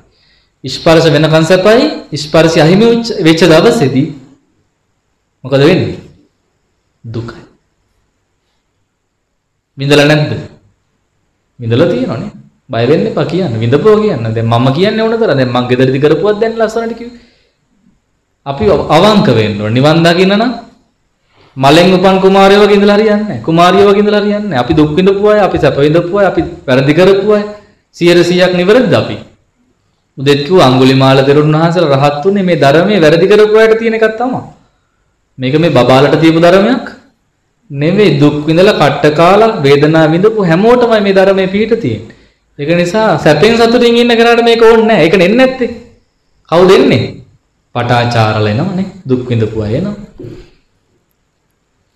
පීඩා විඳින කෙනා තමයි ධර්මය වහගෙන එන්නේ. ඉවෙන් පිනක් තිබිලා මිසක් කවුද එන්නේ නැත්තම්? එන්නේ නැහැ. සැපෙන් ඉන්න කිසි කෙනෙක් බණ අහන්නේ නැහැ. ඇයි අවශ්‍ය නැහැනේ මොකට යන්නේ ඔය? අපි සැපයි. එහෙනම් මට දුක නිසා මම බණ කියනවා. ඔබට බණ අහලා දැන් දුක වැඩි. ඇයි? මේක ඉවර කරගන්න විදියක් නැතුව. එහෙමද? නෑ ඔබට ජීවිත දුක දැකලා ඇති. ඔබනේ ආස්වාද වින්දනේ. ආදීනවත් ඒ සමගම වින්දනේ. දැන් මොකක්ද ඕනේ? නිස්සරණ. දැන් ආස්වාද විඳලා කාලයක් ගිහිලා නෙවෙයි ආදීනව විඳින්නේ. ආස්වාද විඳින තැනම තමයි අපි ආදීනව වින්දේ. දැන් එහෙනම් නිස්සරණ ඕනද නැද්ද?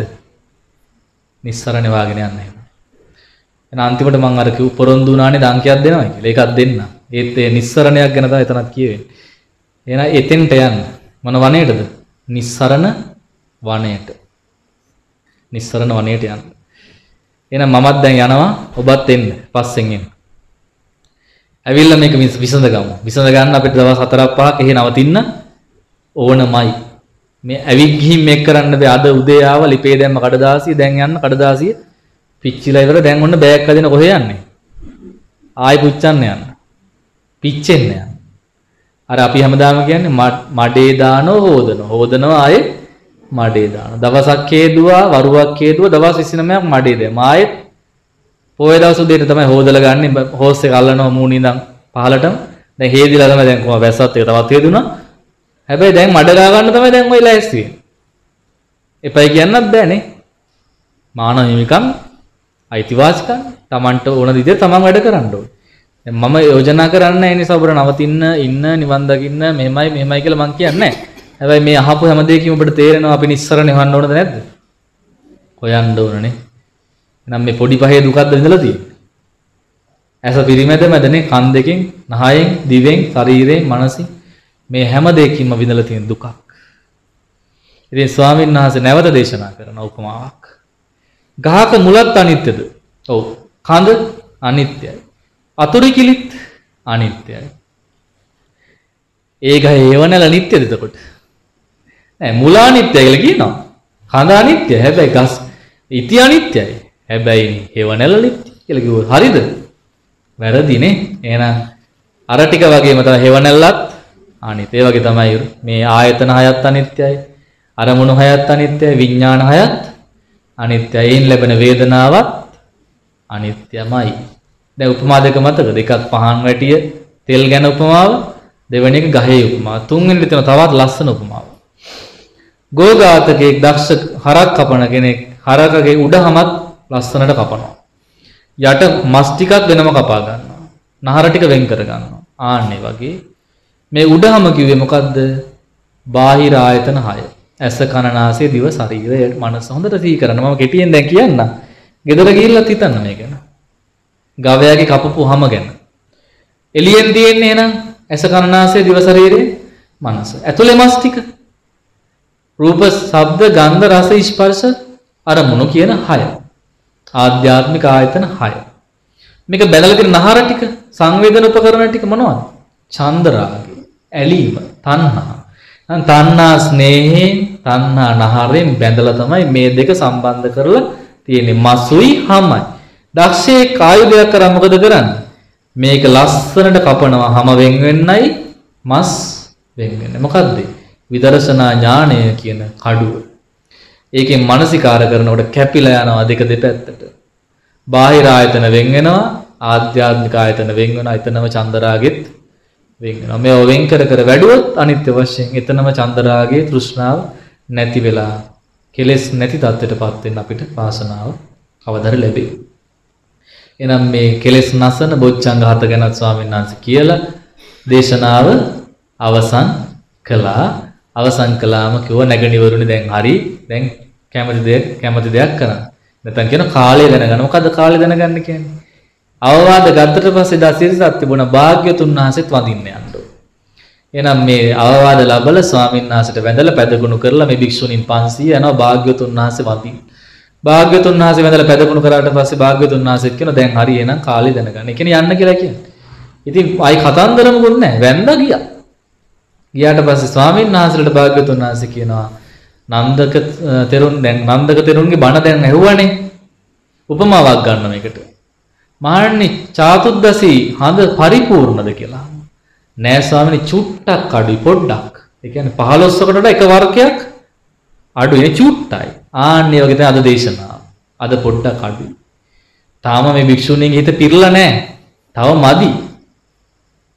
තව ආන්නාසයි යාලා. එහෙනම් කියනවා නන්දක හෙටත් ඔබ ඔය විදියට මනුසාසන. ඕකම කියන්න කියන හෙටත්. අපේ අය එකම බණ දෙසරයක් කරනවා ටිකක් කැමති නෑනේ. නමුත් බලන්න නන්දක ස්වාමීන් වහන්සේ එකම බණ කතාව. බලන්න ඕන නම් සූත්‍රේ මේ ටික ආයෙ තියෙනවා. පසුදිනක් ගිහිල්ලා ආයෙත් කියන නැගනිවරුනේ ඇස අනිත්‍යද නිත්‍ය ඔය විස්තරය ආයෙත් අහගෙන යනවා. අර උපමා ටිකත් කියන. ඊට පස්සේ කියනවා දැන් වෙලාව දැනගන්න කියනවා. ඉතින් වැඳලා නන්දක ස්වාමීන් වහන්සේත් පැදකුණු කරලා භාග්‍යතුන් වහන්සේට වැඳලා පැදකුණු කරලා ගියාට පස්සේ කියනවා මහණෙනි පසළොස්වක හඳ කොහොමද? පිරිපුන් නේද? එහෙමයි ස්වාමී. පිරිපුන්.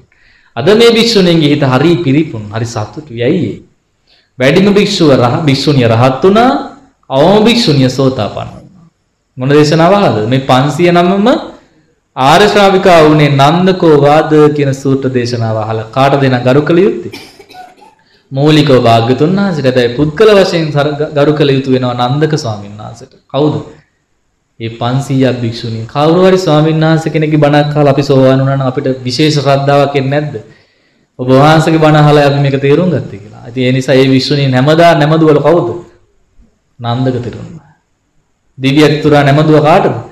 නන්දක තෙරුන් වහන්සේට. ඔබ වහන්සේගේ බණ අහලා අපි සෝතාපන්න රහත් උනේ. එහෙනම් මේ දේශනාව ලේසි පහසු දේශනාවක්. නෑ පළවෙනිම භික්ෂුන් භික්ෂුණීන් 500 දෙනා ආර්ය ශ්‍රාවිකාව කරපු උතුම් දේශනාව. සාදු කියලා අපි අනුමෝදන් වෙමු. වෙන වෙලාවත් හරි අදට කටයුතු අවසන් කළ යුතුයි. සමවරන් යා යුතුයිනේ කියන්න වගේ. හැමදාම ඉන්න ලැබෙන්නේ නෑ ඉතින් කොහෙන් ගියත් කියවෙන මොනවා හරි නේද? එහෙම කිව්වම තේරෙන්නේ ඔබටත් මතක් වුණා නේ එහෙනම්. මොකද්ද වෙන්නේ? සමවරන් යන්න වෙනවා. දැන් ස්වාමීන් වහන්සේ ළඟ ඉන්න පුළුවන්. ඉන්න බෑ වරන් නැහැ. වරන් දෙන්න බෑ වරන් දෙන්න නම් ඔබ මොනවද කරගන්න ඕනේ? ඔය කේස් ටික බාලා සිවුරු පෙරවගෙන අර විශාලා මහනුවර ආවා වගේ එන්න. ගෙදර ඉඳලා. ගෙදර ඉඳගෙන. ගෙදරින් එන්න දෙන්නේ නැත්නම් ගෙදරින් කිස් බෑවා. සිවුරු පෙරව ගත්තා. උඹලට ඕන කුදයක් උඹලා ගහගනින්න මම නම් නිදහස් වෙලා යනවා කියලා අපි සාදු කියලා එහෙම හිතමු. ඉතින් කවද වේද දන්නේ නැහැ. ඉතින් හීන වෙන්නත් පුළුවන් මේවා. කමන්නේ නැහැ. ඉතින් ඇස් අරගෙන තීන දකින්න කියලා ලොකු සතුටකුත් තියෙනවනේ. ඉතින් බක්කුල සූත්‍රය තමයි අපි උදේ සාකච්ඡා කළේ. ටිකක් අපිට ඉතින් ටිකක් වේගෙන් වේගෙන් යන්න උනා. නමුත් ඒ ආශ්චර්ය වූ අద్భుත වූ බක්කුල ස්වාමීන් වහන්සේගේ විශේෂත්වය තමයි උන්වහන්සේට කිවිසුමක්වත් අවුරුදු 160ට ගිහින් නැහැ. නිරෝගී සම්පන්න භික්ෂුවක්. අපි ඒ ස්වාමීන් වහන්සේගේ පින සාදු කියලා නැවත අනුමෝදන් වෙලා විශේෂයෙන් පින් දෙන්න තිබුණ අපට අතිපූජනීය මාතර ඥානාරාම ලොකු ස්වාමීන් වහන්සේට කඩවැද්ද ජිනවස් ස්වාමීන් වහන්සේටත් අතිපූජනීය නාවින ලොකු ස්වාමීන් වහන්සේට උන්වහන්සේලාට ලෝතුරා බුදුබව ලැබේවා කියලා අපි අග්‍ර ප්‍රාර්ථනාවෙන් ප්‍රාර්ථනා කරමු.